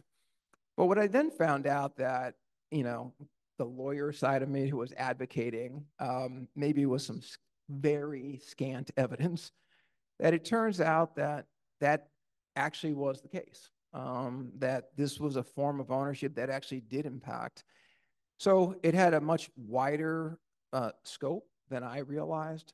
And then we were able to realize that in different states across the country, their point of entry of interest was different. Um, I would say that maybe in more conservative states, framing this as about protecting private property rights and real estate wealth had particular resonance. Um, and I'll just share because I got a number of my friends from Texas here. So I was testifying in the Texas legislature. The uh, so when the, when you get called to testify at a legislative hearing, they just tell you what time the hearing starts, but they don't tell you when your bill is going to uh, be called up. So the hearing could go on for like three hours or four hours. So you just got to get there at the beginning. So it just happened that the bill before my bill came up was a bill to uh, address some consumer protection. The lawyer who was advocating for the bill was like incredibly intelligent and dynamic and had a lot of passion. But there were three or four members of the Texas House Judiciary Committee that just didn't want to hear it and just came after her in the most nasty way. And I'm sitting there thinking, okay, um, I'm up next. I said, remind yourself at this point, we have gotten passage in Georgia, Alabama, and South Carolina. Just keep telling yourself that. Um, and we're going to go with plan A. And plan A is we're going to highlight that we're going to universalize it. We're going to highlight that this protects private property rights and family real estate wealth. And I'm going to see what happens, right? So, you know, you're up there, you got the whole panel, but I'm focused on, I'll just tell you my shorthand for these. I called them the three Neanderthals. And so I'm trying to look, but I'm, I'm really trying to look at them. And I think after the first time I mentioned this affects ranchers and, you know, folks in cities and private property rights, they start nodding along. And I'm like, I got them. Um, you know, now that was good because plan B was if they started coming after me the way they came after the consumer protection attorney, I was going to go out in a blaze of glory. Uh, but but we didn't have to do that. So I think that's that's generally. But then I said there are there are some unique things in different states. So um, you know, I'll say Iowa and Missouri. The issue there was the preservation of family farms. Um, and so we ended up in Missouri, that ended up being the second state that we changed the name of the act. So in Missouri, it's literally called the Save the Family Farm Act. But the rest of the thing is word for word our statute, right? So what I learned was the importance of messaging. Um, I mean, I'll just uh, kind of end on this. I I had a string of very conservative states where we had successes, and I had gotten used to my usual, you know, routine that I just described: universalized private property rights, you know, family real estate wealth. And then we got interest in California. So I'm talking to the legislative office of the chief sponsor of our bill there. And I start talking about, oh, you know, I got this down. So what we're going to do is emphasize. And the legislative director says, um, hey, uh, Professor Mitchell, um, you're not in Mississippi. Um, you're not in, I mean, that's a cute message, but that's not the message that we want to lead with. You know, uh, say, oh yeah, right, we're in California. So, I mean, that's one of the things that I've just learned, the, the, this importance of, in terms of packaging and messaging and, and being very kind of nimble and flexible. So, so many of the skills we're hoping to teach our young advocates in law schools as well. Um, I am curious if you could share at a general level some of the highlights of the work, you know, over the course of the years, what have been the experiences that really have stood out to you in doing the work? Yeah, so the, yeah, I think as I said at the beginning, I you know when I with my initial scholarship, the the feedback I got from like a lot of law professors is your work's really interesting because it was very interdisciplinary, which is not always the norm in legal scholarship. But my first article, um, which some folks think is the seminal article, you know, I sketched out four or five ideas for legal reform or policy solutions. And, you know, at that stage, the universal reaction was, yeah, stick to the scholarship because this legal reform is never going to happen. You're wasting your time. All right. And I remember, you know, gently pushing back and said, you know, thank you for sharing. I could tell you're genuinely concerned about my career. Some people thought, you know, if I keep engaging in this kind of work, I wouldn't get tenure. Um, but I said, you know, I'm going to pursue my own vision. Um, and, you know, if there's not somebody advocating for this, then it will be a self fulfilling prophecy. that nothing will change, right? But even back then, I remember saying, but I will concede there will be a constellation of states that we would be lucky to get this law reformed 200 years from now. And Mississippi was always my exhibit A. I was like, I'll give you Mississippi. Uh, and the fact that Mississippi passed it a few years ago, I'm st- I, I still wake up some days stunned, um, as I'm sure uh, Andrea Barnes from Mississippi. I mean, I don't know like if you're equally surprised. Um, so so some of that is is you know some of that right. Um, some of that is um, some of the people I've gotten to meet. So, you know, I genuinely feel like um, so blessed to have met some of the real pioneers and trailblazers. I got to know Shirley Sherrod, who you saw in the film last night in the late 90s. Um, I mean, just incredible people, right? Um, who I deeply value and I kind of miss given how my career has evolved. But, you know, then I've had other things happen, which if you had told me at the beginning that oh, you'll be asked to testify in Congress. I'm like, yeah, I don't think so.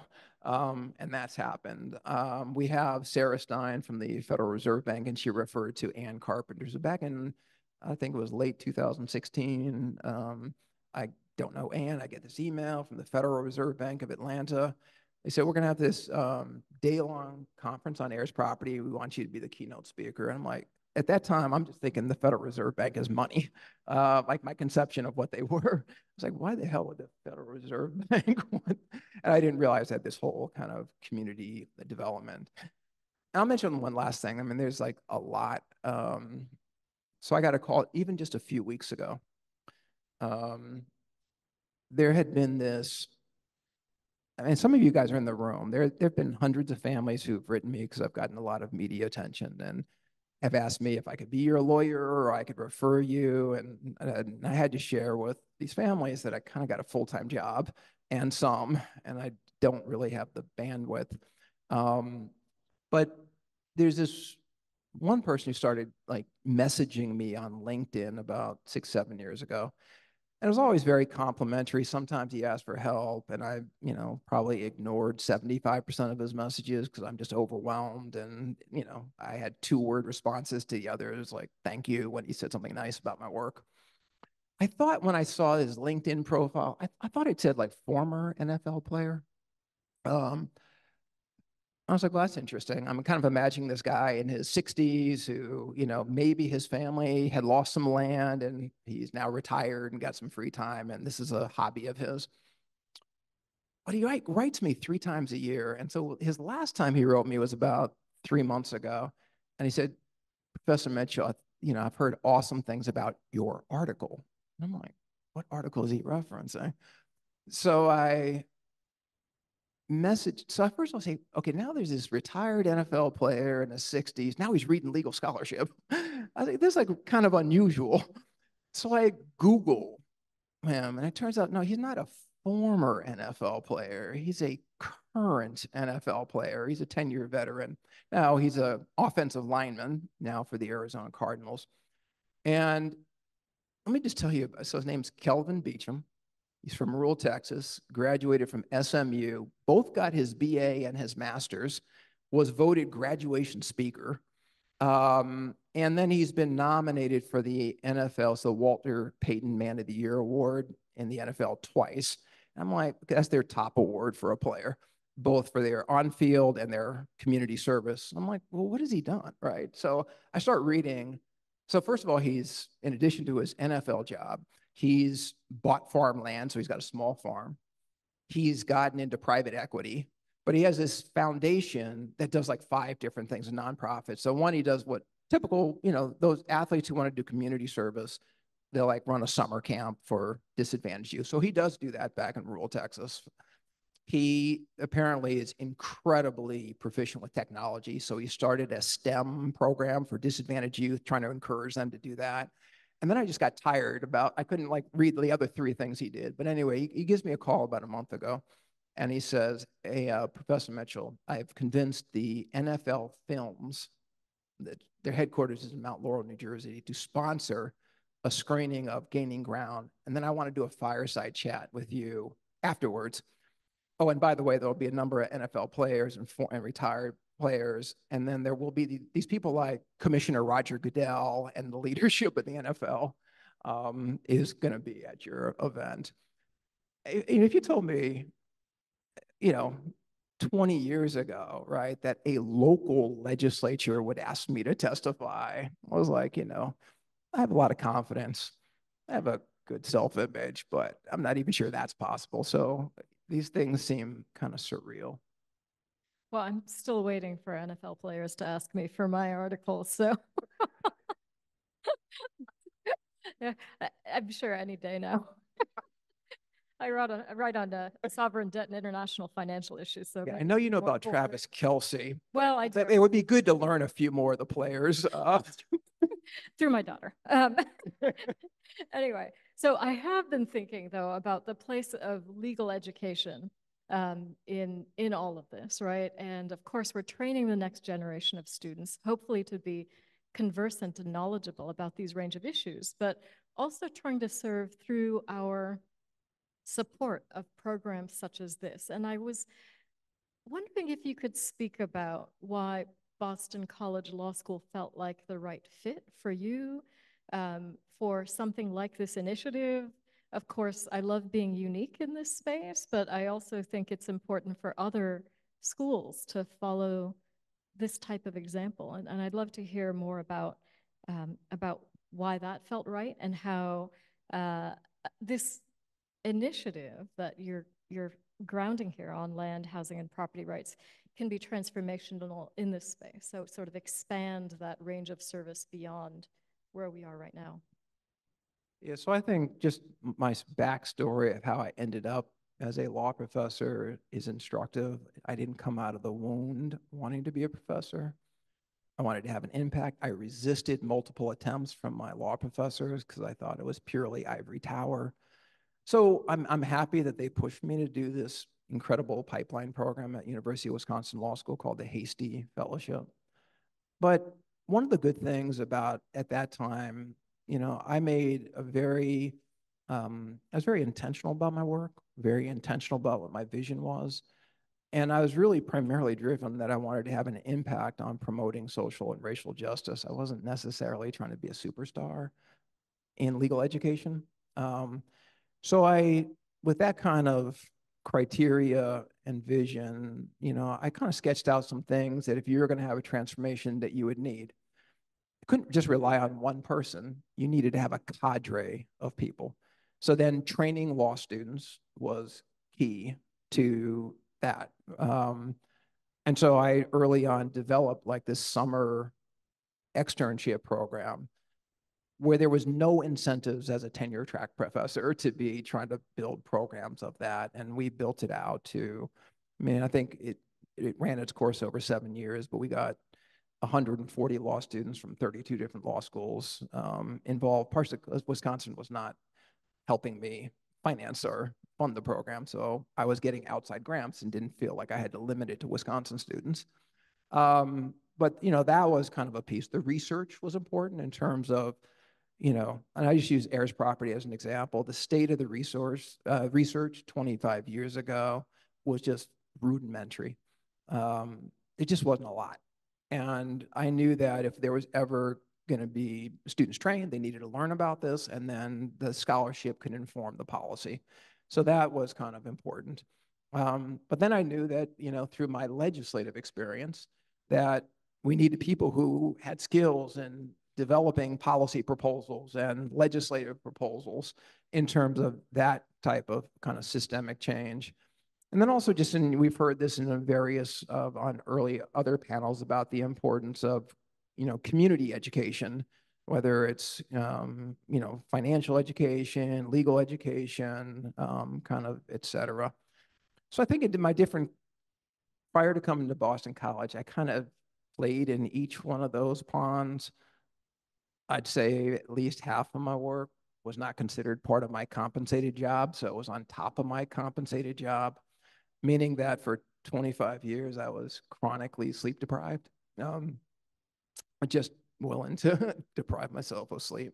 Um, and so what happens in 2020 is I, I did win the MacArthur Fellowship. not surprisingly, um, a number of law schools came knocking. At the time, I'm at Texas A&M. They're ranked 60th. Most of the seven or eight schools that contacted me were ranked between 18 and 33, with Michigan being, you know, the outlier at whatever they're ranked in the top 10. And it turned out that most of these schools, when they talked to me, they just assumed I was going to jump because they were ranked higher. And I think folks had learned that I, am not originally from the South, right?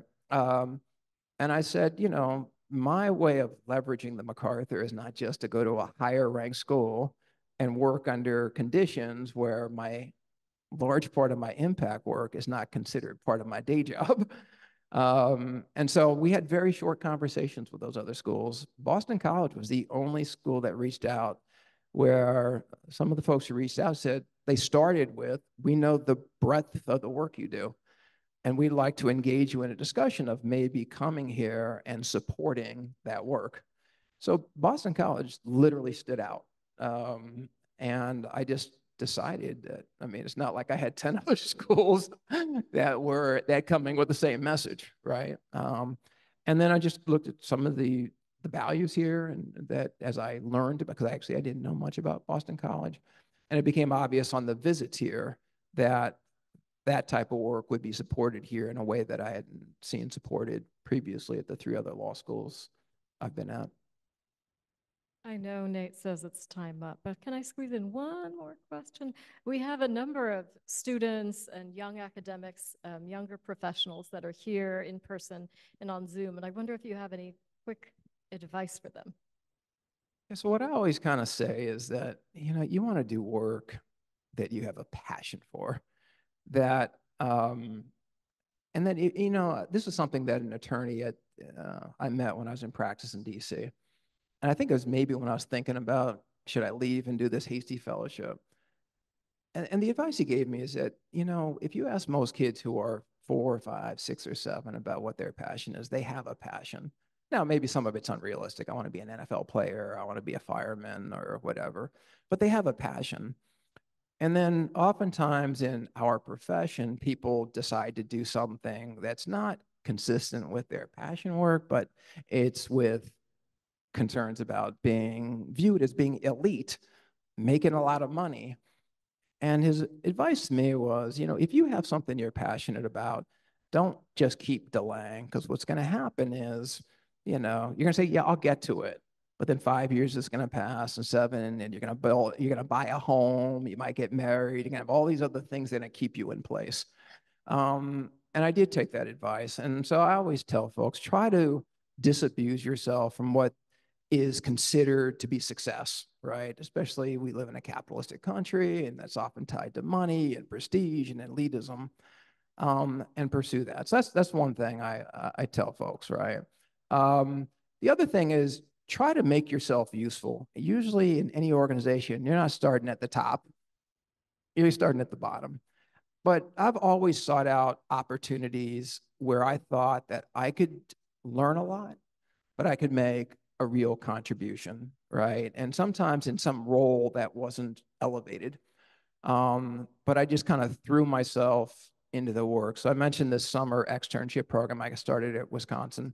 So I was doing that when I was doing my master's in law uh, degree, but there was this leading um, land policy center that had an international reputation at University of Wisconsin at the time called the Land Tenure Center. And when I left DC, most of my friends in DCs weren't lawyers, they worked in international development. And they said, oh, you ended up in the perfect place because that's where the Land Tenure Center. I didn't even know what that meant, but I got the idea that I should go talk to them. And they had exclusively done work internationally for 25 years, but then they decided that maybe there's some land issues in the US. Right when I showed up, they got some grants from the Ford Foundation and the Kellogg Foundation. And I just showed up and was like, um, it seems that your work is relevant to what I'm interested in. There's very little legal academic stuff about the stuff I'm interested in. And I was like, can I help? And I just volunteered there. And they're like, oh, we're trying to start this externship program. And I was like, I'll do that for you. Um, we want to have a conference on Native American land issues at one of the Native American re uh, reservations in Wisconsin, the Menominee. I was like, I'll do that. And I just kind of threw myself into it, far exceeded what they thought some volunteer grad student was going to do. And then that led to opportunity. So I would just say that you're not going to start at the top. Find something that's consistent with your heart. Don't worry about the title and pour yourself into that work. Um, you'll do good work, and sometimes that work will get noticed, and then that will help you uh, move to the next level. Thank you so much, Thomas, and thanks to all of you.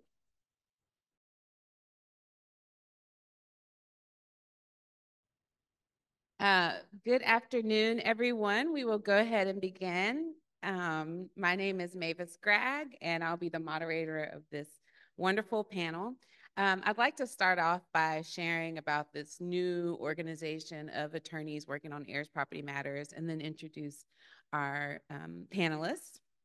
Um, so we are HAPN, HPPN, which stands for the Heirs Property Practitioner Network and we love to say lawyers make it happen. So if you see anyone with this tag, um, they're likely a member of the Happen Network, but I'd love for other members or all the members of the network to please raise your hand. Wonderful. um, so our network was founded to address the unique challenges faced by heirs property owners and the attorneys who either represent them or engage in legal education and policy work in the field.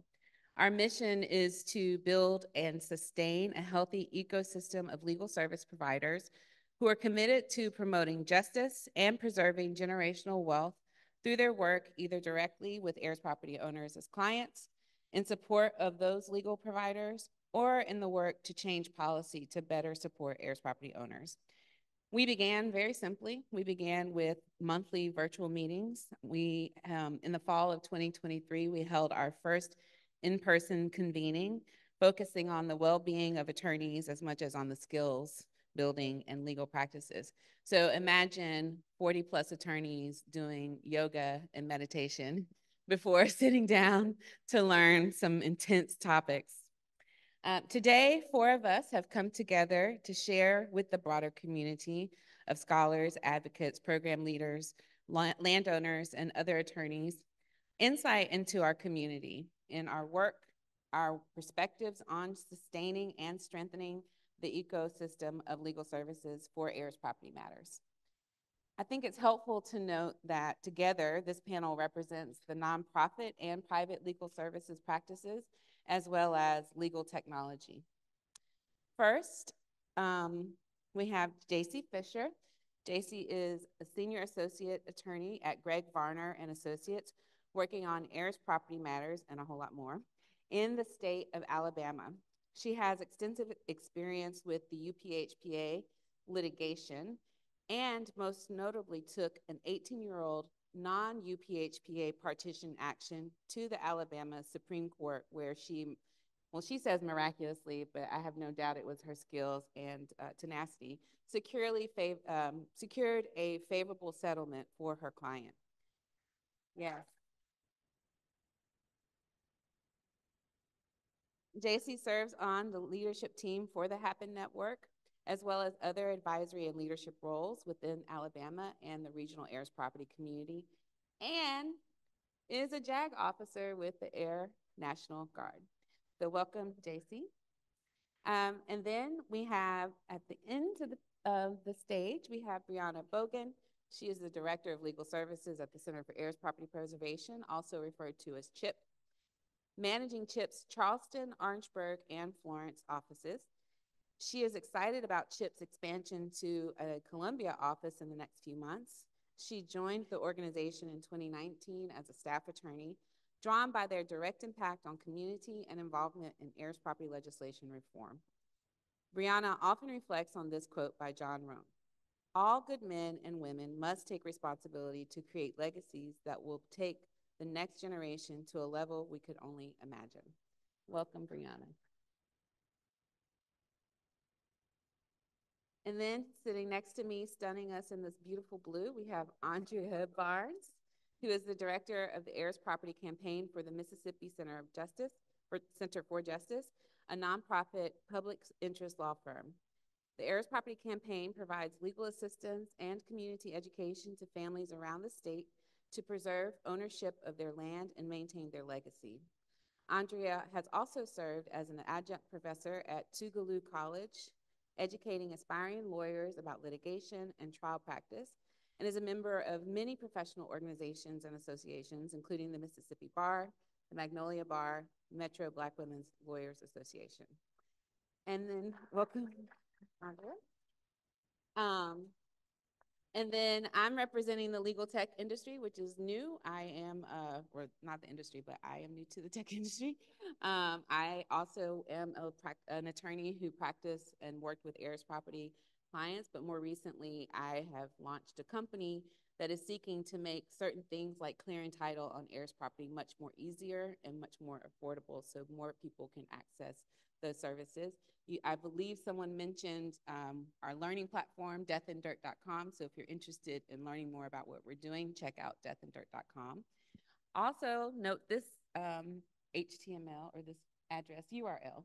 Uh, the Happen Network is hppn.info. So that website is just an informational website, but if you want to learn more about the network, go to hppn.info. All right, so I would like to focus our conversation on three topics. The practice, um, what can be done to enhance and increase access to justice, and what's needed to sustain a healthy system of trusted, high quality legal services. So let's first start with the basics. Um, I would love to hear from you all, starting with you, Brianna. What is an heirs property attorney, and what are the types of matters that we handle? And then I'll invite you, JC, and Andrea to follow with her.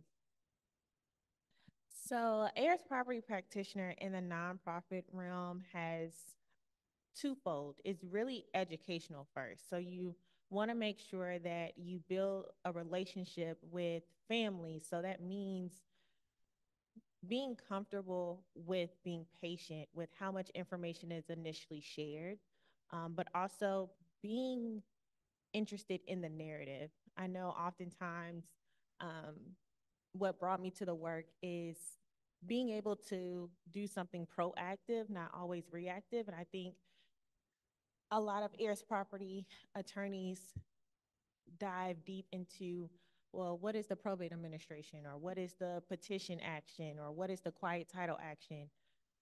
But sometimes it's just making sure these communities are informed. So that may be seminars, that may be doing a wills clinic or explaining why not just the will is important, but why advance directives are important and making them feel confident in having those conversations.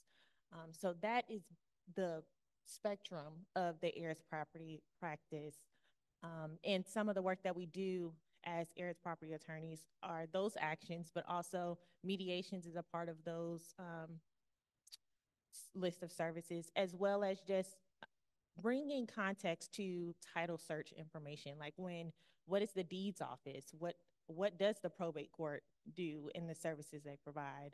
Um, but also debunking some myths um, making them feel encouraged to go to these institutions or to these offices, um, encouraging them to say, you can do things with your land, whether that is residential or utilization practices such as forestry, and being a partner with them. So that means going to the visit with them at the courthouse or the NRCS office because um, what we learned today is that there have been some discriminatory challenges and obstacles that families have faced and they're intimidated to go to these places. So that's an extension of our work as well. Thank you. JC or Andrea? Yeah, so in private practice, it's it's very similar to nonprofit, but also very different. When a client comes to us, oftentimes they most of the time they don't have a hundred percent agreement from all heirs. Um, and then they're coming to us with issues that may be like emergency reactive type issues as opposed to proactive. And when we get a proactive one, we're like, oh, thank God, we can take our time with this. But most of the time, when someone comes to me, they are in a partition lawsuit. Uh, they are being actively landlocked. They are in the middle of a condemnation action. And so, as a private practice heirs property attorney, you don't you cannot only know heirs property. One thing that my boss instilled in me that is really important is as a private practice heirs property attorney, you have to know all things real estate litigation because heirs property owners, as we know, face issues beyond just title issues. They may be facing landlocked issues or tax foreclosure issues. And so I have to be almost like the expert in all things real estate litigation because they all play a role. And so we start with the consultation, and I pretty much analyze what is the most urgent and emerging and emergency issue that I have to address first. Let me start there. Now, in, in my case, I never resolve heirs property without doing a title opinion. Um, so I do a title opinion on every case before I start resolving so that I have a full picture of the problem. And then if I find out that they're in litigation, I mean, I'm going to deal with that first. But what we call ourselves at, at our firm and private practice are legal lifeguards. We are an emergency operating room. People are coming to us the day before the auction, most times. Um, and so that's kind of what private practice looks like for an heirs property attorney in a state like Alabama, where you know most of the, the judges and attorneys don't know about the UPHPA or are actively avoiding use of it. So it's fast-paced, sexy, fun. That's sexy to me. You know, coming from criminal defense, it translates. And so it is very fast paced. You're dealing with the media one day, you're dealing with judges the next day, the good old boys club the next day, you're in the country club the next day. I mean, talking to the good old boys, infiltrating their systems. It's crazy, but it's fun. And that, that's one reason I love the private practice side of an heirs property attorney. Okay, and I'll just share um, quickly. Brianna talked about the nonprofit um, sector uh, the Mississippi Center for Justice is a public interest, a nonprofit a law uh, entity. However, we are a law firm, so we're a little different uh, than a traditional nonprofit.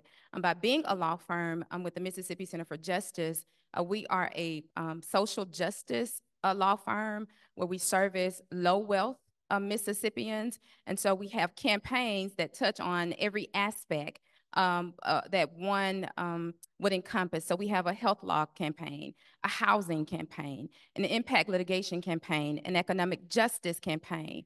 And I say that to say this in terms of what uh, an heirs property attorney looks like in, in at, at MCJ or in our realm um, with being a public interest law firm.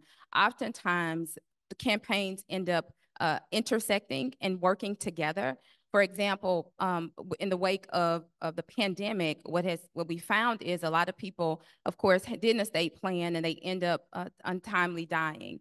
Um, we have our economic justice campaign that handles our foreclosure matters. So you may have a husband and a wife who had a home, husband abruptly dies, wife's name is not on the deed, wife's name is not on the mortgage, wife's name or wife is not listed as a person with whom the mortgage company is authorized to speak to. So now wife is in a dilemma right? Um, the mortgage company will not speak to her. Um, she's delinquent on the property, so she may come initially to the Mississippi Center for Justice um, to help her prevent foreclosure. However, they then come to the heirs property campaign um, because they cannot assist them until we help resolve um, the heirs property issue or at least uh, initiate some type of direct legal action, which are letters of administration that allows the client to then speak to the mortgage company to then deal with the issue.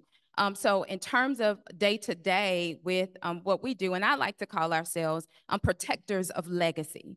So when we think about the land, we think about it being an asset. We're protecting the legacies of families as we work with families in the state of Mississippi, all 82 counties, with keeping, protecting, and maintaining that land. So day to day, you're doing a little bit of all. So it may be family law, right? Because you're counseling and you're dealing with uh, families or maybe presenting family presentations. Um, most of the clients that we service are elderly. So you may have to think about um, those elder law concerns, right? Um, then additionally, you may also, because the direct legal actions may be um, a state administrations, um, know about what, what the law is in the state as it relates to that. So as, as, as JC alluded to, you have to know a little bit about it all because although it's an heirs property issue, it touches so many other issues. So as a practitioner, even if let's say, for example, that family came to me with that foreclosure issue and I initiate the estate administration, I can't say, well, I don't, I don't file a temporary restraining order, right?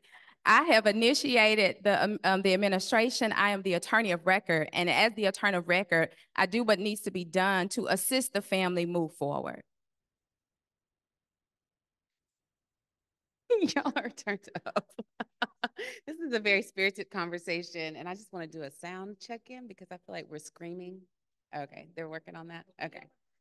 But you clearly, we're clearly passionate about the topic. So folks in the back, can you hear us okay? Okay. You hear the echoes, you feel the waves? Because we feel it. We, we really, we really care about this work. Um, Andre, I want to stick with you um, and talk about the, the skills, experience, and attitude you feel is needed to do the heirs property matters. Because what I've heard each of you say is that the type of law that is applicable to heirs property is pretty much anything involving land, anything involving finance, and anything involving, of course, death and inheritance. So, could you talk about the types of skills um, and experience that is supportive of doing this type of work as an attorney, as well as the attitude that's needed? Okay, one of the first things that I will say in, ref, in, my, in my comments is it's kind of been resounded, and I, I apologize. I'm used to you know. Um, so um, it has been resounded, I think, all day is the uh, cultural competence, right? Um, one of the first things that I would say in reference to this work is an appreciation and understanding that um, we all are different, um, but all the same, right? Different, but the same. And so, from that lens, the acknowledgement that there needs to be a cultural sensitivity when you're involved with working with heirs property uh, landowners, um, being mindful of one's lens and the, the perspective that you have and the view that you have based upon that. Um, and then just being um, respectful and listening. So in terms of skill sets, and, and um, that's going to be, I think, key um, because what I recognize and understand doing this work or what that we all do is that trust is a major barrier. And so for me in the state of Mississippi, working with landowners, mostly whom are elderly, uh, one cultural sensitivity is they are used to, you know, people saying they grew up in the era where you say yes, ma'am, and no, sir, right?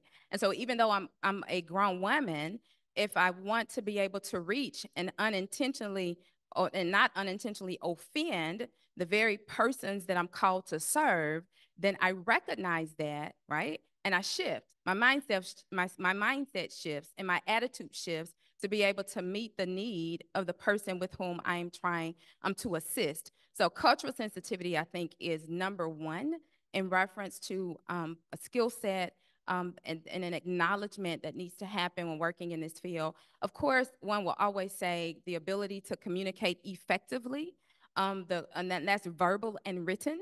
Um, and, and, and then I, I also said the ability to, to just listen, right? Um, so as a practitioner, as a lawyer, I think those are the top skill sets that I would say in reference to anyone trying to enter into this field. Uh, when I started out um, doing this work, I did a lot of family law practice that dealt with estate administrations and the like, but I didn't say, oh, I'm going to be, you know, an heirs property um, practitioner. It just, um, as life evolves, it ended up that way. But I did have um, experience in other areas of the law that I believe have helped me full circle now better um, advocate for um, heirs property landowners. Thank you. Um, so again, you each touched on different practice areas. Um, one of the most common types of legal matters that most practitioners doing this work do is title searches. And I think it would be helpful for the for the audience to understand, you know, high level what it what it looks like to perform a title search on heirs property in contrast to a traditional title search. Um, Brianna, I'd love to hear your response on that. So when we do a title search, it's really um, two layers where we have to truly um, walk the client through. Um, so first, we like to do a full comprehensive uh, title search. So we make sure we go through the family tree and make sure that it's very clear who's on the family tree. And so that is a presentation in itself so that it you're not missing anything or you know, you get a search done and then it's like, oh, who was this child? you know? Um, so that's the first step is going through that genealogy. And I'll be remiss if I don't say that collaboration is so important. So when we talk to our client, we're like, hey, although you are the client, please lean into your family members to assist with this because it's benefiting the whole. And so that could be um, nominating uh, one person from each branch to get that information or collaborating with the Heritage Library or other organizations or libraries that help with that. Once that is completed, the title search is a 60 year search. And so with that, we're looking at liens, we're looking at um, possible if there's property taxes.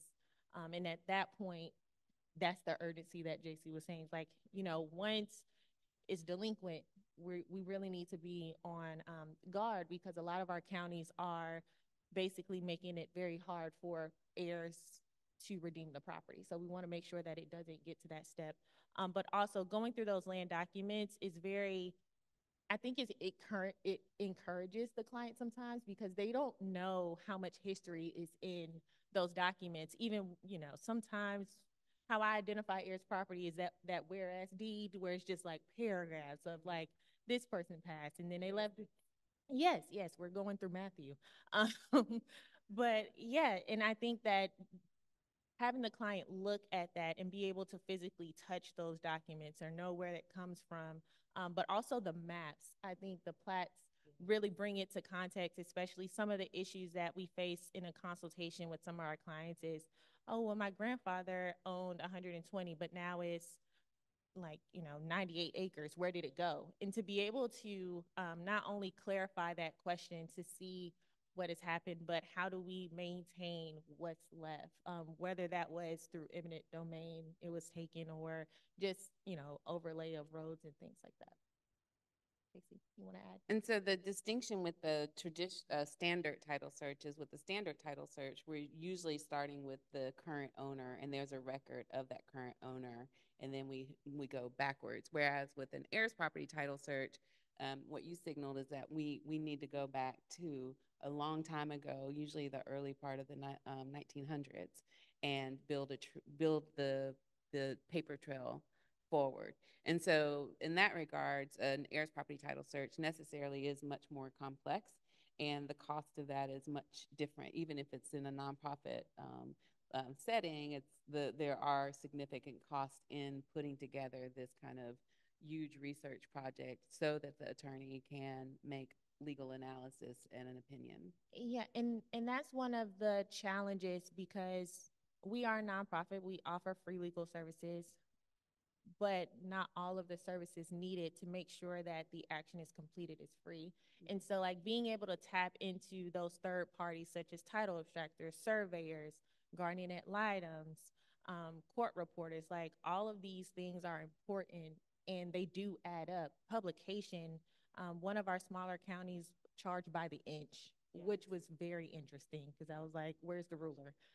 But, but I mean, when we're talking to our clients, we have to let them know that yes, this is a long process. Yes, there are avenues where we do lean into those third parties that's willing to do reduced rates. Um, newspapers do have nonprofit rates.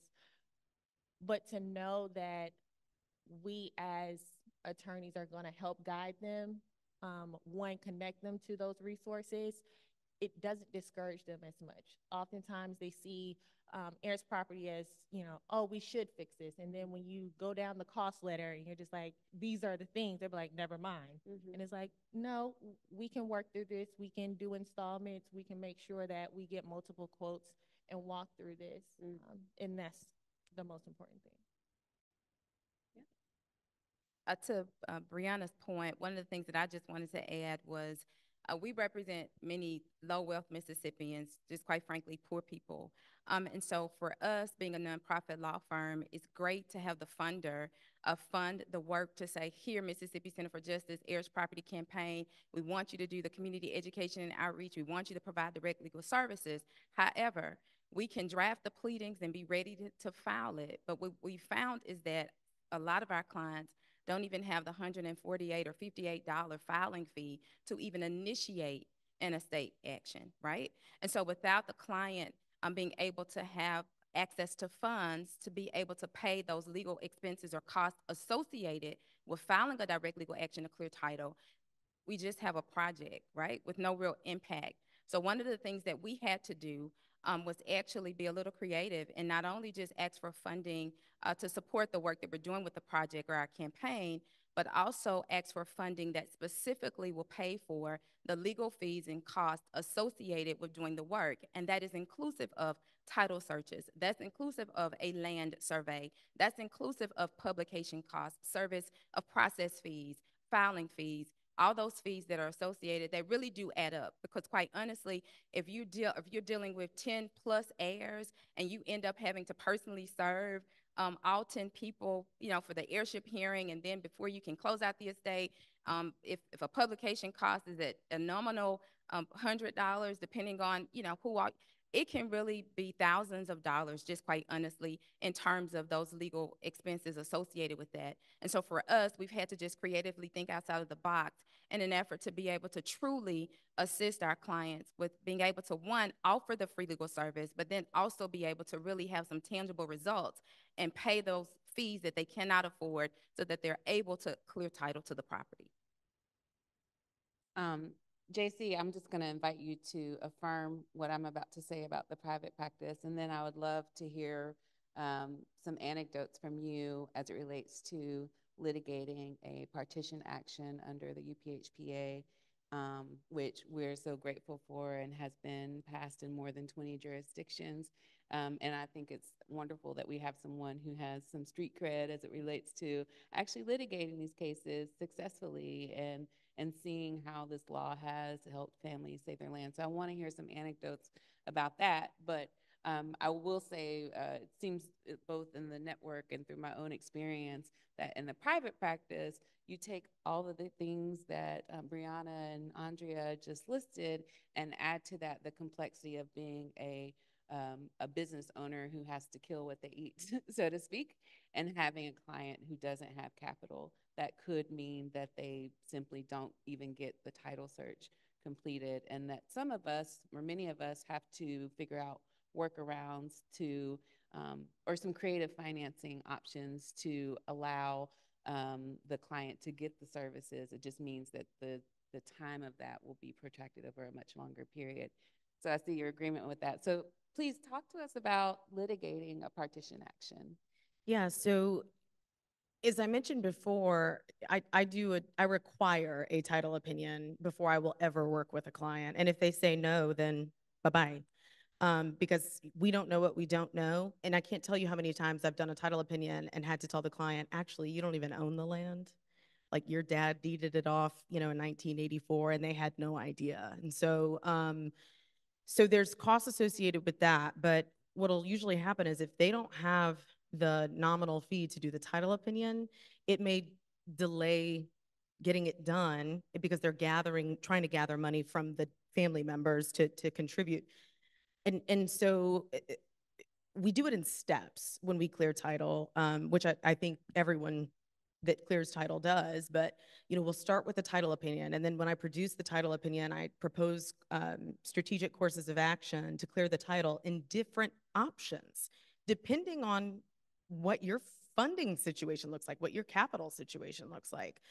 Um, and so there is no shortage of work. This is the one practice area where I have never um, been like, whew, I need more clients. Whew, I need, in fact, I mean, I am, my consults are booked out through May already. Um, and so people are having to book into June, and that's pretty normal for me on heirs property work.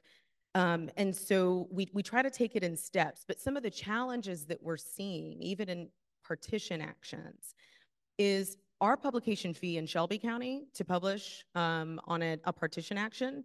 Last, last two weeks, we got one for $3,000. That was the newspaper's fee for publication. Um, that's you know half the attorney's fee so it's it's ridiculous and then um, we're dealing with the fact that I could be the best attorney in the world, which I'm not.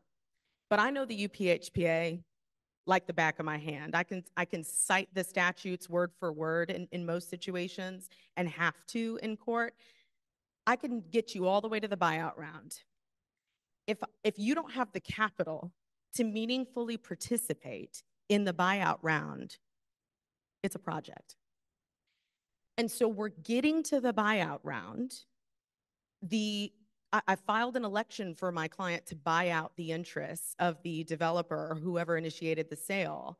And then they don't have the money to pay within 60 days. And then I'm batting eyelashes at the banks and credit unions privately saying, listen, I know y'all don't lend on heirs property, but listen, they're going to have clear title by the time they get their, their, their, their judgment, their clerk's deed. Please, please lend this client the money personally begging the banks and credit unions, asking my white boss to, to pull some strings in his not very good good old boys club because he's a Democrat in Alabama. But you know, I'm I'm I'm you know showing leg practically to to get money. I mean, no, I'm you know like for real. And so, you know, we've got 30 days to file an election to buy out and then 60 days to pay the purchase price. And then I'm batting eyelashes at the judge, like, Judge, give me 30 more days. I just need 30 more days to get financing. I mean, it is social work, legal work, finance work, and it's exhausting and the client's exhausted and I'm trying to be strong for the client and I'm like, hold out, we're going to get this money because as soon as the buyout occurs, the UPHPA says there's no other parties who, who requested a sale. This case shall be dismissed without prejudice. And the case is done. It should always end at the buyout. It should never have to go to partition in kind trial if the buyout fails. But what we're seeing is that the capital issue is, is what's hindering the, the real um, effect of the UPHPA. And so, um, but boy, has it made a difference. And I can talk about that because that's probably a question that you have later. But there are other ways it has made a significant difference for those who maybe can't afford the buyout. And I've yet to see a judge in Alabama actually order a partition in kind. And there's reasons for that too. But at least if the property gets sold, they're getting the fair market value. Thank you, or not, I think, you do highlight um, some opportunities, particularly to our peers in the audience who work at financial institutions. You know, this, the reckoning with heirs property, I think, forces us to reconsider what lending products exist um, and how they can be used to uh, secure what you know for many of us is affordable housing across generations is resiliency from a, both a financial perspective but also a climate perspective. So there's a it sounds like there's a great reason for um, financial institutions to expand their thinking on the products that they offer for for these types of things. Um, and I think that's a good pivot to this um, this idea of enhancing access to justice. You know, JC, you just shared some highlights around um, you know capital and how capital uh, making capital readily available for buyouts, but also for legal services, filing fees, what have you. Um, and I think it could be helpful to understand, like for the audience to understand the the cost, the average cost of of these different types of matters. You know, from in my view, and I'll just invite you to agree or disagree. Um, in my view, the the estimate for an estate plan, which is individualized, you know, for the person, um, is one to two thousand dollars, and maybe uh, one point five times as much if it's a couple. So you know, two to three thousand dollars. Um, succession plans, which are much more comprehensive and actually support multiple generations of ownership and management. Um, I would say that figure increases uh, substantially. Ask Pamela in the back um, uh, what that looks like when you have like a trust centered plan or an entity centered plan. Um, title searches vary, they depend on the, the location, they depend on the attorney, et cetera. But I would say at a minimum, an heirs property title search will cost $3,000. Um, and then litigation varies even more. Um, but I believe that there should be at least eight to ten thousand dollars for legal services alone. But um, you know, litigation resolution and succession planning can be best addressed when there are buyouts. So that adds another um, bucket of capital needed, which you know that varies even more um, on in the range in terms of working with the heirs property funded. In Enviva. We've seen requests for um, buyouts that are in the twenty thousands, but then we've certainly seen that some that are much more. Um, so, so access to capital is a critical need for people, especially um, if we're thinking about equitable access to justice. And my question for the audience is, is where does the money reside? you know, what, what are, what are different ways that funding funders can look at how they make funding available, both through the nonprofit stream, but also to um, access the biggest pool of attorneys, which exist in the private sector. I mean, the reality is there are more private practice attorneys that do this type of work. Um, and so how do we creatively fund these services? Can I add to that, maybe just, just really quick? Okay, first of all, I do want to give a shout out to Thomas Jackson from Enviva. Um, and then via by way of Mavis as well, because so, and I'm not the only person, but but Thomas Jackson, when I you saw the documentary last night, I represented the Eli family in clearing their title in Alabama. And when I asked for that money, Thomas made it happen. And I, I couldn't get it anywhere else. Um, and trust me, I tried. And I went to Mavis and Fran, like crying, literally. Um, and I was like, I'm going to lose. I'm going to lose this developer. Like, I've got a deal. I need the money now. I've, I had worked so hard to get the deal. I had played the good old boys club card to get it. And um, Mavis put me in contact and they came running. And so, what's looking like at this point is we are reaching out to the private sector saying, look, we need help, we need it fast, we need meetings, we need to get this money. And, and I want to thank you, Thomas, for making that happen, not just for me, but for other people. So, so yeah, I just wanted to put that plug out because that's that that made the difference for that family. Um, so in thinking about access to justice, and it's clear that you all are, are very um, big advocates for access to justice. Aside from the capital question, can you all talk about some creative ways or creative approaches you've taken to, uh, you know, be able to work on these matters while also understanding that there are constraints both from a time perspective and a capital perspective? Um, Andrea or Brianna, I'd love to start with you. Andrea? Okay. Uh, one of the things that we've done is the need is great, as everybody on the panel has kind of alluded to today, in reference to people having heirs property.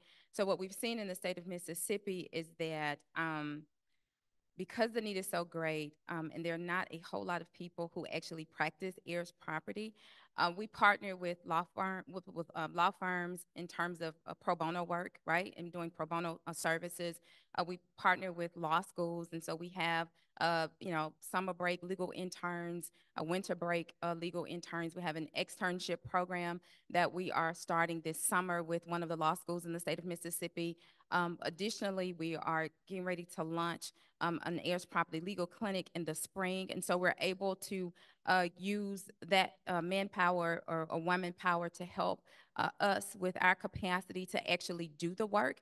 Um, and so that's one of the ways in which um, we're doing it. And I don't know what it is, but it, it seems right now in terms of looking for or trying to get uh, attorneys, new attorneys, uh, uh, graduating lawyers to, to do the work, it's been some difficulty in that regard. And so we're reaching out to law schools to kind of help assist um, and, and amplify our voice in terms of the need um, for other lawyers to join us in this work because there is so much to be done, right? Not just in Mississippi, it's not a Mississippi issue, it's a nationwide issue. Um, and so we need uh, the assistance to do it um, because it's just so much uh, to do. So those are some of the things that we're doing to try to, um, you know, uh, uh, uh, uh you know, reduce that gap in terms of manpower um, to do the work.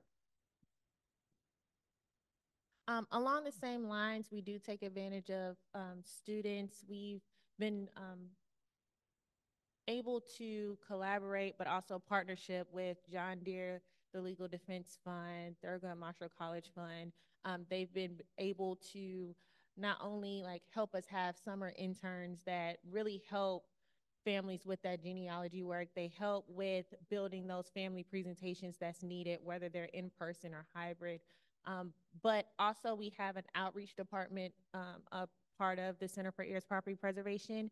And through the outreach department, they make sure that they're within the community. So a lot of our volunteers come from some of those seminars or presentations that outreach liaisons go to.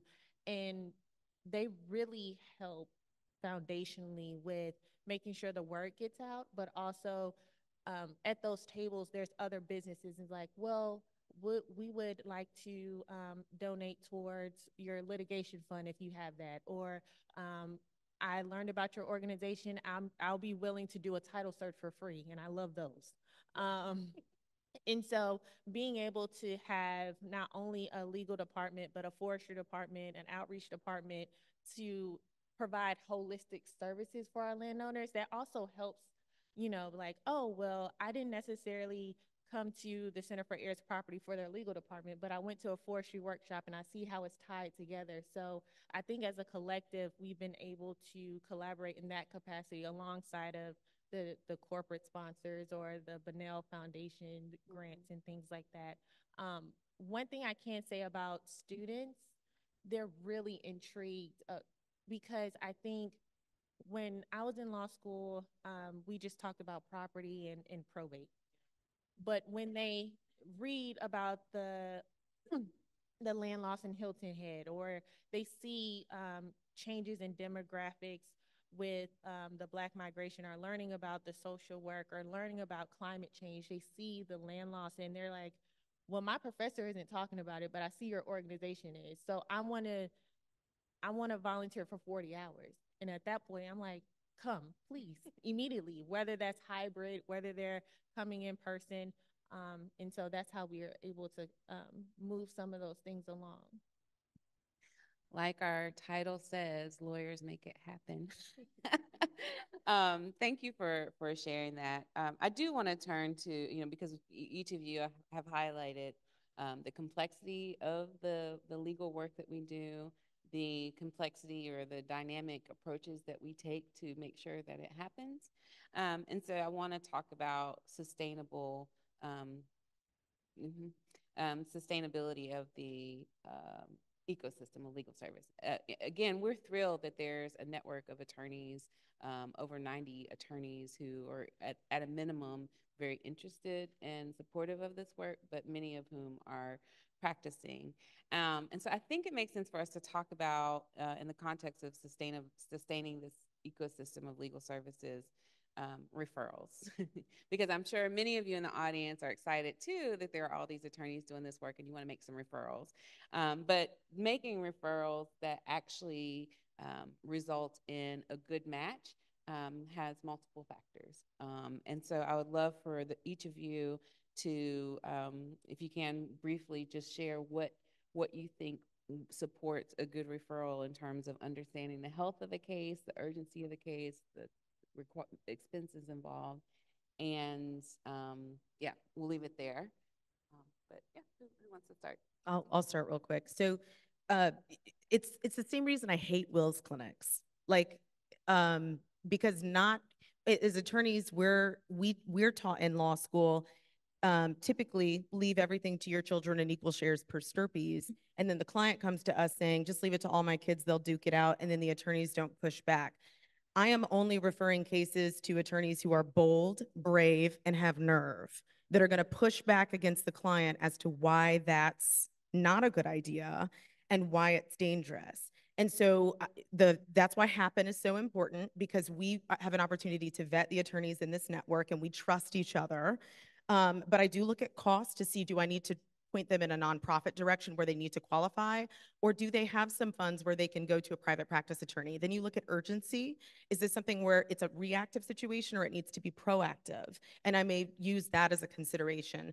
The other thing is there, there are some more pressing issues. If I've got a tax foreclosure emergency situation in, you know, that maybe it's Heather Way that I'm calling. If I have a UPHPA problem, it's me that I'm calling, you know? So it, it, it just depends. And then it's state specific too. So there's a lot of different factors, but you can't just refer people just because they're in the trusts and estates group of their state bar association. Half the time when a client walks in and says, I just want to leave it to all my kids, guess what? The attorney is saying, great, all your children in equal shares per stirpes, because that's how we're taught to do it until someone dispels that, that's when they know not to do that. So you have to be very careful to make sure that the person has legal competency and cultural competency. I agree. And the only thing that I would add is just in terms of, I guess, the referral system, and I think um, my uh, cohorts could, uh, could agree to this, it's a very protected space, right? We recognize and understand that we service vulnerable individuals. And so when making referrals, we, we want to ensure that we're not making them more vulnerable, right, by referring them to the wrong people. And of course, so we safeguard referrals and ensure in terms of one, competency, sensitivity, and then cost and all those factors, but this space is very protected because we recognize and understand that uh, of where we find the people that we serve. And so we don't want to do anything that would adversely affect and or impact them. And so when we make referrals, and if you get a referral from any of us, just know that we believe that the person or the entity with whom we have referred you is a trusted entity and or individual who, who, is, who can zealously advocate um, for you and your family. Um, to piggyback on that, I would like to add um, attorneys that can communicate, but also let the client guide what their goal is for the property. Um, I know that there are various avenues that are pushed in certain communities, like, oh, put it in a trust, put it in an LLC. And the thing is, that's easy, but that may not be what the the best decision for that client or that family. And so when I think about who I'm going to refer a client to, I want to make sure that the person is one listening for things that's unsaid.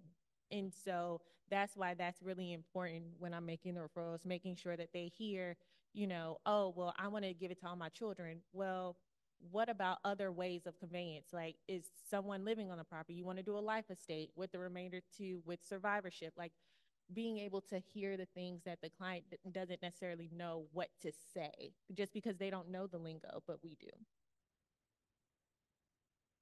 Um, so I would love to invite the audience to ask questions unless they're specific to a specific case. Please remember to state your name and where you're from. Because we don't do that. We don't give advice on stage. But yes. Hello? Oh, Hello. Hi. Thank you so, so much for your presentation. I truly appreciate you guys' expertise as I've talked to probably a hundred of you. My one question, because we're supposed to keep it to 30, 30 minutes, and I forgot the primary rule. I'm Rosalind, uh, and I'm from Austin, Texas, and uh, we have a farm, uh, and we are currently in litigation. Uh, do you have any cohorts in Texas? That's that's one. And private attorney, do you have anyone you can refer who's passed the bar in Texas?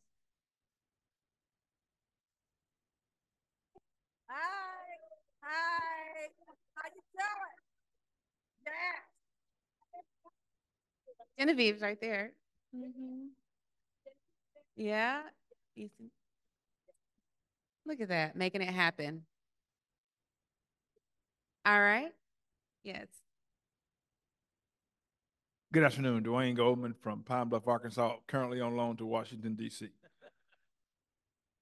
But Ms. Fisher, you, you, you talked about a situation um, where you had to blink your eyelashes and show a little leg. If I get in that situation, I'm in trouble. So, so seriously, yeah, seriously, um, I'm thinking about the heirs property relending program. And I'd just like to get your thoughts on if that money were parked somewhere, so that when you get to that critical stage in the process and you need an infusion of cash, how could something like that be used to get you over that hurdle and be done responsibly? Yeah, so so that's something I've thought about is like, so what about the people that are that are literally in partition litigation and and the way to to literally not just clear title but avoid the emergency is to have that immediate access to funds. And it's it's doable. I mean, I really believe that it is because what I'm doing, these first of all, these people don't have $25,000 laying around in cash, right? Um, and so they're looking for a loan. The problem is the banks are saying, oh, this is too sticky. Like it's heirs property. Like I know it's going to be clear when this is over, but I'm just not interested. So they're already looking for a loan somewhere else. Why can't the relending funds serve in that gap to immediately fund those buyouts? Because as soon as those people who wanted a sale are bought out, I'm filing a motion to dismiss.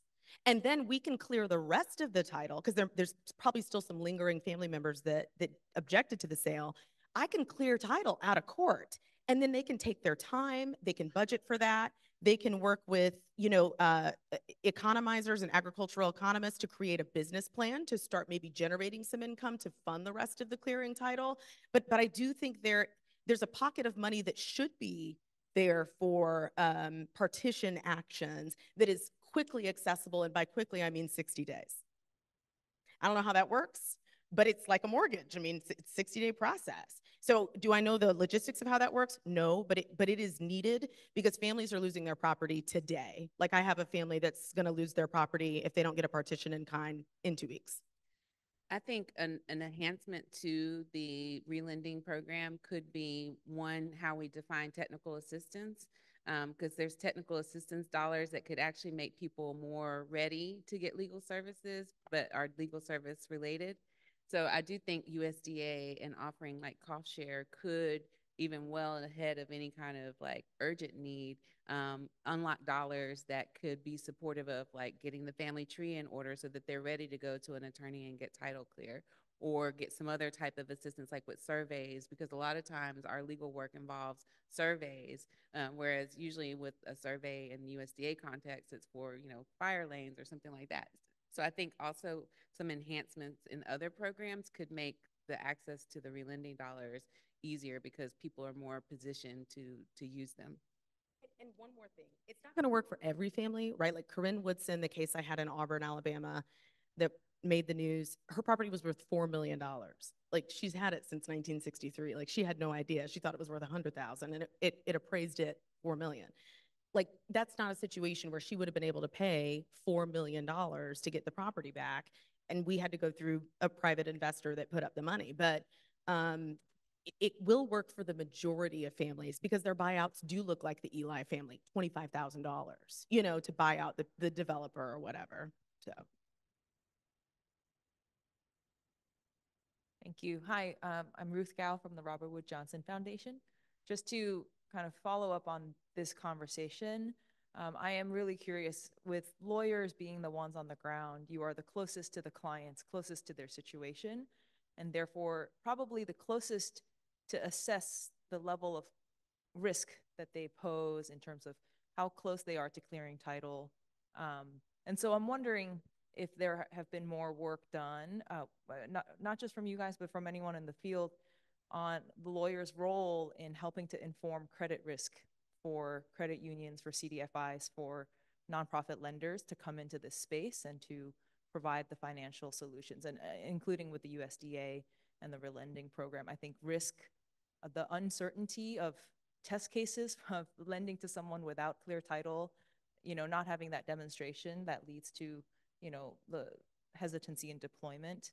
Um, and so I'm wondering if there have been thought in this area or if maybe we can talk offline about ideas. Yeah, I think, and if I may just add to that, um, there's also a need for um, uh, understanding risk as it relates to title insurance. So that's a type of insurance that you can have on the title of the property that I think will be greatly beneficial to heirs property owners for future lending. And it's this is definitely something that has come up in the the heirs property practitioner network.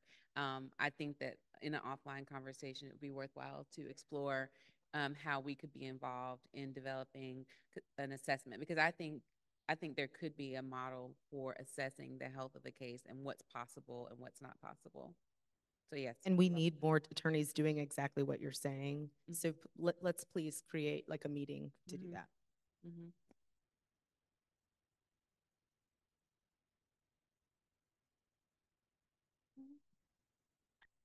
Hello, I'm sorry. My name is Cecily Gist. I'm the new relending loan fund manager with the Federation of Southern Cooperatives. I met with and spoke with several of the ladies on the stage, and I just want to say thank you for all of your advice and helping me. I was trying to say hello to you, Miss J.C. earlier. Hello. but I just want to say some of the things you talked about, uh, mediation, succession planning. That are some of the things that the Federation of Southern Cooperatives offers, offers for free.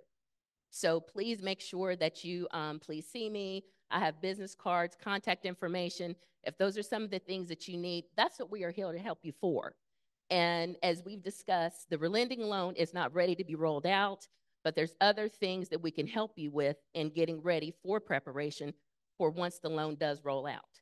So like I said, there are some things that we offer for free. So my name is Cecily Gist again with the Federation. So please see me if you have any questions or concerns. Thank you. I would like to add, just because we've talked about the estate planning gap, I think um, you all probably do this as well, but once they're a client, we make sure that their estate plan is covered. So we want to make sure that, you know, once we clear title, there isn't just like, oh, we'll go free and hopefully you'll remember. Yeah. So um, that's one thing that we always push to our clients is, you know, while we're in this process, let's go ahead and get that estate plan um, together. Like If we have might, three uh, questions in five minutes. Quick, quick question. Uh, Ryan Thomson, Auburn University, SRDC. Uh, if I might ask, as a researcher, extension, training, how might academics and community-based organizations go about better supporting your work?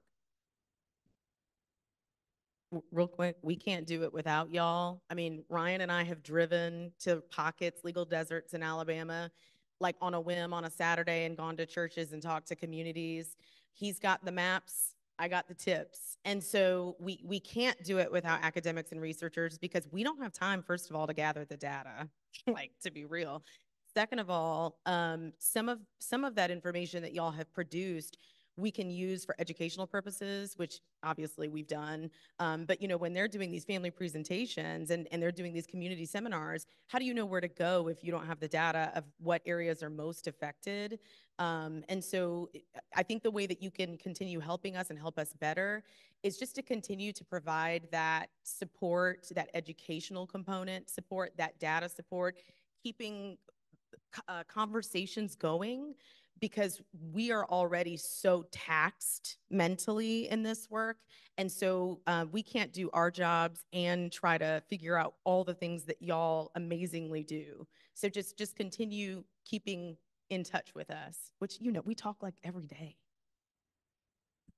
And I would just add real quickly that even in the nonprofit realm, we're tasked with doing community outreach and education. And so we partner with um, the Policy Center, Alcorn State uh, University, and others to uh, do the same thing that JC just mentioned in terms of going to these various pockets in the various counties throughout the state um, to do just that. And so continuing that conversation, continuing, uh, you know, connecting, right? So we need partnerships, we need trusted um, collaborations. And so it's very important to continue in that vein of connecting so that we're able to then reach um, more people. And I would just add that um, for me in my practice, working with the Sustainable Forestry and African American Land Retention Program actually made it easier, one, to find clients, but two, to keep our clients motivated. So I think the cross pollination of programs that are doing other landowner services is an excellent way to partner and support the legal service ecosystem because you have clients who also see that they are, you know, helping protect climate resiliency because they're getting a forest management plan and getting an easement and what have you. So I think a lot of that will be very important going forward. I feel like there's two or three more questions and no time. So invite us back next year. We, we actually have time for one more. Hi, I'm uh, Jonathan Schreiber, Schreiber, counsel with the Massachusetts Association of Realtors, working with Professor Mitchell as long as as well as with uh, several other folks in this room to try to get the UPHPA enacted in Massachusetts. Um, and Ms. Fisher, you you kind of hinted that um, that the UPHPA is making a difference, right? You you recognize that it, it has improved things. Also, maybe hinted that there might be some other ways that it could be reformed. We have an opportunity in Massachusetts to kind of make it our own. Um, I didn't know if you could elaborate on that a little more and if other folks have experience as well that they'd like to share. Yeah, so so I encourage you to talk to Scott. I don't know where Scott is from New York, but he's got an amazing, well, New York has an amazing like UPHPA 2.0 kind of situation, and it's really easily read, as Fran pointed out to me. But but real quick on the protections, just just to give y'all an example of some of the protections, because I talked to someone, two people today that are in partition actions and had no idea that their their uh, case is probably running under the wrong statute. So so real quick, enhanced notice requirements. So instead of regular notice, when you get served with a petition, they have to post a conspicuous sign on the land. That's one thing the UPHPA created, which is important. Then you've got an independent fair market value appraisal. Which is supposed to be by an independent appraiser, and the opportunity to challenge it. That is also different. Typically in old partition actions, that the plaintiff would get an appraisal and the judge would just say, yep, that sounds good, let's take that appraisal. Or it was going to auction, so they didn't worry about it. Or what I'm seeing that I'm having to stop is they're like, let me call my real estate buddy. He'll just go look at the property and, and estimate what the value is. I had a case like that three months ago. The property actually valued at a hundred thousand more than what his real estate buddy friend went and looked at it for. So the independent appraisal. Then we've got the mandatory buyout rounds. There's a first round and a second round in most states. And again, I'm speaking from Alabama. Um, and, and so if you don't win the first round, there's an opportunity at the second round. And then you've got the partition in kind trial that takes into uh, effect different factors, including um, sentimental attachment to the land, economic factors, if, if the parcel as a whole is worth more than the, pal- the parcel uh, divided up. There's, there's all kinds of things that they can consider. And then if all else fails, it goes to open market sale or private sale before it ever goes to an auction. So those are some of the basic things that you're going to want in your UPHPA, which are in the standard draft that Thomas Mitchell worked on. But there are some other even broader reforms, uh, uh better reforms that New York, I think, has implemented. That's our time, and we finished on time.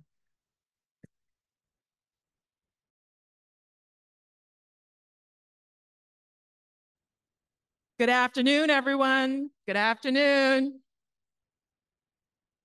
Raise your hand if you can hear me. Awesome, awesome. My name is Odette Williamson. I'm a staff attorney at the National Consumer Law Center, and I also direct our Racial Justice Initiative. I will be the moderator for this session on property tax foreclosures on heirs property homes. And um, I'll just wait for folks to take a seat for a minute so we can start our conversation today. It promises to be a really, really robust one, and we're going to do something a little different. We're going to do some presentations, and um, then we're going to have a Q&A at the end. So you'll be looking at some slides just for a little bit. As I mentioned, I'm with the National Consumer Law Center, and for those of you who don't know NCLC, we are an anti-poverty organization working on behalf of low-income individuals.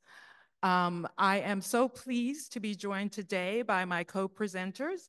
Uh, first, we have um, Heather Way. She is a clinical professor and director of the Housing Policy Clinic at the University of Texas School of Law. Then we have Kate Dugan, an attorney at Community Legal Services of Philadelphia. And finally, but not last but not least, my colleague, Andrea Bopp Stark, who's a senior attorney with the National Consumer Law Center. Uh, in the interest of time, uh, their bios are in the materials uh, if you wish to know a little bit more about them. But I just want to start out really by talking a little bit about property tax foreclosures. Um, do we have any homeowners in the audience today? All right, have you looked at your tax bill recently? right? It's, it's gone up, it's gone way up.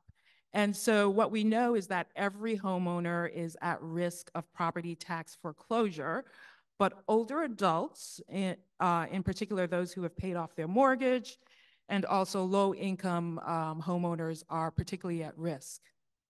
Now, in terms of uh, communities of color, of course, in keeping with every racial pattern we've discussed throughout the entire conference, we know that Black and Latino or Hispanic individuals are more likely to face foreclosure, especially if they live in a low-income community.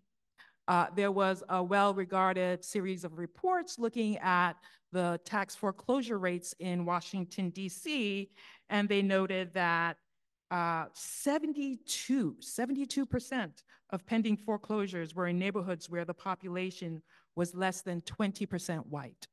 And that is a pattern in keeping with other studies throughout the US looking at property tax foreclosure patterns and rates. Now, of course, there are obvious reasons for this. Uh, financial hardship, people fall behind, they're unemployed. Um, for the purpose, of course, of this conference, if we have a household member who dies and that person contributes money to the household, obviously um, th that household uh, is at risk for foreclosure. But we really can't lose sight of some of the structural issues that lead to tax foreclosure. And that, of course, includes uh, disinvestment in many of these communities, as well as redlining and segregation that limit um, the ability of um, consumers of color to make a living, get income, and um, access wealth building opportunities. And of course, what we're going to discuss uh, at length today is uh, the lack of um, tax relief for um, heirs property owners. The other issue that we really should shine a light on is the disproportionate um, burden that consumers of color face with, with respect to property taxes. Um, Black and Latino or Hispanic households pay disproportionately more, higher taxes relative to other um, homeowners and relative to their home's value. So one study noted that homeowners of color pay 10 to 13% higher tax rate on average than white homeowners in the same municipality. And what that translates into is an extra three to 400 uh, dollars per year. Now, these disparities are due to several issues, but it really focuses and it, it's really due to the inequities in the system itself, the tax assessment systems and the appeals process in particular. And that assessment system disproportionately taxes lower valued homes at a higher, a disproportionately higher rate. In terms of appeals, it's also pretty interesting. Black and Latino homeowners are less likely to appeal assessments. If they succeed um, and win their appeal, they are also not likely to receive a large reduction in their um, assessed value. So even when they win, they lose. Now, these inequities in the tax system have deeply racist roots, right? Like everything else we've spoken about um, at this conference. Um, during the Jim Crow era, civil rights activists, activists were taxed at a higher um, rate in retribution for their activism. And research has also highlighted that white assessors intentionally taxed Black landowner, landowners at a higher rate to prevent them from building wealth and uh, other opportunities uh, through land ownership.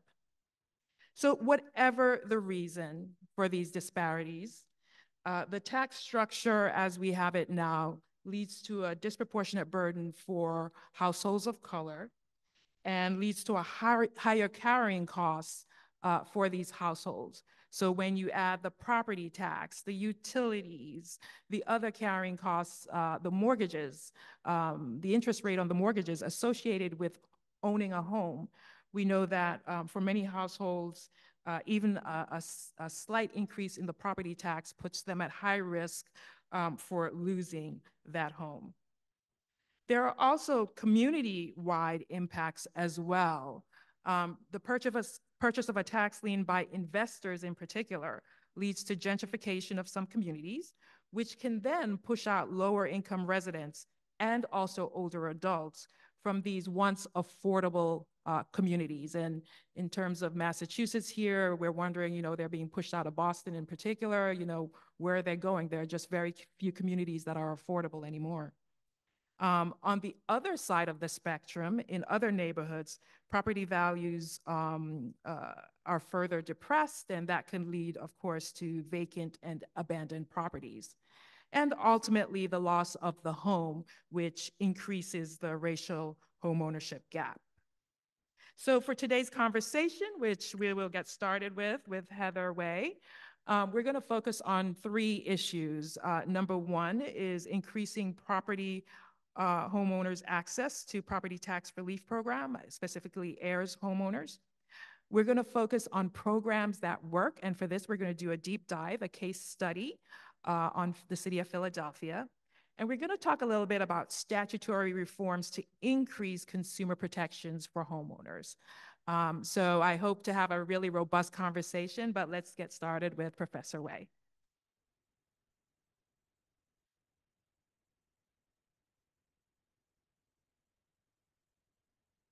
Thank you so much. Good afternoon, everyone. My name is Heather Way. I'm a clinical professor at the University of Texas School of Law. And I just want to start by echoing the gratitude that others have expressed today to Thomas and the rest of the crew at Boston College School of Law for just hosting this event. It's just been tremendous. I get a little bit of weepy eyed of just the, just being able to connect with such um, tremendous passion and talent in this room. Um, people who we share the same commitment to the to, to heirs property issues, and also it's really nice to meet for the first time my what I call my Zoom friends, um, who I've been talking on, on Zoom calls ad nauseum for uh, several years now on heirs property issues, and to get to meet them in person has just been fabulous.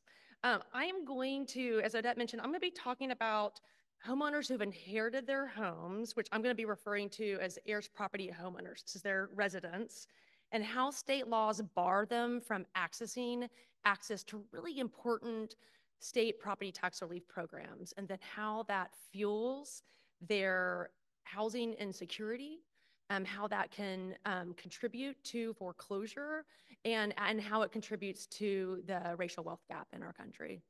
Um, and, and just sort of building on Odette's points about, well, I'm actually sort of go back first because I forgot I had a question for the audience. How many of you have worked with heirs property owners um, facing property tax foreclosure just by show of hands?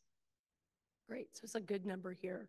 And I'm sorry, Heather, I just want to interrupt. Can people in the back hear? Okay, great, thanks. I'll put the mic a little bit closer to me too. Thanks for asking.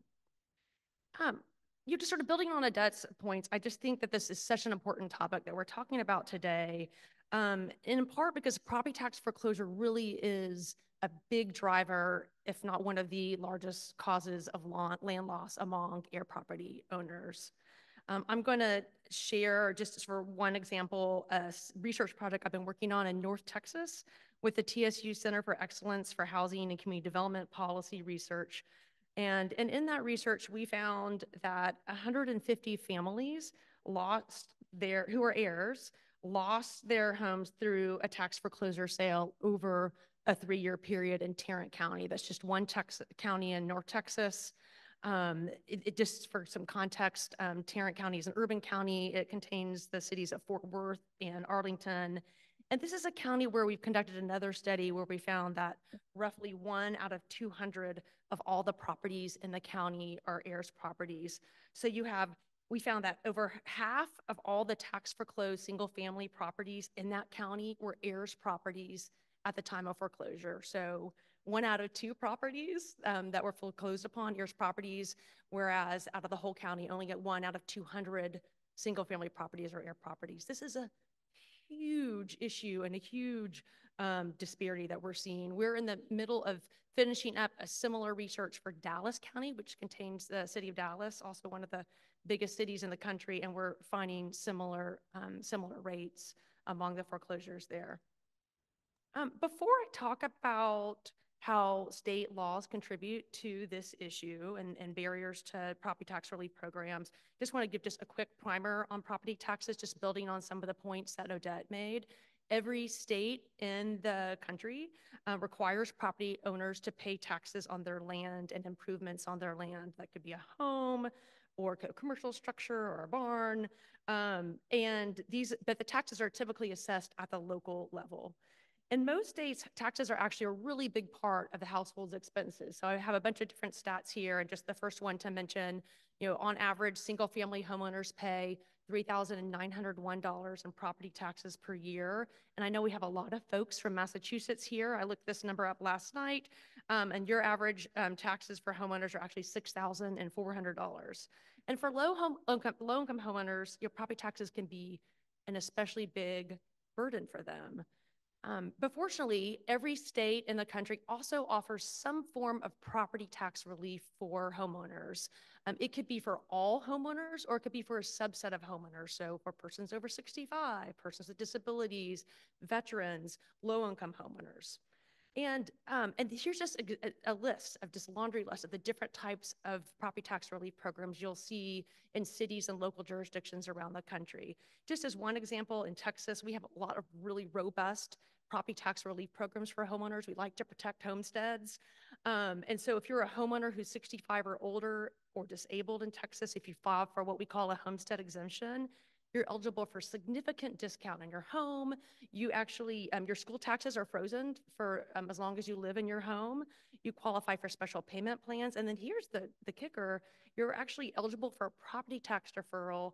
So that bars a tax foreclosure um, where you can't be foreclosed upon even if you fall behind on your taxes, um, if you get access to that homestead exemption. Um, from other research, um, we also know that you know, these tax break programs really do play a big role in increasing a, a, homeowner's housing stability and reducing their vulnerability to foreclosure. So just one of the studies on this slide here found that homeowners with a homestead, senior homestead exemption were 60% less likely to default on their property taxes. So I guess just the message I want to convey is that these programs are really important in helping heirs be able to hold on to their homes. But at the same time, there's been a lot of sort of references to some of this research that I've, I've been doing um, throughout the conference. But the majority of states actually block heirs property owners and other co-owners from accessing these important property tax relief programs and protections. And there's two key buckets of legal barriers I just like you to walk away understanding. I'm just going to briefly explain them. So first off, most states have proof of ownership requirements embedded in their property tax relief programs that make it impossible or very difficult for heirs property to qualify for one of these property tax break programs. Um, I've we've seen state laws that say you actually have to have a deed in your name. Um, state law, there's a whole spectrum of barriers. Uh, we've seen on sort of the other end of the spectrum states that recognize that yes, some homeowners have actually inherited their homes. They don't have a deed, but they require you to have a probated will, for example. These are just examples. Just this is not an exclusive list um, but just some of the states that where we've seen these barriers. Um, at the same time, um, a lot of the state laws just don't speak to this issue at all there. Um, so as a result, we've talked to the property tax assessors and the counties in these states that are administering these property tax programs and just found there's just very ad hoc approaches to whether and when and how they grant property tax relief to an heirs property homeowner, uh, which is also really problematic. The second legal barrier is um, that, let me sort of change my notes here. Second legal barriers relate to issues with a heirs co-ownership status. So there's been a lot of discussion about heirs properties not having no access to clear title, but even if you have clear title, even if you have a deed in your name as an heirs owner, these are issues that you're going to face in terms of accessing a property tax relief program. And so what we found is a lot of states have um, no, I didn't actually put those states up here. A lot of states have just very um, um, different varying programs that serve as a barrier to co-owners and heirs being able to qualify for that full homestead exemption relief or that full um, benefit of that property tax relief program. So just one example here, I'm gonna talk about this Oklahoma program that is an issue in other states too. It was an issue in Texas until we changed the law. Um, but the heir living in the home qualifies for only a partial tax break on their homestead um, instead of the full exemption if the other heirs are not also living in the home. So if an heir is inherited as, let's say just an example, 25% ownership interest, they're only eligible for 25% of that tax break.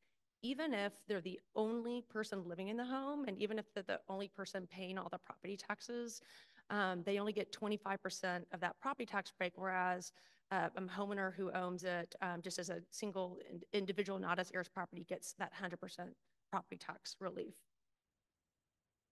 Um, here's just an example. We, we did fix the law in Texas um, several years ago, but here's an example of what the impact looked like in Texas before we passed um, this legislation.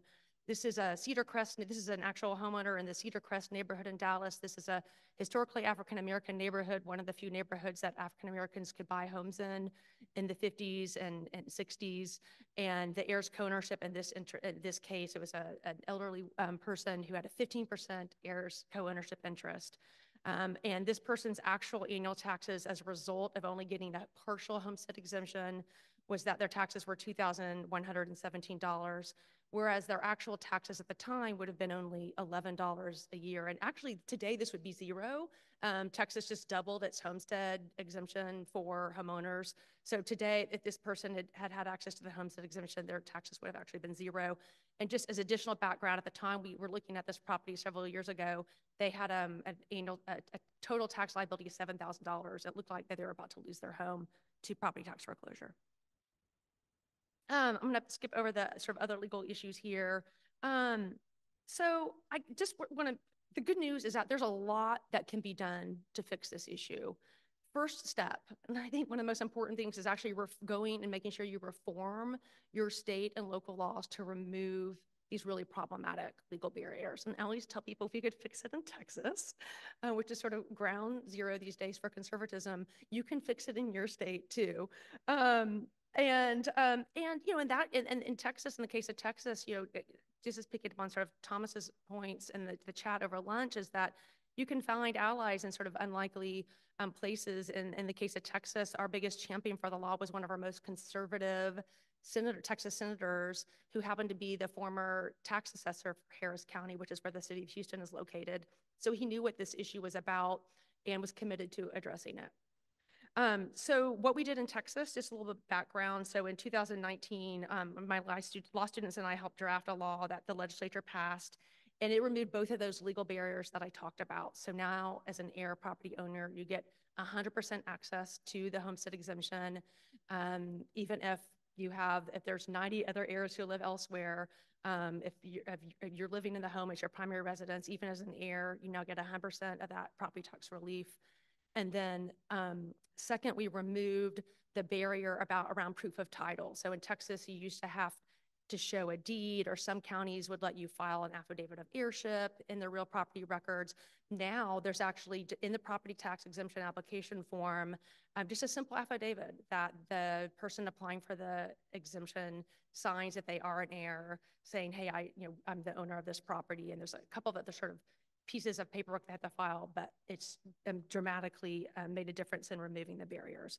Um, the second thing is engaging with your state and local offices. As I, I mentioned before, you know, a lot of states just have ad hoc requirements, and so engaging and educating your local tax offices to make sure that they have the policies in place to support heirs. We found in Texas, even after we passed this legislation, it um, the, the local tax offices were not implementing it. So we had to do a lot of work on education, and a lot of our local lead legal aid offices are still having to do a lot of work to educate the local um, tax officials and the front office workers about about these legal reforms to make sure that um, that they are um, implementing them.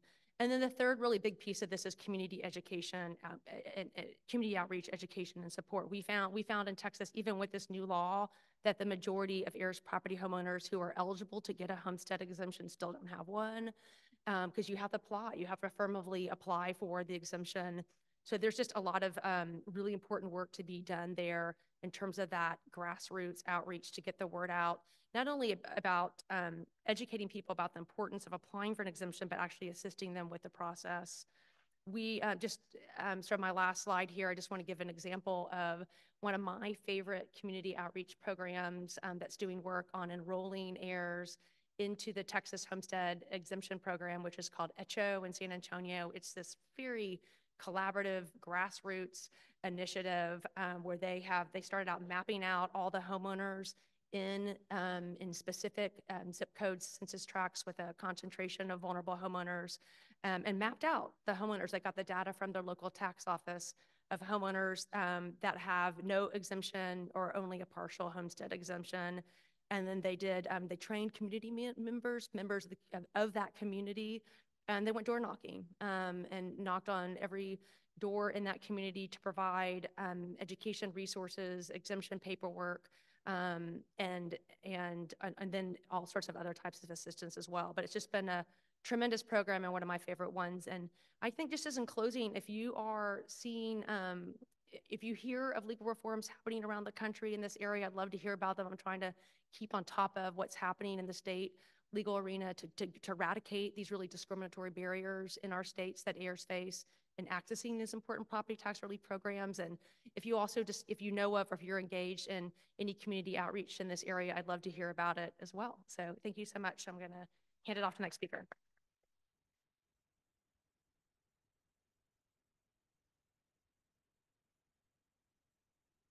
Hi, folks. I just want to check. Do people hear an echo or feedback of any sort? No? Okay, it's just It's just up here. Okay. Okay. Okay, no problem. All right, good afternoon. Um, my name is Kate Dugan. I'm a staff attorney at Community Legal Services in Philadelphia. Um, CLS is a nonprofit law firm. We represent a variety of uh, low-income homeowners in a, a, pretty big variety of topics. We also do systemic advocacy. Um, I am specifically, I work in the property tax team, um, but I also do a fair amount of tangled title work. So um, I'm here to give you the good news from Philadelphia, which is uh, a, a lot of the the things that Heather said. You know, wouldn't it be great if this if this were how property taxes work? We have some of that in Philly. Um, so so there is there is some bad news. Um, this is sort of an overview of how tangled titles and tax delinquencies overlap in the city. Um, so as you can see, the neighborhoods with huge concentrations of tax, tax delinquencies um, also are the neighborhoods with huge concentrations of tangled titles. Uh, if you're not familiar with Philadelphia, uh, these are also uh, predominantly Black communities. Um, these are low income communities. And so, you know, there are a lot of maps that end up looking like this in Philly. Uh, so it's it's a real problem, and you know a lot of our clients are living in these neighborhoods. Um, and as Odette said, they're paying more than their fair share of taxes to begin with. Um, so a lot of these tax delinquencies are based on taxes that were too high. Um, these communities are being charged more than their fair share, uh, which you know is its own problem and also certainly exacerbates whatever would be going on if, if taxes were fairly assessed. Um, so the movie yesterday was so great, and it was so great to see the law in action as it related to a person. Um, unfortunately, I have no filmmaking skills, so you get a PowerPoint slide. Um, if anybody wants to talk Eternal Polk into coming to Philly and making a movie, that would be great. Um, maybe next year you'll get more than a PowerPoint slide. Um, but this is just a client I had who I think um, his story kind of shows off the the pros and cons of having a tax delinquent tangle title property in Philly. Um, so Mr. D lives in a 1920s Philadelphia row home, like classic Philly house, like in all those pictures that you see of like the urban houses. Um, he's in the Germantown neighborhood, which is 77% Black. Um, the home is in the name of his mother, and she died intestate in 2004. She had six children. Um, until 2010, um, people were coming and going, living in the property. Nobody knew to pay the taxes, um, so the taxes just weren't getting paid. In 2010, there was a fire, and Mr. D actually moved up from down south um, in his 70s to fix up the property by himself with his own hands. I, I've been at his house, I have seen the work. Um, and A, that's pretty amazing and B, it's because he didn't have access to repair programs because he wasn't on title. Um, so he fixes up the house. You know, he doesn't know to pay the property taxes. The bills aren't coming to his name. Um, and the city files a tax foreclosure. Uh, balance is pretty high. He doesn't have the funds to pay it off. Um, and title is a little complicated for him because not all of his co-heirs are cooperative yet. Um, unfortunately, the timeline of a tax foreclosure and the timeline within which we can untangle title don't always line up. Um, there's good news for Mr. D, who did not lose his property to tax foreclosure because he lives in Philly. Um, and the biggest reason for that is the owner occupied payment agreement. This is an income based payment agreement available to both owners and equitable owners. And when I say equitable owner, that's just another word for tangled title. It's another word for heir property. Um, and it functions to stop a tax foreclosure. Um, and when I say income based, I mean that if you are a certain age or you have a certain income, your payments can be $0 a month. And that also involves significant forgiveness of interest and penalties. Uh, so if Mr. D ever gets on title and decides to sell his house, the amount he's going to have to pay off in property taxes is significantly lower because a tax bill that's been sitting around since 2008 is going to have acquired probably more in interest and penalties than principal at this point. Um, so that's a huge tool we can use to help stop tax foreclosures while we work on title. And when I say we, I don't really mean me. Um, some of my great Tangle Title colleagues from CLS are here. And so what I'll do is I'll get the, the payment agreement and then I'll send it over to our Tangle Title team who now has less of an urgency, who now, um, you know, as, as somebody on the previous panel said, now it's, it's not like a tomorrow problem, it's a next few months problem, which makes it less stressful, there's more resources, um, and, you know, certainly a better timeline for the clients. Um, I will talk about it a little bit in the next slide, but a lot of the things that Heather suggested would be good policy goals um, in terms of tax relief, Philadelphia has. So Mr. D is actually in a lot of tax relief now. So his tax bill going forward is going to stay affordable. Um, that $7.5 million that Philadelphia dedicated to Tangled Titles also includes a Tangled Title Fund, which is a grant of up to $4,000 to help defray the costs of untangling title. Um, the bad news in Pennsylvania is we do have an inheritance tax. We're, I think, one of four states that still has that. Uh, so untangling title is especially expensive in Pennsylvania, uh, but that $4,000 does go a long way.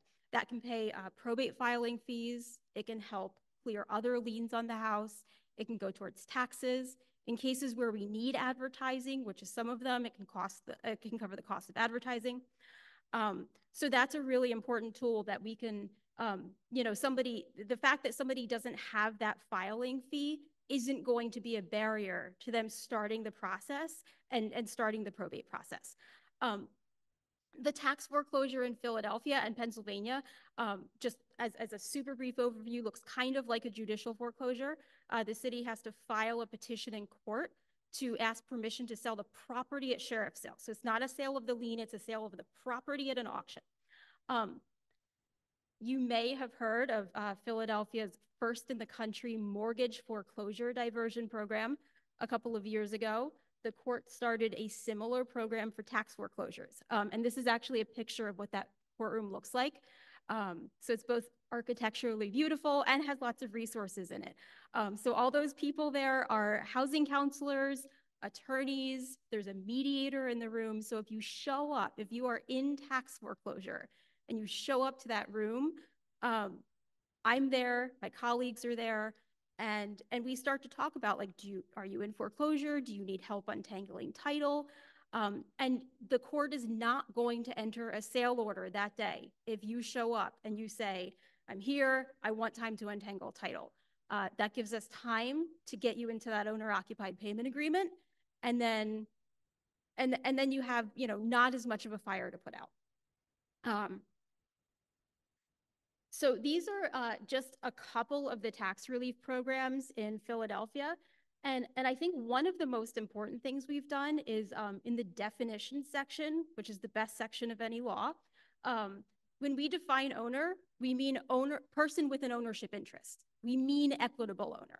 Um, there are documentation requirements, uh, different ones for different programs, but generally in Philadelphia, for the purposes of tax relief, owner means equitable owner. Um, so we do have a homestead exemption. It's not as big a discount as Texas because our state law limits how much our homestead exemption can be. Um, it, it reduces the assessable balance, uh, the assessable amount by $80,000. So that's, that's about an $1,100 savings on your bill. Um, heirs can qualify for this. No proof needed, just an affidavit. Uh, it's technically conditional, although I've never seen the city go after um, a property, I, I think they just, once you're in the homestead, you're in the homestead. Um, the senior freeze, so Mr. D, for example, um, is now in his 80s and uh, has low income. So even though he is only an equitable owner, and even though he's only, uh, you know, probably a one-sixth equitable owner, he qualifies for the full senior freeze, uh, which freezes his tax bill. And uh, two years ago, we actually got retroactivity on this. So not only can he freeze his tax bill at this year's amount, he can actually freeze it as far back as the 2018 bill or any intervening year, as long as he would have been eligible in that year.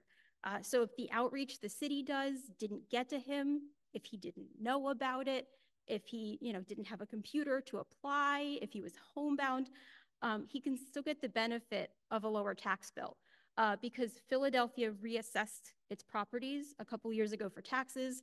um, neighborhoods saw an average of a 30% increase in assessments, although a lot of those neighborhoods uh, that were dark red and dark blue um, saw like 300% increases. So people's tax bills went from a few hundred dollars a year to a few thousand dollars a year. So the senior freeze, especially retroactive, became a critical tool for people who just don't have the budget to throw an extra $4,000 a year taxes.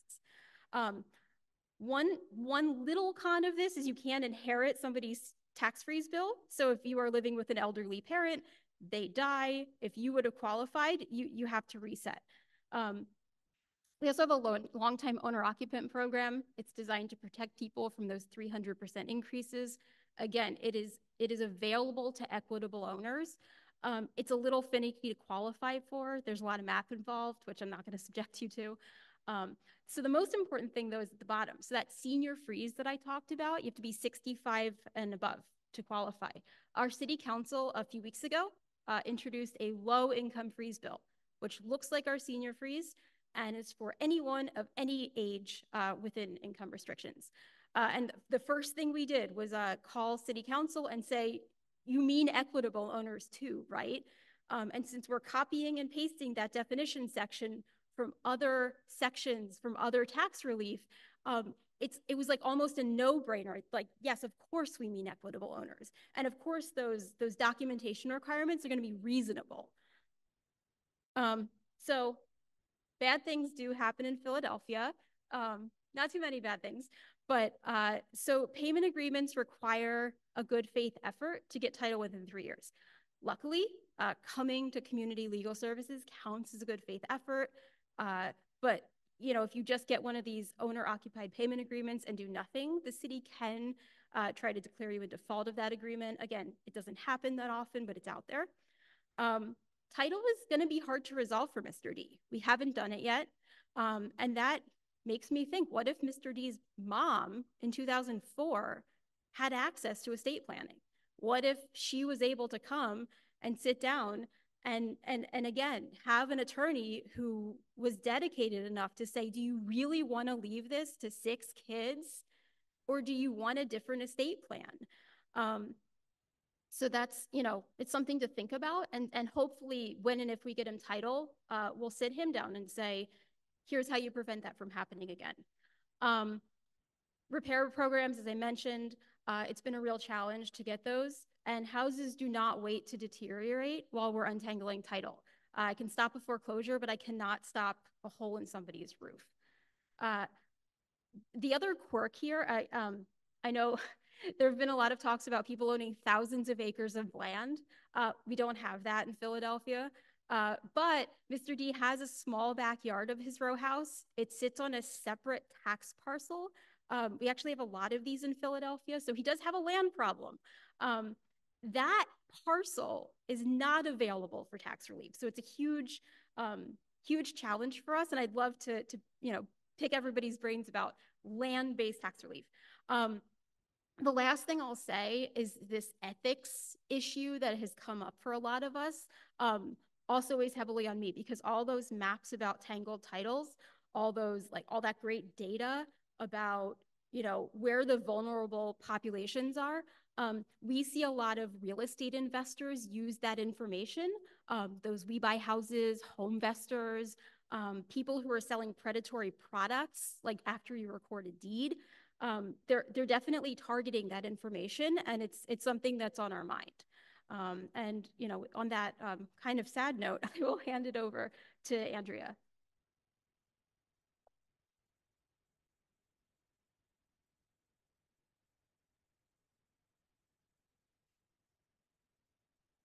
Hi, everyone.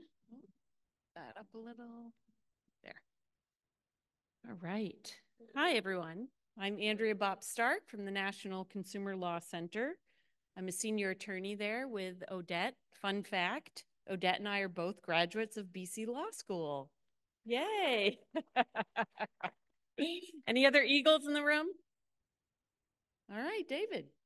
All right, so we're going to talk about property tax foreclosures and constitutional issues. Very exciting. Uh, and policy recommendations if you don't live in Philly. So Who here has heard of the Supreme Court case Tyler v. Hennepin County? All right, so good number of you. Okay, great. So you heard from Heather what the property tax foreclosure process looks like. If very simplified version, if a homeowner does not pay their taxes, uh, a town can seize the property and put a lien on that property. If they don't pay their taxes within a certain amount of time, the town can sell that property.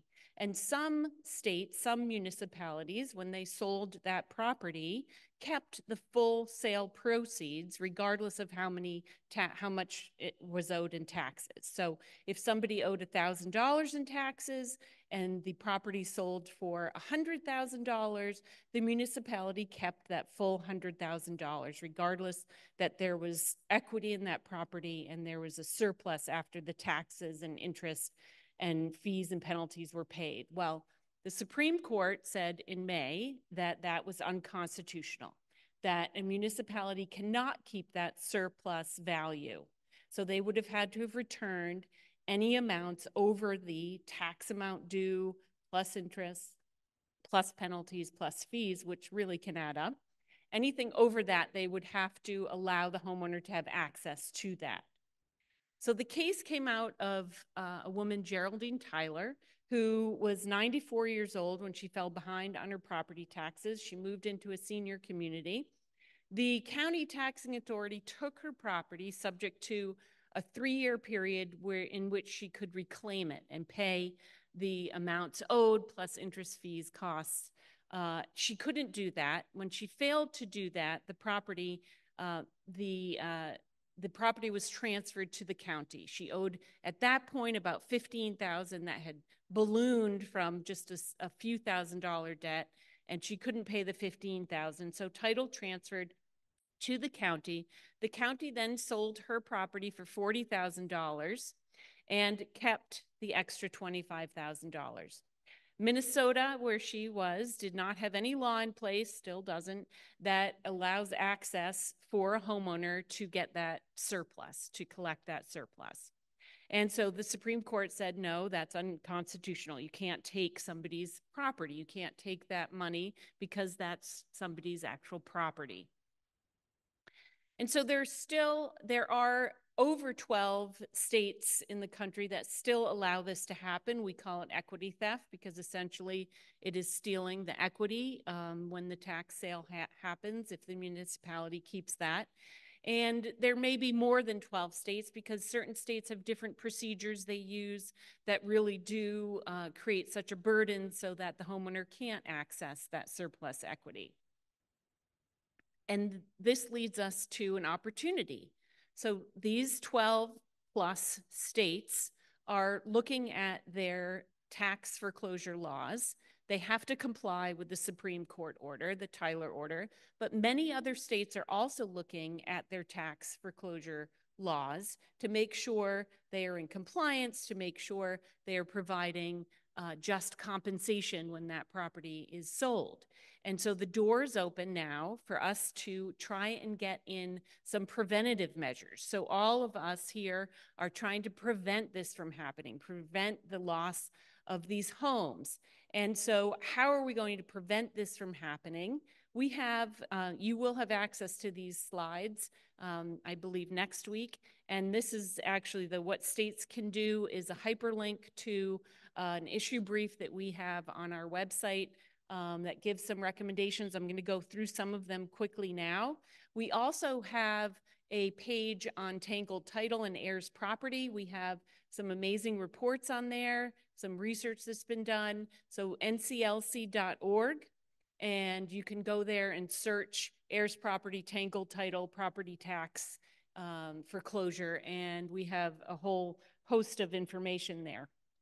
Uh, so as uh, Heather and I believe Kate might have mentioned, um, the assessments, uh, tax assessments have historically been um, inaccurate, not done on a regular basis, and they have caused inequities in assessments particularly to Black neighborhoods and Black homeowners who pay higher taxes than their similarly situated white homeowners.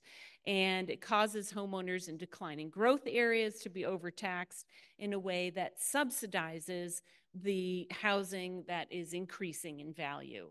And so, a solution to that, trying to get these preventative policies in place, is to require, have municipalities require regular assessments. Some towns haven't done assessments in five, ten, 15 years. And so that property value is not going to be accurate. And that is going to be reflected on the taxes paid.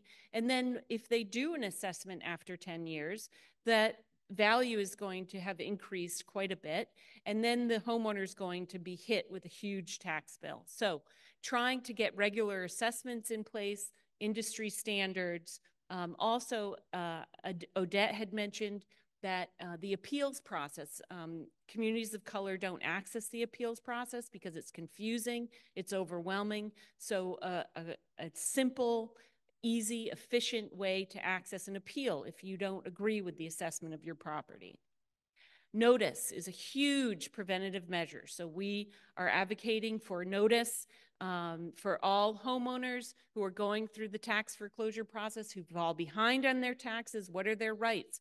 What are the options available? What are the um, abatements that are available, the exemptions available to them. How do they access these exemptions and abatements? Just notice throughout the whole process in English, but also in uh, the language, the, the three major languages or most common languages in that community. So allowing language access for homeowners as well is super important for notice. And notice at the foreclosure stage. So getting notice out to homeowners when is the foreclosure sale? Where is it? How can they prevent this? What rights do they have? What are their redemption rights to reclaim this? So, getting the information out to the homeowners, this can all be put into policy. What are the notices that need to be provided to homeowners and when? This can all be put into legislation. Um, Every state, as Heather said, have exemptions or abatements that people can access to reduce their property tax bill.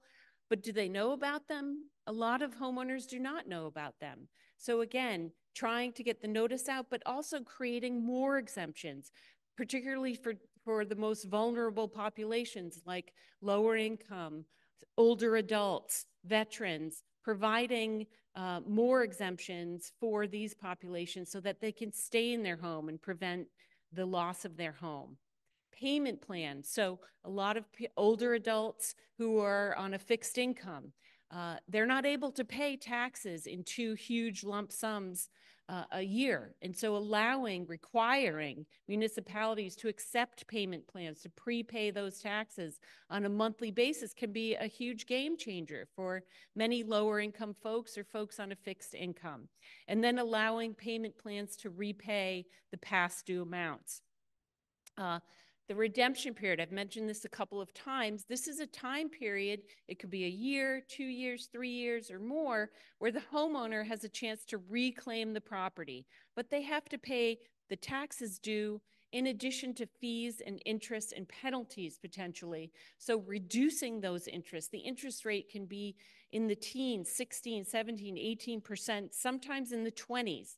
The interest rate can be just extremely unaffordable and create um, a snowball effect where no homeowner would be able to afford to repay that during the redemption period. So, building in meaningful redemption periods, a meaningful amount of time, but also uh, being able to waive some of that interest or lower that interest rate. And specific to heirs, uh, some preventative recommendation heirs who have not yet filed for probate are at risk of tax foreclosure. We heard Heather talking about this. We heard Kate talking about this. They may not realize that they need to apply for available tax relief or may not be eligible. So, ensuring that if they are living in the home, they're entitled to the same tax relief as that deceased homeowner was entitled to, or at least as any other homeowner without having to jump through all the hoops and go through probate and provide a deed but allowing them to provide other documentation to show that they are the rightful owner of that property. And notice personal so service to the to heirs if it's owner occupied. um, requiring the state to conduct due diligence in locating heirs, including searching land records, court records, other, other governmental records, and online records to find heirs. Um, and regarding Tyler allowing access to the surplus in general, um, again, we want states to be putting in place notice requirements to let homeowners know they are entitled to the surplus proceeds if that home goes to a tax foreclosure sale. They can get that equity. They are entitled to that. And how can they get that? And then maximizing that equity. Some states will just sell it uh, to an investor or on the side for just very, very pennies on the dollar. But we're advocating for an open market real estate agent sale to begin with, and then having a public sale, high bid public auction if it doesn't sell through a realtor, just to maximize that equity and keep some of that wealth within the families.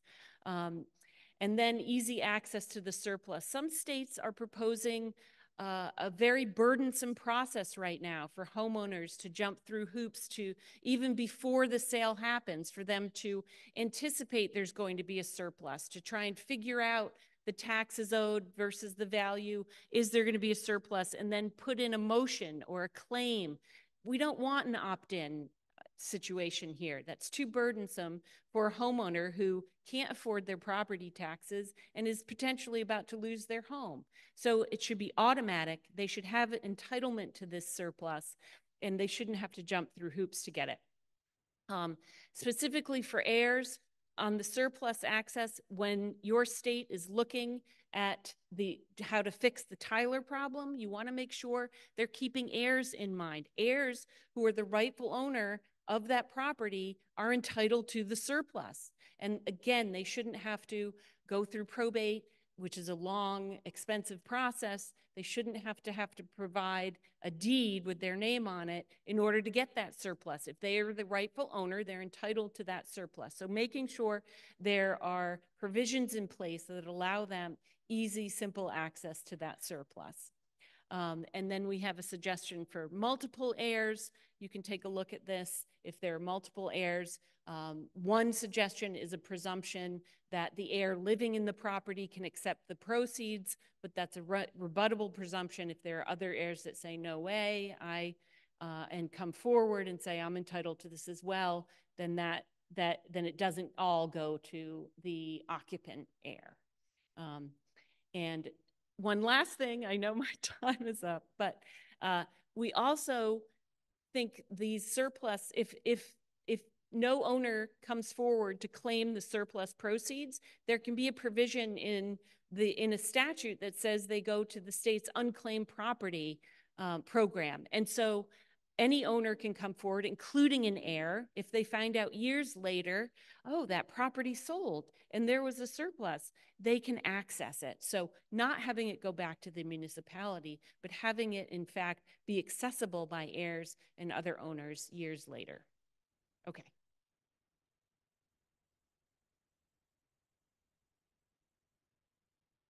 All right, as always. Please say your name and where you're coming from, and please keep your question to under 30 seconds. Oh. Hi, I'm Genevieve Fajardo from St. Mary's in San Antonio, and I'm so glad we have National Consumer Law Center because I have a consumer protection question. Are you guys working at all on tax rescue firms? And the best way I can describe it is I've had a lot of people come in who have had property tax issues but have gone to a tax loan firm to resolve it rather than access in Texas a lot of these uh, resources that we have to protect homeowners. And I wonder, is there any work in that area, particularly from the consumer protection um, side?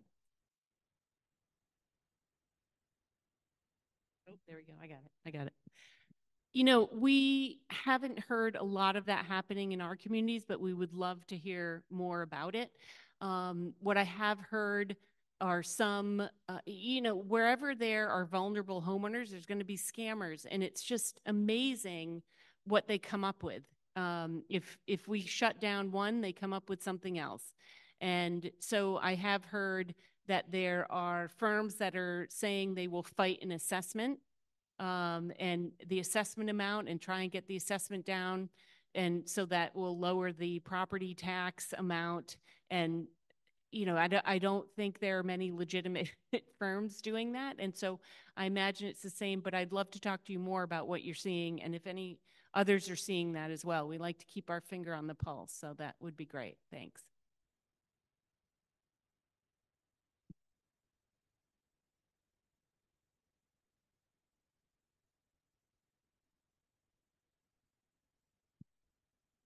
Thank you. Um, Valentina from um, Texas A&M University. I just have a very practical question um, for Heather. Um, for Heather, um, if when you were mentioning about the um, homestead tax exemption and that if the person was 61 years old or old, 61 or older, that they could get more tax reduction. reduction. If it's heirs property, can it be any of the heirs if they're 61 or, or older, even if they're younger heirs, obviously in the in the heirship, applying for that extra reduction on the taxes? So, um, yeah, so that's a, a, a good question. So in Texas, um, and I, I mentioned that each state has its sort of own brand of property tax relief program. And Texas has one, all homeowners are eligible for homestead, what we call homestead exemption on their primary residence, which entitles them to lots of different great um, tax reductions. Um, but in addition, then if you're 65 or older or have a disability in Texas, um, you are eligible to additional benefits that I you talked about um, earlier. And um, wait, and I've already blanked out on what the first part of your the, what your question was. Oh, yes. So if it's heirs property, um, then if you're the only person living on the property, as long as if you're, if you're the only homeowner living on the property, if as long as you're 65 and older, you qualify. And I cannot remember to the extent you have multiple heirs living on the property. Let's say you had four heirs living on the property and only one is 65 and older. I don't want to misquote the statute. I believe that you still, as the heir, can qualify, but I'd have to double check the statute. But this is that barrier I was talking about that exists in a lot of other states where um, a lot of um, states have what are called circuit breaker programs, which is another huge protection for heirs, homeowners, or any homeowner um, where you don't have, there's a, a, circuit breaker on the amount of property taxes you pay that's tied to your income. So if you're low income, there's um, a limit to what you pay in property taxes is one variation of it. Um, but one of the barriers that heirs face is there's an income eligibility requirement for that. And in a lot of states say, well, every heir has to meet that income eligibility. So if you're the only, again, the only person living in the home, you're paying all the taxes, um, you, you, it does, you're just, your income alone doesn't matter. Um, you have to go and like report the income of all the different heirs, even if they're not actually contributing to the property taxes. So this is a, a national barrier, but the Texas specific question was a really good one. And like, I just can't remember the exactly how that works in the statute.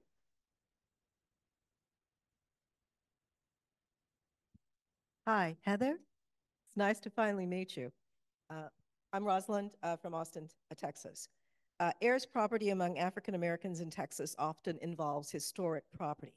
Given Austin's rapid and extensive growth, property taxes have increased exponentially over the past decade. The Texas State Historic and Archaeological Site Exemption, Form 5122, administered by the Texas Comptroller's Office, reduces property tax by up to 100% on historic and archaeological sites. The tax uh, exemption was justified by the legislature as a way to save historic sites burdened by exorbitantly high property tax bills. Given your work with the homesteaders exemption, are you willing to work with owners of historic lands and historic and archaeological sites to utilize the historic and archaeological site exemption for the purpose it was intended? Um, that's a great question. And are you, I'm familiar with what I, um, which is called the historic property exemption. So is this a similar, is this the same exemption that you're referring to? It's a specific exemption. Its uh, designator is 5122, 50 hyphen 122. Uh, it's administered by the Comptroller's Office, and it is called the Historic and Archaeological Site Exemption. Yeah, I would, I would love to visit with you after, after this, um, convening to definitely learn more, because I, the exemption I'm familiar with, I'm not as sure is the exact same one that you're referring to, but, um, I'm especially interested in learning to what extent there would be barriers for heirs to qualify for that, and if that would require state legislative changes, I would, you know, let's, let's have a conversation. I would look forward to that. Thank you. Hi, I'm uh, Matt with the Center for Community Progress. Good to see you guys. Um, and thank you. What a great presentation. Um, quick question, um, maybe more for you, Heather. Uh, I know that uh, several years ago, uh, Michigan enacted their poverty tax exemption, um, which for people who live below the poverty line is a full exemption of those things, right? Um, but there was an, also an argument, a subsequent argument that that should have been applied retroactively. And so as we're talking about the homeowner exemption, I just wondered if you might be able to comment just a little bit on maybe both the practicality uh, and the possibility that some of these exemptions for some of these families that maybe it didn't exist previously, they didn't know about it, maybe could be that exemption could be applied to the previous year's taxes uh, or payment or some other way. Yeah, um, thanks for raising that point, and I know that, and um, Andrea can speak to this as well. That is um, a, a big legal barrier is that lack of retroactivity. So, um, and there's two different ways that that comes into play. Is one is um, the person, the, the deeded uh, owner, um, homeowner passes away. And then, I mean, there's a lot of stuff you got to do if they heir to like, you know, you've lost a family member. Um, and, and, um, you know, last thing that is on your mind, even if you're aware of it, is to go update the homestead exemption and put it in your name. Um, so there's um, several issues there. As one is um, there's a risk that the taxing jurisdiction will actually penalize you if you're the the new owner, the heir, and haven't come in and notified them that hey, maybe you're eligible for a general homestead exemption, but not the over 65 exemption anymore. So there's some penalties that can come into play with that. And then there's that issue of that, the, the lag time um, and, and, and the lack of retroactivity. In Texas, there is some retroactivity for the homestead exemption um, where it is retroactive, and I think some other states allow for that. But someone mentioned, I think it was earlier today, there's this issue of though that you, so in Texas, I- mentioned if you're 65 and over, this, your school district taxes are frozen um, as long as you're the homeowner. But the problem is when you pass away, it's reset. And there is no retroactivity. So even if the heir, the person living in the home is also over 65, all of a sudden, um, the, the, it's, it's reset. So even though the taxes are frozen moving forward, um, you can be looking at, a, this is a huge issue, a really big hit in, in property tax burdens. And in Texas, this is a big issue in our urban areas that are growing rapid, undergoing rapid gentrification um, and growth. Um, where we've seen properties in Austin um, in historically black communities that used to be um, 20 years ago, um, you could buy for 50,000 that are now valued at um, one to $2 million. And so your, the property tax burdens are significant. But, and so without that property tax freeze, it's a, it's a big driver, of, without it being retroactivity, a big driver of vulnerability. And, and having recently gotten limited retroactivity in Philadelphia, I can say that it was a really big lift. Um, it is one thing to convince your city, like tax relief going forward will cost this much. Um, and when we when we asked, like, can you make it retroactive? The the response was like, that was two years ago budget. We don't have the budget. We can't administer refunds. Um, and so it just becomes a much bigger ask. So I will say retroactivity in Philly, you get the benefit of the lower tax bill. Um, but we did have to, you know, in a, in a slight concession, um, the law also says that you don't get a refund for the intervening years. Um, you know, we, we wanted that, but it was just budget wise, especially since um, our school district is severely underfunded um, and half of our property taxes go to the school district. Um, it, it was just, it was a non-starter. Um, and so I think the how much does it cost question is, is a real barrier, like even in Philly, so I can only imagine other places. So folks, just very we have- quickly, oh.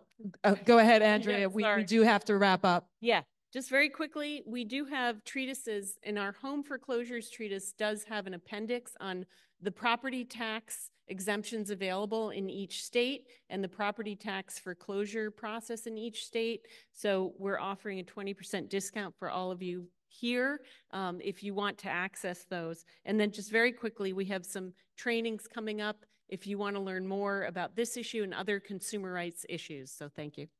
Thank you so much, folks.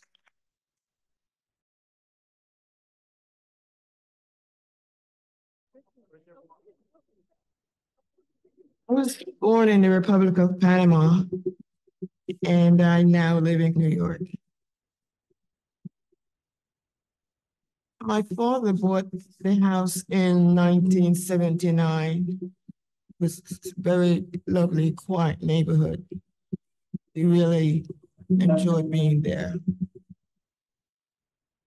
After my father passed, I was suddenly surprised one day when I received a letter from the Department of Housing telling me that there has been a transaction on my deed.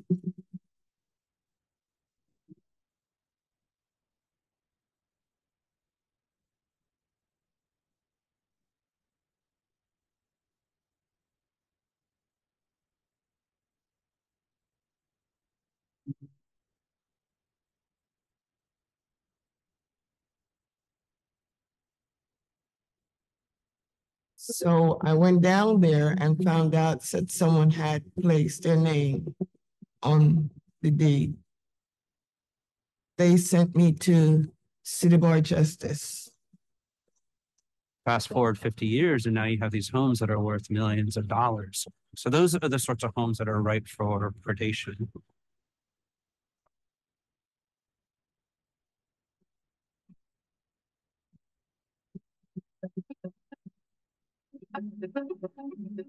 To come to your house and have a sign on the door that says private property. And when you call up the number on the sign, have the person on the other end say, I am the only one who owns this property. By the way, can I buy your interest in the property?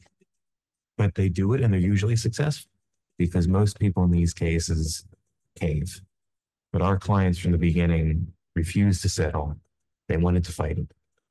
Tell me a little bit about what happened. Truthfully, I don't know exactly what happened. Not at all. One day I'm cleaning up the house. Next day there's a lock on the door.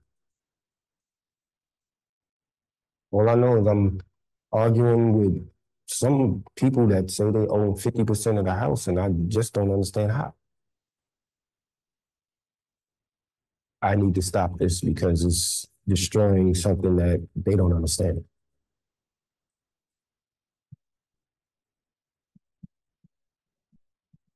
You're up against a party that as if the court does not exist. But you're affecting not just me, but my whole family. The City Bar Justice and our homeowner stability project, we are really focused on keeping those communities intact. And a lot of times they're lifelong homes and it's incredibly upsetting. It really had a tremendous impact on me. I think we have an ally, understands um, the impact this has on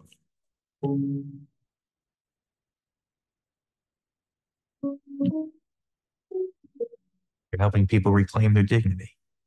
And so what is what does that family home mean to you? Everything. It means foundation. Where no matter how far you go, you can always come home. But unfortunately, there's no home no more. It's still rocky, but it's easier because we have somebody backing us.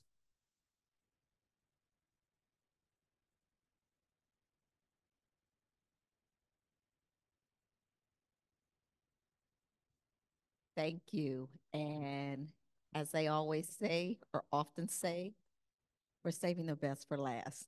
We appreciate Mr. Thomas Mitchell. We have to say that to keep you invigorated in this last 45 minutes that we have with you. Um, and I'm just gonna, we're gonna jump right in. We're gonna really talk about this issue more in the urban context. Uh, my name is Nefertiti Jackmon, and I'm coming to you from the city of Austin, Texas, as the city's community displacement officer. And I'll be moderating uh, the panel with, uh, I'm going to start with introductions. Uh, Genevieve, and I will read, uh, I'm going to read these to you because they've been here. We have great speakers, and I want to hear, want you to hear the background and experience that they each bring. Genevieve Fajardo is a clinical professor at uh, law at St. Mary's University School of Law in San Antonio, Texas, another Texan. Uh, she teaches the real estate clinic and deposition skills and co-directs, the Institute on World Legal Problems in Innsbruck, Austria. Austria. Uh, the real estate clinic is a transactional practice focused on preserving home ownership.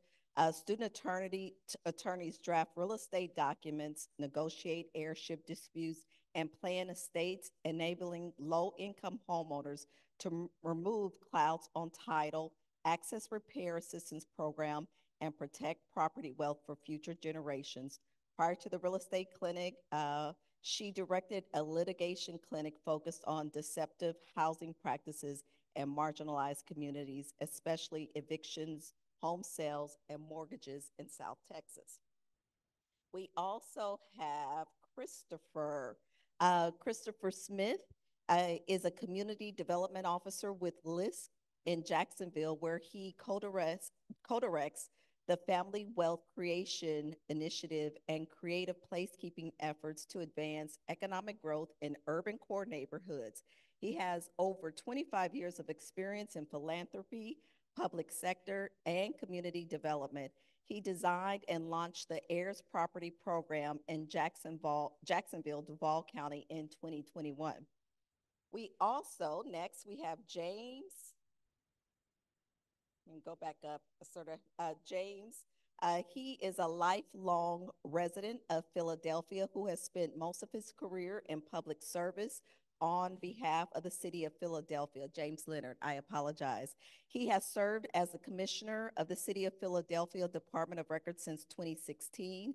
As a commissioner, he serves as the recorder of deeds for Philadelphia manages the city's records management program for all departments, administers the department's public access to records program, including the city's historical archives, and oversees the city's printing and binding center and official city photographer.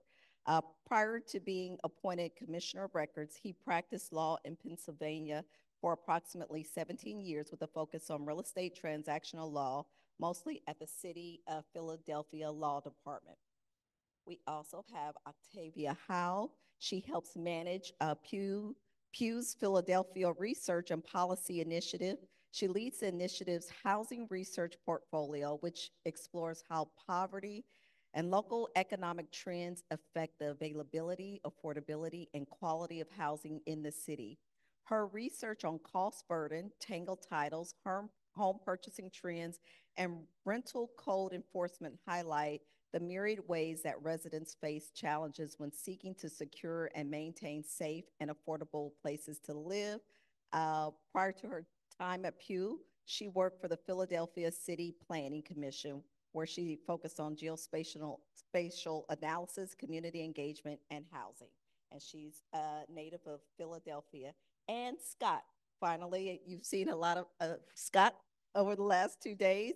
Um, Scott I didn't ask you how to pronounce your last name. How do you pronounce it? Konowski. Thank you very much. She's a general counsel at the Center for uh, New York City Neighborhoods, previously directed the Homeowner Stability and LGBT Advocacy Projects at the New York City Bar Justice Center. In his role, he trained attorneys, supervised cases placed with pro bono and staff attorneys, provided direct legal representation to distressed homeowners, and engage in law reform to preserve housing and communities. His areas of expertise include foreclosure, defense, heirs property, and community stabilization, and deed theft and scam prevention and litigation with an acute focus on racial equity and social, social justice across the communities.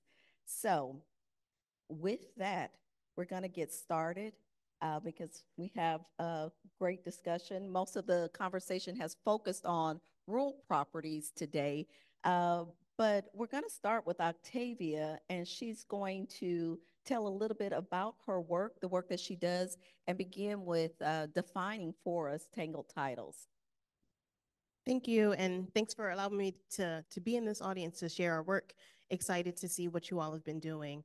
Um, as Nefertiti mentioned, I am working with the Philadelphia Research and Policy Initiative at Pew, and we focus on Philadelphia. Philadelphia is our lab. We look at all kinds of issues in the city, and housing is one, one area we've been focused for a long time.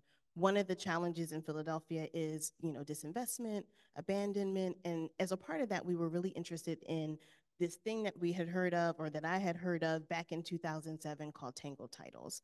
And at that time, there were about 14,000 tangled titles in the city. And I wanted to know, was this problem getting worse? Um, just to be clear, um, so, so we set about a research project to really identify where tangled titles were in the city. To be clear, there's lots of ways to tangle a title.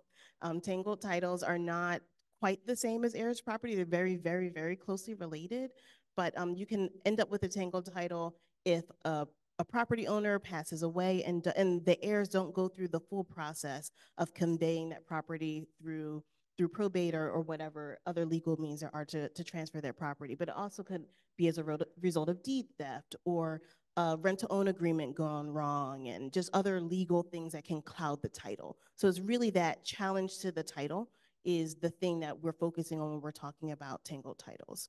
And so in order to quantify that work, um, we actually did a process where we we're able, Philadelphia has great records. So we know every parcel, who the owners are, um, and we had a wonderful um, records department that shared um, ownership going back many years. But what we were able to do was to look to see if the owner of record was had passed away.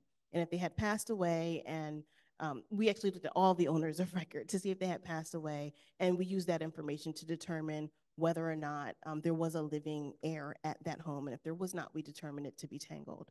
Um, and so we found, to my surprise, there were about 10,000 tangled titles in Philadelphia, 10,400, so less than that number back in um, 2007.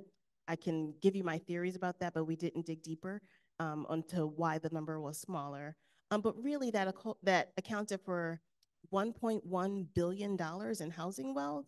And um, the map was shown a little bit earlier today was like the blue map on this side. Those are the areas of the city that if you show a map of poverty, if you show a map of race, if you show a map of all the things that you, you kind of wish that the city was doing better at, that's the same map that you see for tangled titles. And so in those areas, you have $1.1 billion of wealth that's really locked up that people aren't, weren't able to access their housing wealth. Um, and we also found that it would cost about $90 million to resolve those titles. Okay, I guess we'll go down. Uh, well, we go to James since you're also in Philadelphia. Good afternoon, everyone. Uh, thank you to Professor Mitchell uh, for inviting us from his friends, now his friends from Philadelphia. We met a few years ago, I did, along with our then Register of Wills. Um, we had a virtual conversation with Dr. Mitchell. Mitchell, and uh, we we hadn't realized um, until we started that conversation, and now it has expanded um, today just how prevalent the issue was and how different it is and diverse the issue is um, in a, from an urban setting to many other areas of the country, as we've learned um, over the last few days. So I thank you all for for that, and we're looking forward to the friendships and networks that we've we're establishing here. Um, you know, a, a, recorder of deeds office like us, which in, in Philadelphia is a big operation, we record a few hundred thousand documents a year, hundreds of millions of dollars in revenue. Um, we meet people not unlike some of the attorneys on the other panels uh, talked about who do this sort of work in the trenches. That's where we experience people with tangled title. In fact, most frequently, I would say we experience folks before they even get to the attorneys. Um, it's most common that uh, folks show up in our office or in our uh, record or our register of wills office um, and they confuse both of those um, because this is all a confusing process for most people. Um, and they're there, and what they know is that they're at the family home. Um, parents most likely are, have been are deceased now, and they're there to what most commonly they tell us is to change the name on the, to their put their name on the deed. And for most people, um, who are unfamiliar with what is really a complex and pretty esoteric legal process, probate and uh, property transfer, um, more often than not, they believe that that's really a matter of coming up to sort of the clerk's desk in our office and having us sort of make that change. And only to find out that there's a much, much more complicated road that they have to follow that's very unfamiliar, costly, et cetera. And the problem that we experience and the folks find themselves in is that they're they're they didn't just appear in our office that day by chance. They're in most likely in crisis. Um, they may have lived in that property, as many of you know, for decades or maybe a number of years, and and and that was fine. And nobody up to a certain point, they paid the bills, they paid the taxes, maybe, and they never heard anything. And at some point, a crisis comes along, and they need to access, as Kate Dugan said, for example, and others, um, a local government program, whether to assist with taxes or what have you. And they're confronted with the potential, whether it's a sheriff's sale or otherwise, or liens of potentially losing the house. And they can't access those programs because of their quote tangled title, as we call it in Philadelphia. So um, we do a lot of work that I'm sure we'll talk about with community groups um, and our legal services community to help with that. But there is a role, and I hope to talk about it a little bit more as we go along, that local officials like a recorder of deeds or register of wills have to play in this process, even though we might not be the first people you think of that would be um, part of the advocacy process, part of the community outreach process. Thank you. And Scott, we'll stay on the East Coast and go with to you, and maybe you can also tie in the video. Yeah, certainly. Um, yeah, first of all, thank you for having me here. I'm just humbled by all the brilliant people that are in this room and on this panel, and it's just really great. So thank you for allowing me in this space. Um, so I was at the City Bar Justice Center in New York City for about 13 years, where I directed a homeowner stability project, and it started off as foreclosure defense, but then we greatly expanded it to do everything that threatened homeownership in New York City. Um, and so we did a lot of deed theft work and a lot of scam prevention. And that's when we really first noticed um, this predation on heirs property and kind of tied it all together. And that's how I connected with Thomas and, and, and we got all this law reform uh, enacted in New York. Um, so that was, uh, you know, that was all direct legal services. Uh, we worked with a lot of pro bono counsel, um, a lot of just direct representation of um, at-risk homeowners, distressed homeowners. Um, I recently changed jobs about five months ago. Uh, now I'm general counsel at the Center for New York City Neighborhoods. And so it's a, it's a much different role. Uh, I no longer do direct legal services, but what we do is we administer programs and grants.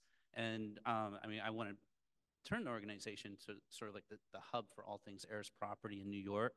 Um, but just an example of some of the things that we do is, you know, we just uh, dispersed the half a billion dollars of federal COVID relief funds to homeowners in New York.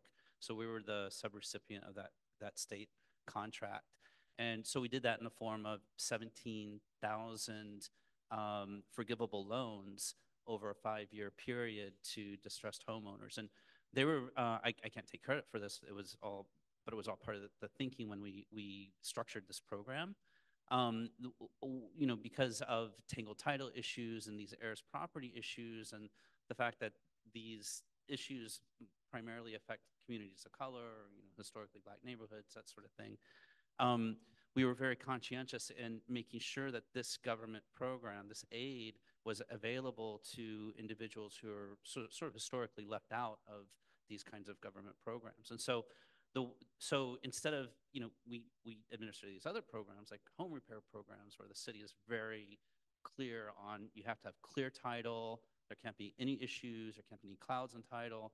But here, if you showed any sort of interest at all, uh, ownership interest, potential ownership interest in a property, and you occupied the home, then you qualified for these these loans that were up to ninety-five thousand dollars. And so we had homeowners, like we had one client, or not, was when I was legal services, uh, a client who she lived in her grandmother's condo apartment. Her father was drug addicted and had disappeared. And nobody knew where he was, and he would be the heir of the grandmother if he was alive, but we couldn't even confirm that.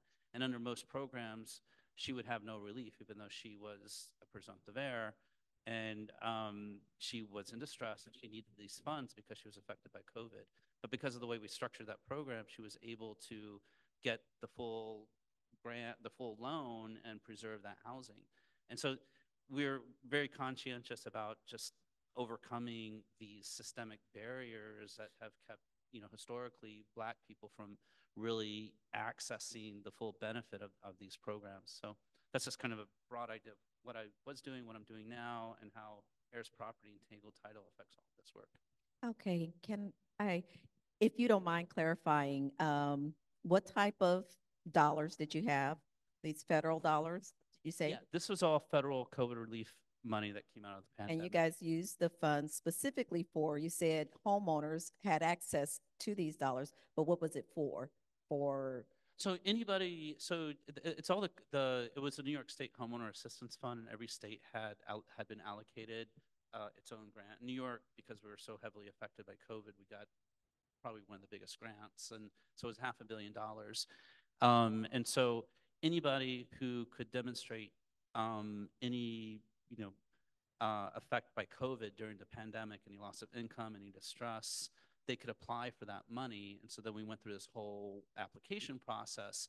But instead of doing full title work, confirming that they have full ownership of the property and all these other things, we, we cut through that. So we got rid of the administrative expense and the, the time delays and all of that so we could just get dollars to the people who are most affected. And, and as we know, black communities in New York City were mostly affected by COVID. thank you for that clarification. Um, and we'll head south. We'll go to Christopher. Okay, um, hey, good afternoon, everybody. Uh, Christopher Smith with LISC. Um, so I'm gonna come at it a little different. So from the funding angle, um, our work is at a CDFI. Uh, so we were looking at how to move capital into under-resourced neighborhoods, right? So from that standpoint, I'm thinking about what transactions can generate transformation. Okay, and so um, taking a page from Ryan's uh, sort of language, instead of a data sandwich, I'm thinking about a funding sandwich, a capital stack. And so that looked like for us, um, United Way playing a role because United Way is into wealth building, housing security. So where might United Way uh, support this work? Even in looking at the current tax preparation programs, we've been talking with United Way about how to piggyback onto that where folks who are coming in to get tax prep could also get information about estate planning and um, referral to legal services. So one is United Way, consider them. Second um, is your local place-based or your community foundation. Um, we found them to be ready allies for supporting this work as well. So early seed capital could be your United Way as well as your local community foundation. Third, um, we've been looking at um, CRA um, and using uh, heirs, uh, property, housing counseling as eligible CRA activities so that banks now can engage. And uh, to that end, one of the things I encourage you to look at is um, ACA modernization, American, American Care Act. So wealth, uh, well-being can be tied to wealth. Um, and so you could make the argument that hospitals can invest in estate planning and heirs counseling as a way to help stabilize and extend lives in and around hospitals.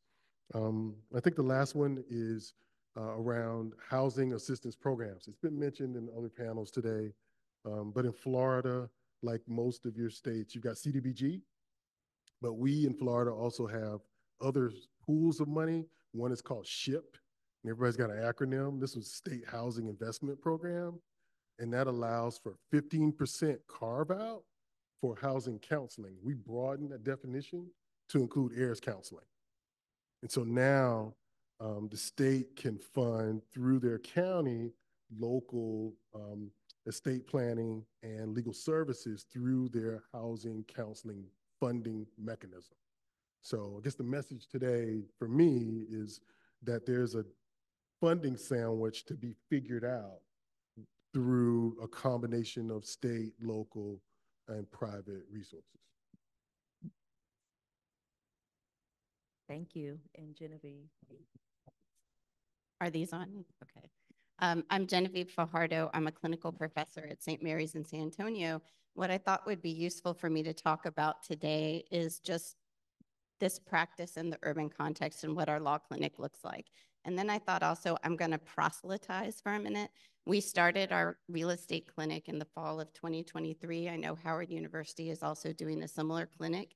And I feel like if you guys have ever seen Birthday in a Box, I've got clinic in a box for you. We can create any level of tangled title, legal clinic, estate planning clinic that you want with a lot of the client retainer agreements, thoughts about who the client is, thoughts about the title reports, title opinions, and all the work that you need to do.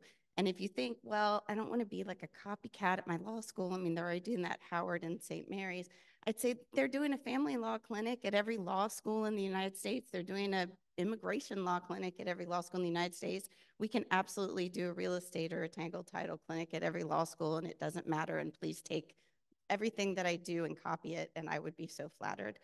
Um, so how did we start the real estate clinic? I've been doing a lot of housing related litigation throughout my career. I've been at St. Mary's since 2008. I should say about St. Mary's that I think makes it very distinct. It's a Hispanic serving institution. It's the undergraduate population. I mean, I should have looked it up before I came on a panel, but I'm going to say like about 85% Hispanic students. The law school is actually over 50% Hispanic, and it's the southernmost law school in Texas. So we serve both the urban population in San Antonio, and we also reach out to the Colonia areas, which are about 2.5 hours from San Antonio, the Texas Mexico border. Some of them are about four hours. So, one of the things I was thinking about in the urban panel is that we do what I would call single family home clear titles and that the law looks very similar, whether you're inside San Antonio or whether you're working in a colonia, as long as you're working on a small, single family owned property. A lot of the law is the same and can be transferred between like an urban law clinic that's in New York City to somewhere out in a rural area, as long as you're using the same principles of working on single family properties. So quickly, what we do in our clinic, we have a three prong representation. One, we look at if someone comes to us through who has a tangled title at clearing that title through whatever methods are available to us in Texas. It's like affidavits of heirship generally and getting deeds from hopefully helpful family members, some limited litigation if we have to do so in order to clear the title.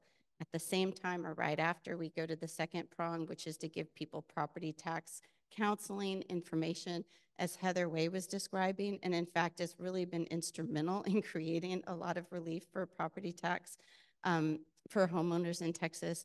We can use a lot of those resources to stop foreclosures without any type of court intervention. So we do house homestead exemptions and property tax counseling. And the third thing, and people have mentioned it here, and I want to say it's really critical, we do estate planning is the third prong to look forward and not create heirs property in the future. And I will just tell you when I'm proselytizing, again, based on Texas, you want to do probate avoidance more than I'd say estate planning. So, what can we do with these families to avoid the probate, the cost of probate, and the probate process altogether, but pass along their homes, um, be able to pass along their cars and their bank accounts? So, we work on probate avoidance. For students, it's an incredible opportunity um, in terms of we were talking about you know cross-cultural lawyering being culturally sensitive to clients working with clients learning real estate law they might come in just having a general interest in real estate i'm going to tell y'all seriously i think i'm like the young republicans clinic like everyone comes in because it's the real estate clinic and then they leave caring deeply about heirs property and tangled titles in san antonio and i absolutely love that but I will say the name of the clinic itself sort of brings in the people who are really interested in the title industry in San Antonio. Um, I just, the, I guess the last thing I'd say, and I think is is maybe obvious when you're creating one of these clinics, is to have community partnerships. We work with a community group that has hundreds of people who have tangled titles where we can draw clients from, and that's been instrumental. Can I mention one thing? Because Genevieve brought up a good point. Um, I also need a shout out to Heather because we um, took some of the research and created a property tax certificate redemption assistance program. So we did some data scraping of the property appraiser's office. Anybody that had two years of arrears, we then created a list, especially owner occupied households and likely heirs households. We took that list, did outreach. We paid we redeemed their tax certificates on behalf of that household with no um, ownership interest so they could avert home loss due to tax auction sale. So one of the things I would say, Thomas, to come out of this, we need more tax redemption programs. We need more funding for that to get to buy time for the pro- probate litigation to kick in. And it also built some goodwill. Okay, and it's a cost effective. So we've spent uh, a little over hundred thousand dollars. We've essentially saved forty homes. Okay, so I think that's excellent. Before we go on, I want to, I want to stick to the money part for a second because I heard, oh, yesterday and today, people are concerned we need more money. I mean, there are a lot of resources here, but the piece that is often missing, missing is the funding to go along with this. I think someone mentioned if you don't have the dollars, you're just looking at a project, right? There's a project that you're dealing with. And um, I'm not going to focus on the work that we do, but in Austin, it was community members who demanded money and funding to set up a displacement prevention office, right? And 2020, uh, a vote was passed, so we have $300 million to invest into an array of programs that I have heard over the course of the few days that different cities have. And so we're aware of the federal dollars that, although sometimes limited, what is still the case uh, in Austin as well. But when you have local dollars, you are so um, you have a lot more flexibility in how those dollars can be programmed. So I will say um, there's some still, there's power that still exists that we can get from community activists and members to bring the dollars and local governments. You can institute programs uh, at a local level. So I wanted to highlight that. Um, I want to, anyone can start on this question, really just looking at your work, what are some of the ways that you have attacked or see the need to attack some of the systemic problems or root causes to address some of these challenges and issues?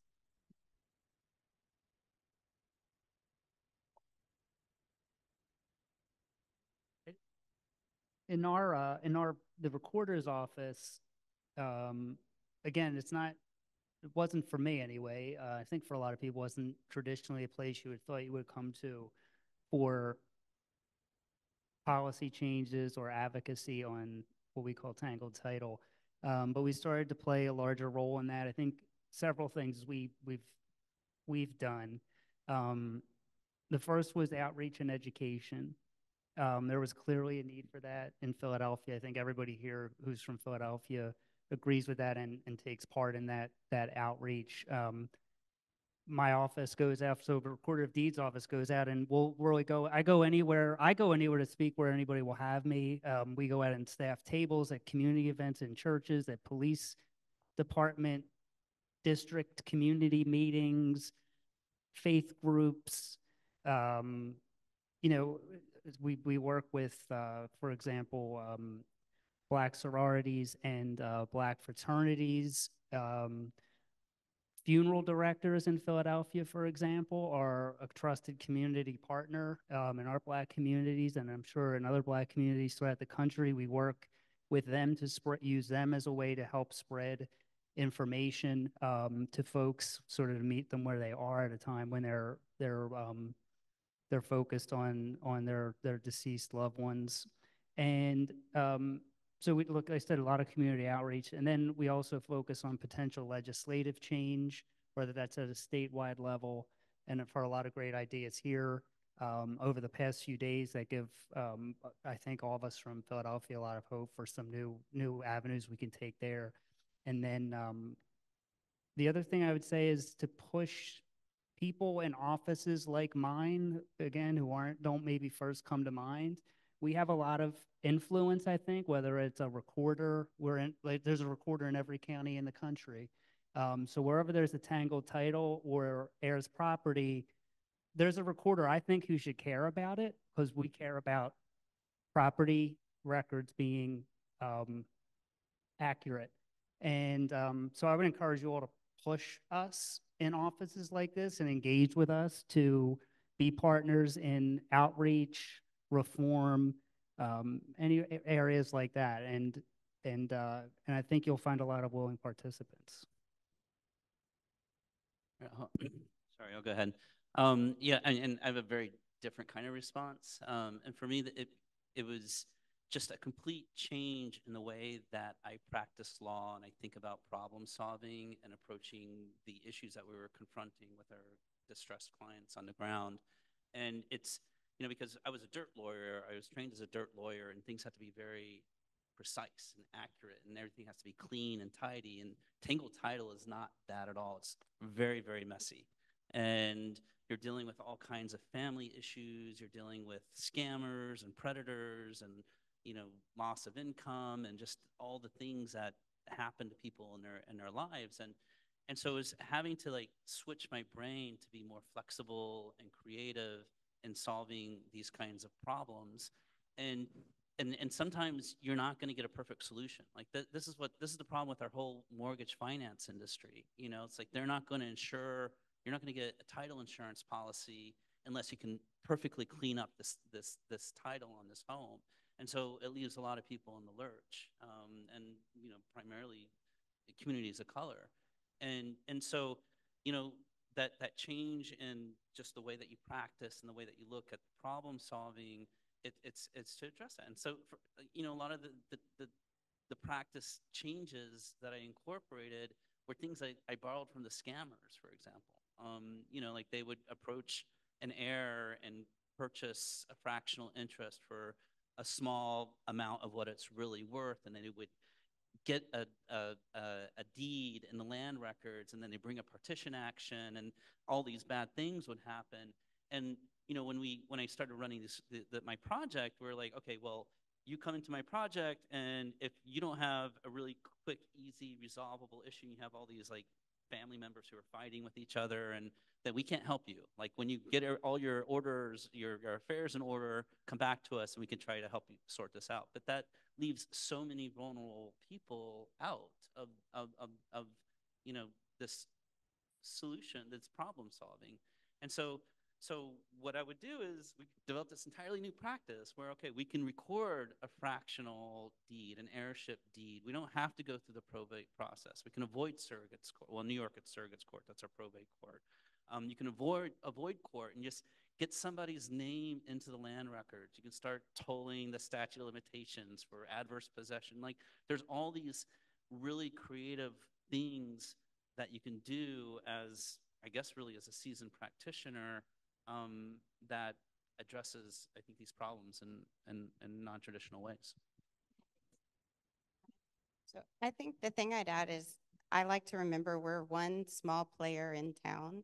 So really working with the other community groups has been essential in San Antonio. And so something I was mentioning is they've just developed, and this would be specific to the size of the city.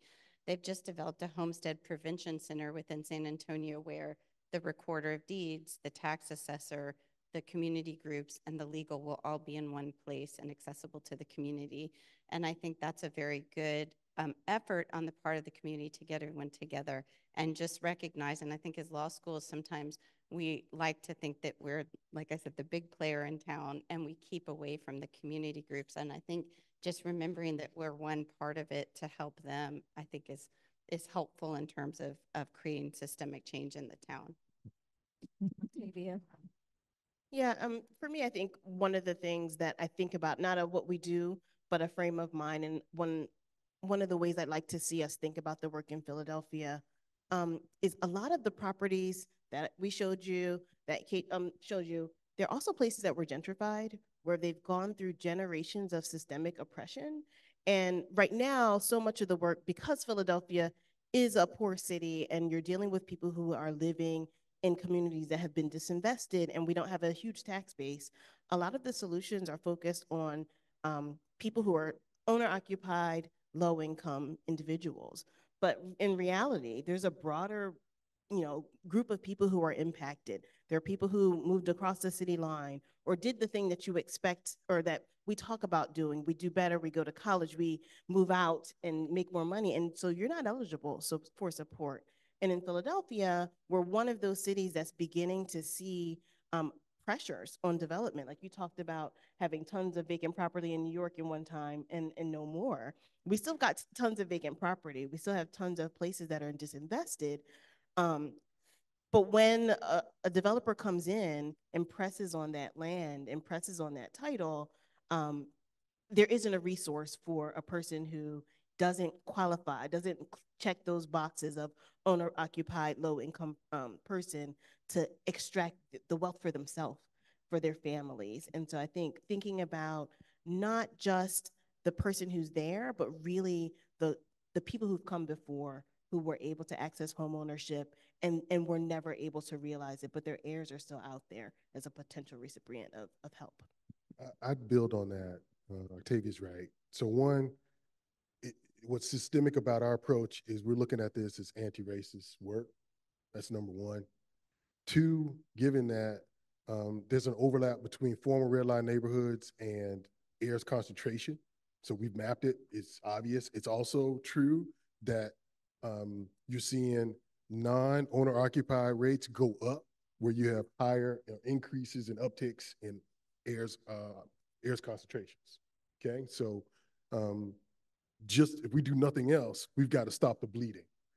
Okay, so the, the other layer for us, at least in Florida, is corporate institutional activity. And so for us, we've got to get in front of these transactions that are, are below market in these neighborhoods where people are buying these homes at 30, 40 cents on a dollar, whether it's buy for cash or whatever it is. Okay. Second thing I'd say is um, private dollars have got to be brought into this system because LSC stipulates that these legal aid organizations can only support or help folks at 120% or below. That doesn't hit everybody in our neighborhoods.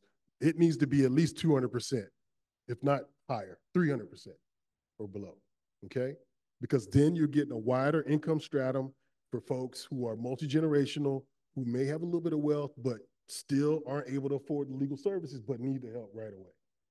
So I'd say LSC, increase the income limitations. Or we need to get more private dollars into that.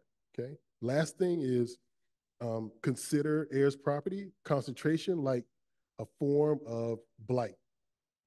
So we went after Office of Juvenile Justice and Delinquency Prevention dollars, and we're able to make the argument that increases in heirs will likely increase blight.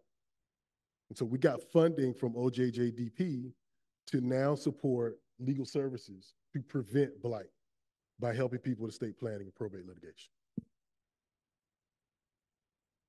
Okay, and thank you. Finally, many of you have been doing this work for a number of years and you've learned a lot along the way. Um, as we share, you share your concluding thoughts. Um, this is a question that Chris wanted us to reflect on. If you uh, knew what you know now, what would you have done differently when you started this work? And Genevieve Wilson. I hate to say this, I would go slower and I would take fewer cases because I think there was such a need when we started, even, it was really a year and a half ago that we started with a 200 family wait list uh, for this one organization. I think that I was rushing through the cases so much that it was it was causing me to have a lot of stress about whether we were correctly doing the title. So I think, unfortunately, it, once it gets to the legal side and it needs an attorney involvement, you have to be very careful and you have to accept that it's going to go slow. Yeah, I, I'd say we would take our ego out of it as an institution, thinking we know how this works, and start with the people most affected and having them design and lead the work. The legal can come after, but if we don't get their buy-in at day one, then it really doesn't matter what the transaction is. So trusted, credible, embedded, charismatic messengers who are most impacted need to be supported and and and guided through this process all throughout the entire time. That's what I would do different. I, I agree with everything you just said in that regard with sort of bringing trusted partners into the process.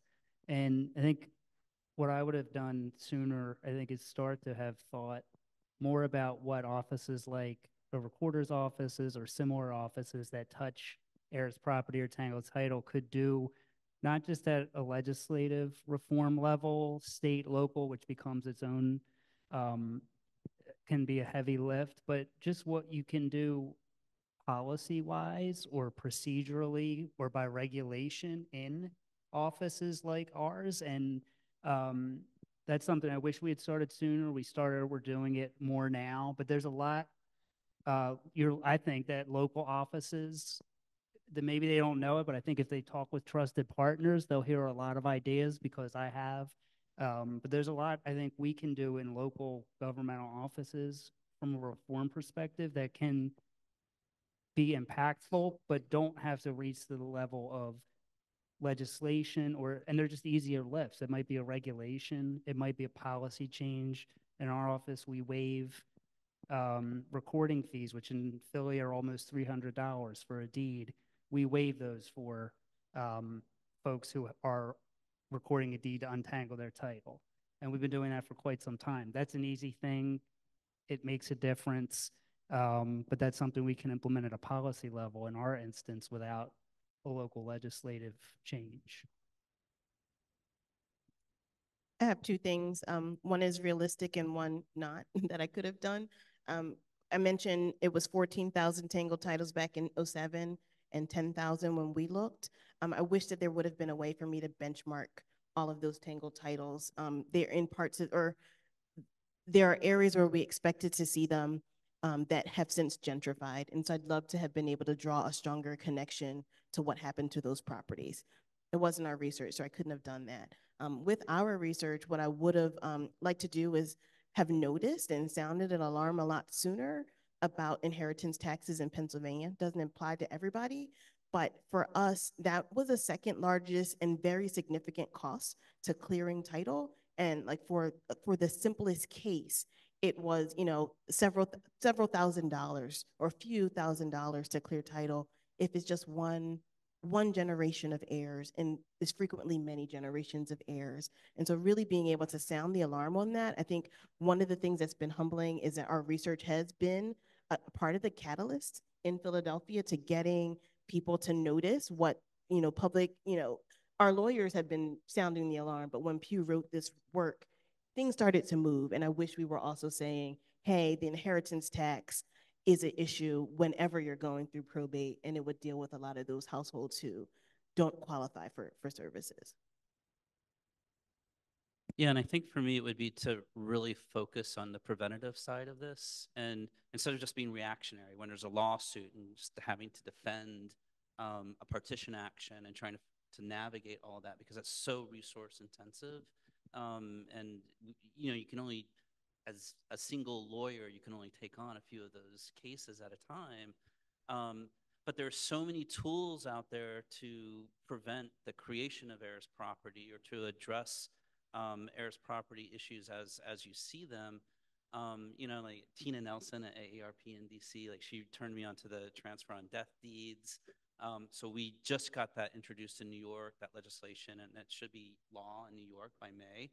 Um, there's all these tools like that, um, other things that you can do, estate planning, estate planning light, not like wills and trust are, you know, they're, they're, those two are expensive, that those can be resource in, intensive, but there are estate planning light tools that you can, that you can implement, that you can, that you that you can put into place. Uh, heirship deeds, we, we created a whole new practice area in New York, all the legal service providers of just getting these heirship deeds recorded, prepared, like I said, avoiding surrogates, probate court, um, just focusing on the preventative side because you can be much, much more effective, I think, just um, dealing with the scammers and the bad guys. With that, we're going to open it up for questions now. I told you. Thank you, guys. And can we give the panelists a hand first? Thank you. Hi, I've got a question from the online audience. We, we still got over 100 people, but this is a follow-up for Christopher from LISC about his ja LISC Jacksonville project.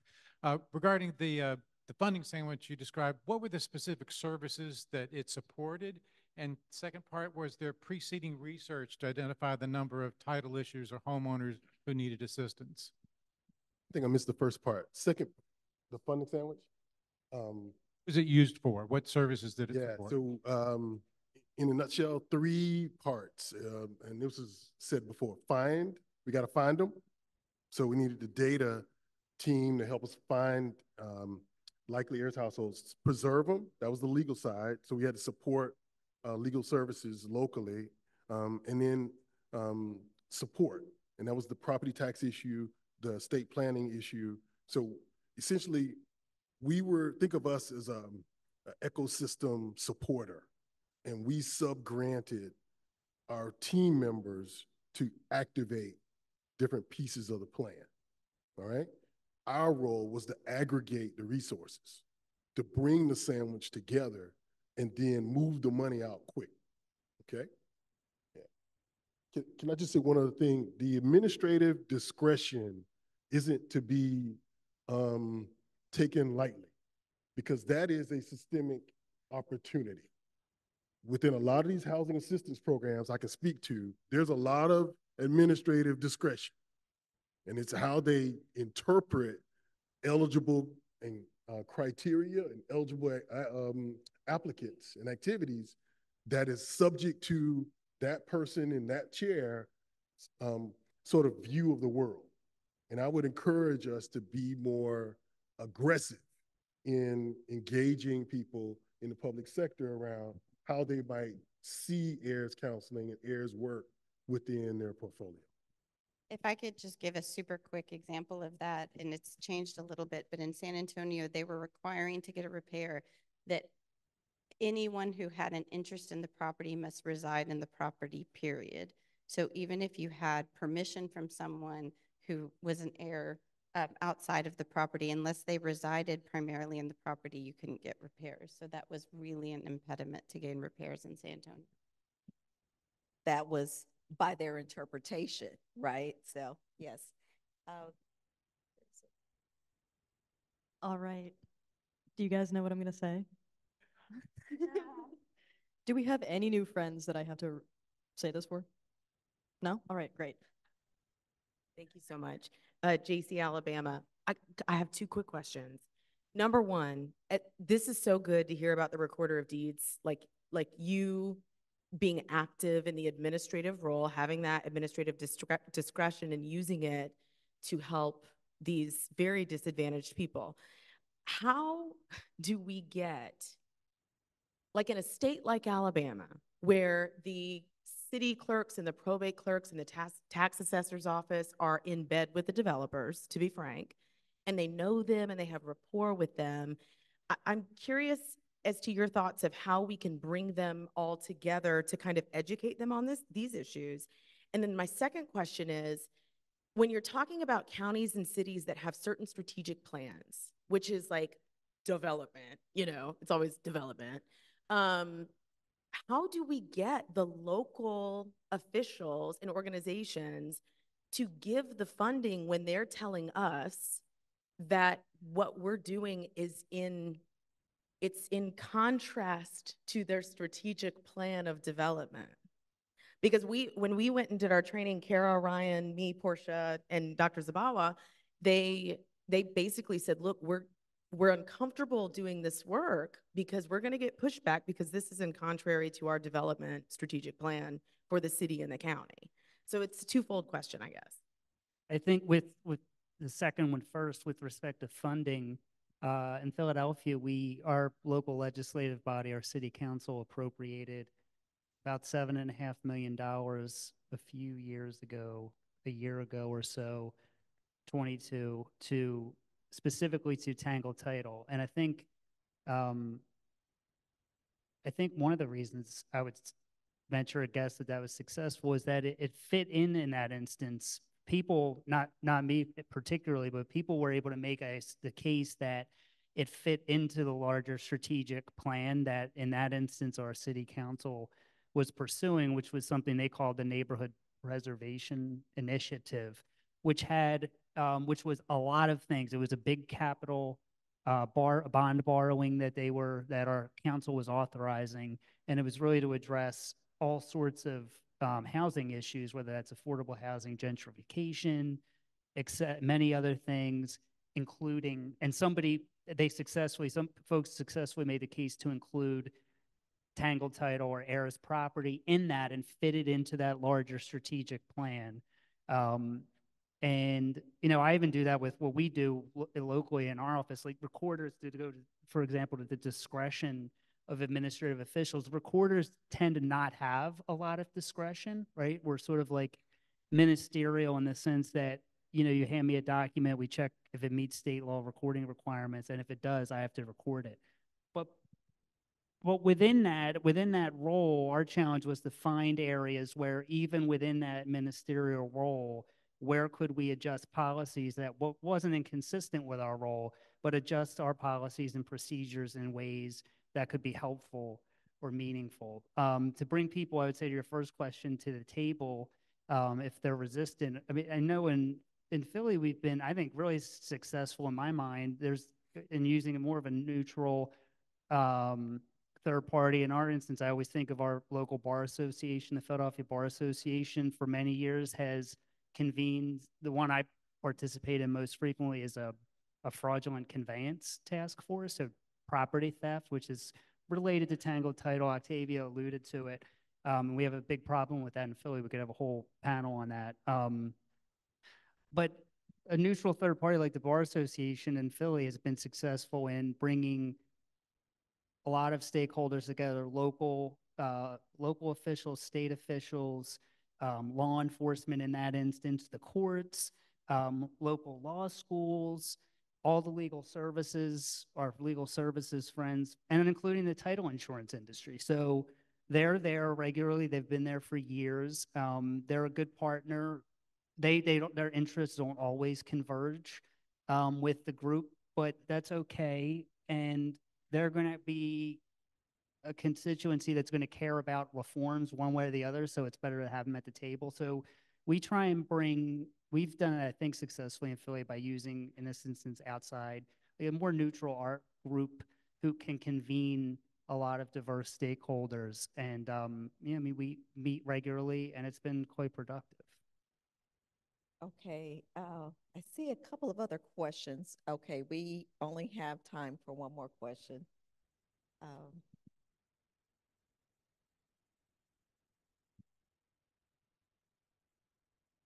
One is sad. Two people are sad. They have questions. I'll just throw that out there, but Hi there, Jill Apter. I'm a law student at Michigan State University. I also am a research fellow at the National Agricultural Law Center. Um, for the past year or so, I've been working with the Ag Law Center on a 50 state heirs properties survey. Um, we should be publishing that this summer, some results from that.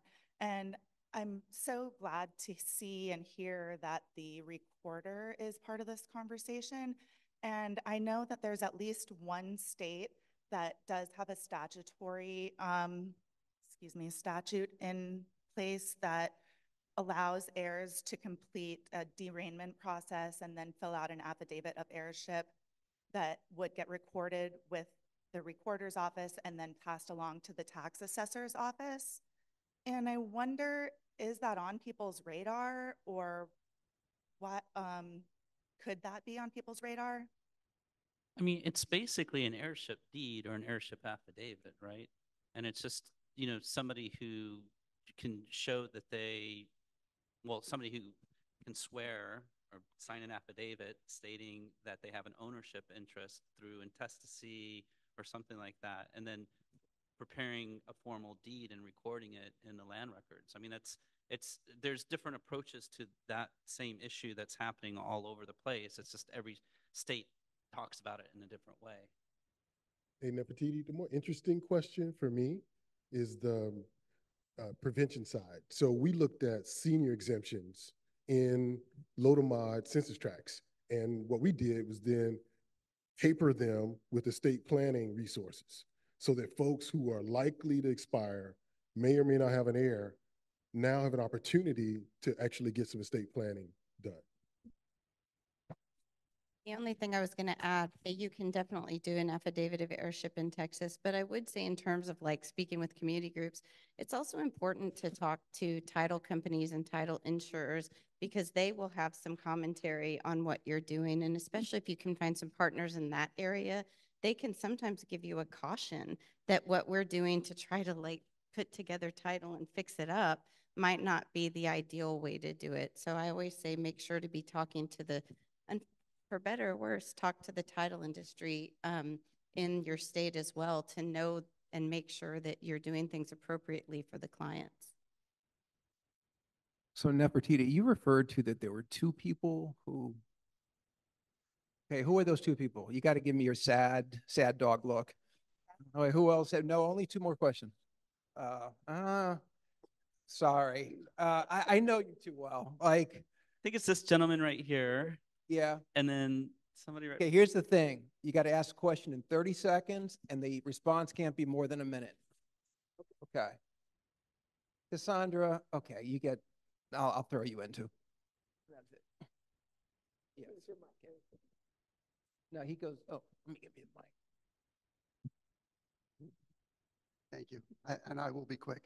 Um, I want to, I want to touch on what, what Christopher and Tavia talked about, which is the people who have, who have moved out and moved up. And, and the, the, the sell to the localities that might want to do something about the, their properties and help them. Because I'm, I'm looking at this from a, from not a- necessarily a wealth preservation, but from wealth creation opportunity. And that's not necessarily an easy sell, particularly if you're talking about black people, right? That just don't necessarily want to help black people create wealth. And so I, I want to know is, is, is it compelling enough? Do you think it's compelling enough to, to address the uh, housing affordability preservation in neighborhoods that are, that are gentrifying? Is that enough to get, to get resources for this? Yes. Yeah. That's my bias. I've already.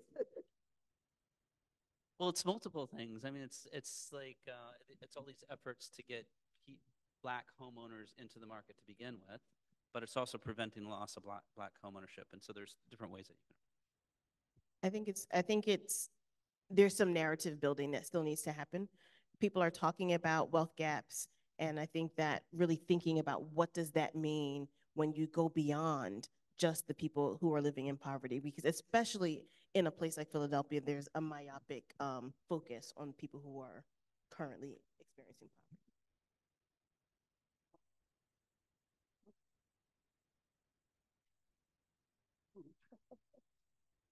Thanks.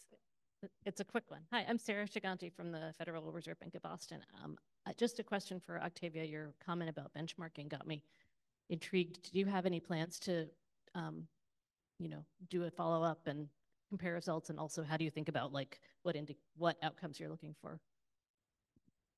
Plans, not yet. I'm, I'm continuing to um, keep this top of mind for, for the people who get to decide what we're going to do. I think ultimately we'd like to do another look back and we would have that benchmark data. So that's something that we're interested in. Um, we probably won't be the ones to talk on the, the inheritance piece just because our focus is Philly, not on the state. And so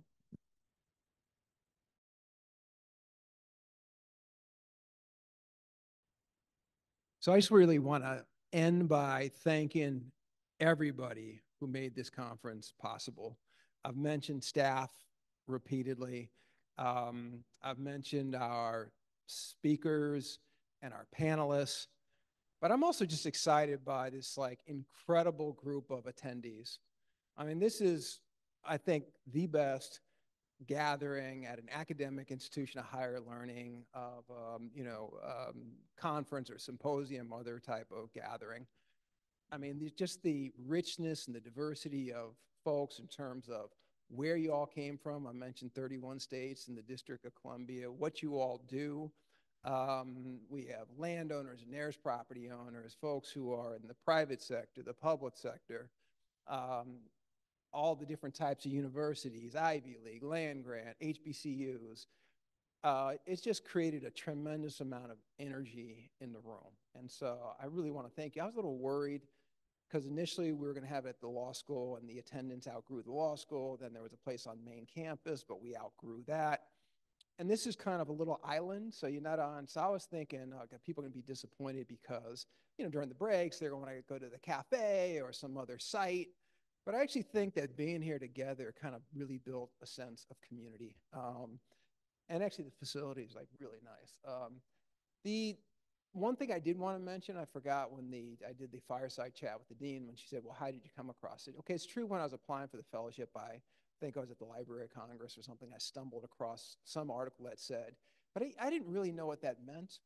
But it, it tied it to the significant land loss. I think it was uh, highlighting Hilton Head Island in South Carolina. But it was in that volunteer work that I was doing with that center at Wisconsin, the Land Tenure Center. And one of the things they asked me to do, this was when the Black Farmers uh, class action lawsuit was being settled. Uh, so there was a proposed settlement, and then they were having various meetings. And that center, as one of my volunteer things they asked me to do, was to go down to this meeting in North Carolina of black farmers who were discussing the proposed settlement. Um, and so, like, be like a goodwill ambassador. So I went, and at the time, the media was framing the settlement of the Pigford case as reparations for Black Americans, and it was universally portrayed as this awesome historic settlement. I go to the meeting, and the Black farmers are upset, and so they, I'm not, I'm like kind of confused, and so they tar- start talking about the settlement terms. That fifty thousand dollars that won't buy you a use tractor was what 95% of the folks got. And so that wasn't really played up in the media. So I started understanding, but during the break, somebody had identified me as an attorney from Wisconsin. And it was during these coffee breaks that three or four families came up to me and they said, We really need to talk to you about this heirs property. And, you know, initially I really didn't know what they were talking about. And then they kind of explained it and they're talking to me about how the law impacts them. And I'm confused because in law school, that's not how we were taught that this tenancy in common and partition work. And I'll be frank, I had a bubble inside my head that said, you know, as I was nodding and being all polite, I was thinking it's kind of sad that they're not very sophisticated and, and not educated because clearly that's not how the law works. But I did say, you know, listen, when I get back to Madison, you know, I'm going to do some research and, and I'll get back to you. And I actually did do that. I went to the law library, read every first year property casebook, every treatise I could get my hand on, and nothing that they said was validated. And I almost wrote them a letter saying that, you know, I did do the due diligence, and unfortunately, your understanding of the law is incorrect, and here's how the law works. But then I was kind of stopped in my tracks by two things. One is I realized the the passion and the conviction when they were telling me this in North Carolina, like they seemed like 100% sure. And then the second thing I remembered at the last minute is some of them said either they had cases that had been concluded or there was some ongoing litigation. And I was like, well, if there's court orders or judgments, that would be definitive. So I wrote back to them and I said, you know, for the subset of you who have cases, please send me some of the court records. And I think they showed up in a manila envelope about three weeks later. I got them from my box, went to my office, still deeply skeptical. And then I opened them up and I started reading through them. And every single thing that the families told me was validated. And at that moment, I realized there's this whole alternative legal system that works for these disadvantaged, disproportionately black and brown folks that has not been taught or even acknowledged in, in law school and legal training, right? So it's like something that I often describe as it was flying under the radar, but hiding in plain sight. And so the reason I say that, it's the value of doing community engagement work. We've heard that from many folks about how we as kind of professionals oftentimes learn as much from the folks who are coming to us for assistance. And um, so I think I think that top left, I think that was the meeting that I was at. Um, the second thing um, I wanted to say is that, you know, sometimes, you know, thank you all for the nice comments. I, I do appreciate them. Um, you know, I think when the dean and I were having our colloquy, she's like, like, what's our, are some high water marks? And, you know, sometimes by nature, that question is about, is about an individual thing. So like, hey, I've got invited by the NFL, right? But, but at the end of the day, the, the work I've enjoyed the most is the work I've done in coalition and teamwork and partnership with like an amazing group of people, like in many states across this country, sometimes manifested in coalitions in particular states that we formed to try to get the UPHPA enacted into law, whether that's been in Florida, Virginia, or South Carolina, or New York, um, or California, wherever it's been, right? And I've been so fortunate in that work to, to meet just an incredible number of just deeply passionate, highly intelligent, and skilled people, right? And many folks are in the room. I can't start calling people out because then I'm going to leave somebody out. Um, and then there's been other kind of work I've been fortunate to do in building different programs for students that um, equally involved kind of teamwork. And then just other folks who have gotten, I've gotten to know, who've invited me to be part of their communities. So I just wanted to say that, you know, to me, at the end of the day, it's really that teamwork and working just with an awesome group of very diverse, very skilled, very passionate. I mean, I think you saw the passion brought with the lawyers in the trenches panel, like that kind of passion. Um, that's just been, you know, I, I, feel remarkable to have met people of that quality and to have um, been able to work with them in a number of different ways. Um, and the last thing I just wanted to, so I, the one thing I didn't mention that I should mention is about our, the initiative. So when I came here last year and we founded this, the, the idea was to try to address some of these issues in a holistic, comprehensive way. Um, and so essentially, I just wanted to just kind of set forth the four things that we're trying to do in terms of our initiative. Um, and, you know, just to be transparent, uh, Boston College has been awesome. Uh, that's why I'm here and I moved. You know, but I'm also the reality is I'm dealing on three years of seed money. So I'm also trying to both sustain this and to build it up. Um, so, whoops, I thought it was funny. It's on my screen, but it's not projecting.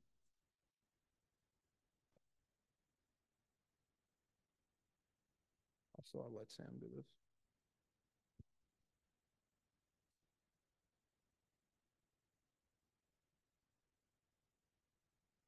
So I just let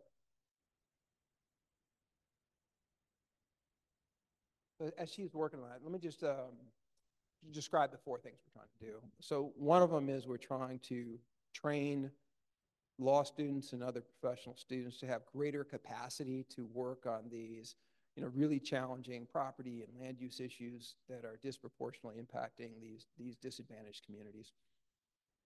In terms of the training, one of the things that we did just last year is we developed a whole concentration for the students to guide them in terms of curricular choices, in terms of real estate and community development law, kind of writ large. And so there's, there's a number of uh, courses, and some of them don't obviously scream out real estate. Like there's the wills, trust, and estate class, there's tax.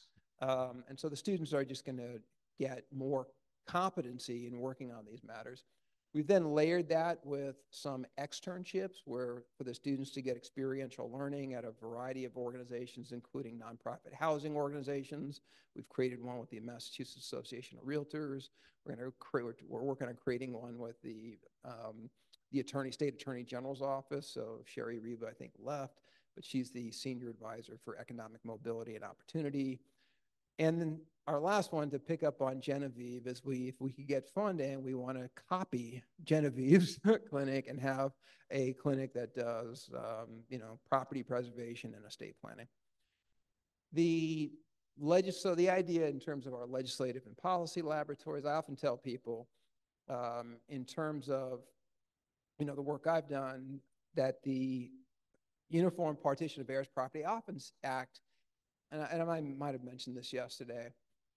Yes, I think it's independently has a lot of value, but I think one of the things that's valuable about it is before that act, it was widely perceived that you just couldn't have these types of legislative changes. So why even try? That everything was structural, there was no agency. And so what I hope we've done is puncture that myth. And but there's a whole slew, and you guys have heard just a wide range of outstanding ideas in terms of legislative and policy reform at multiple levels.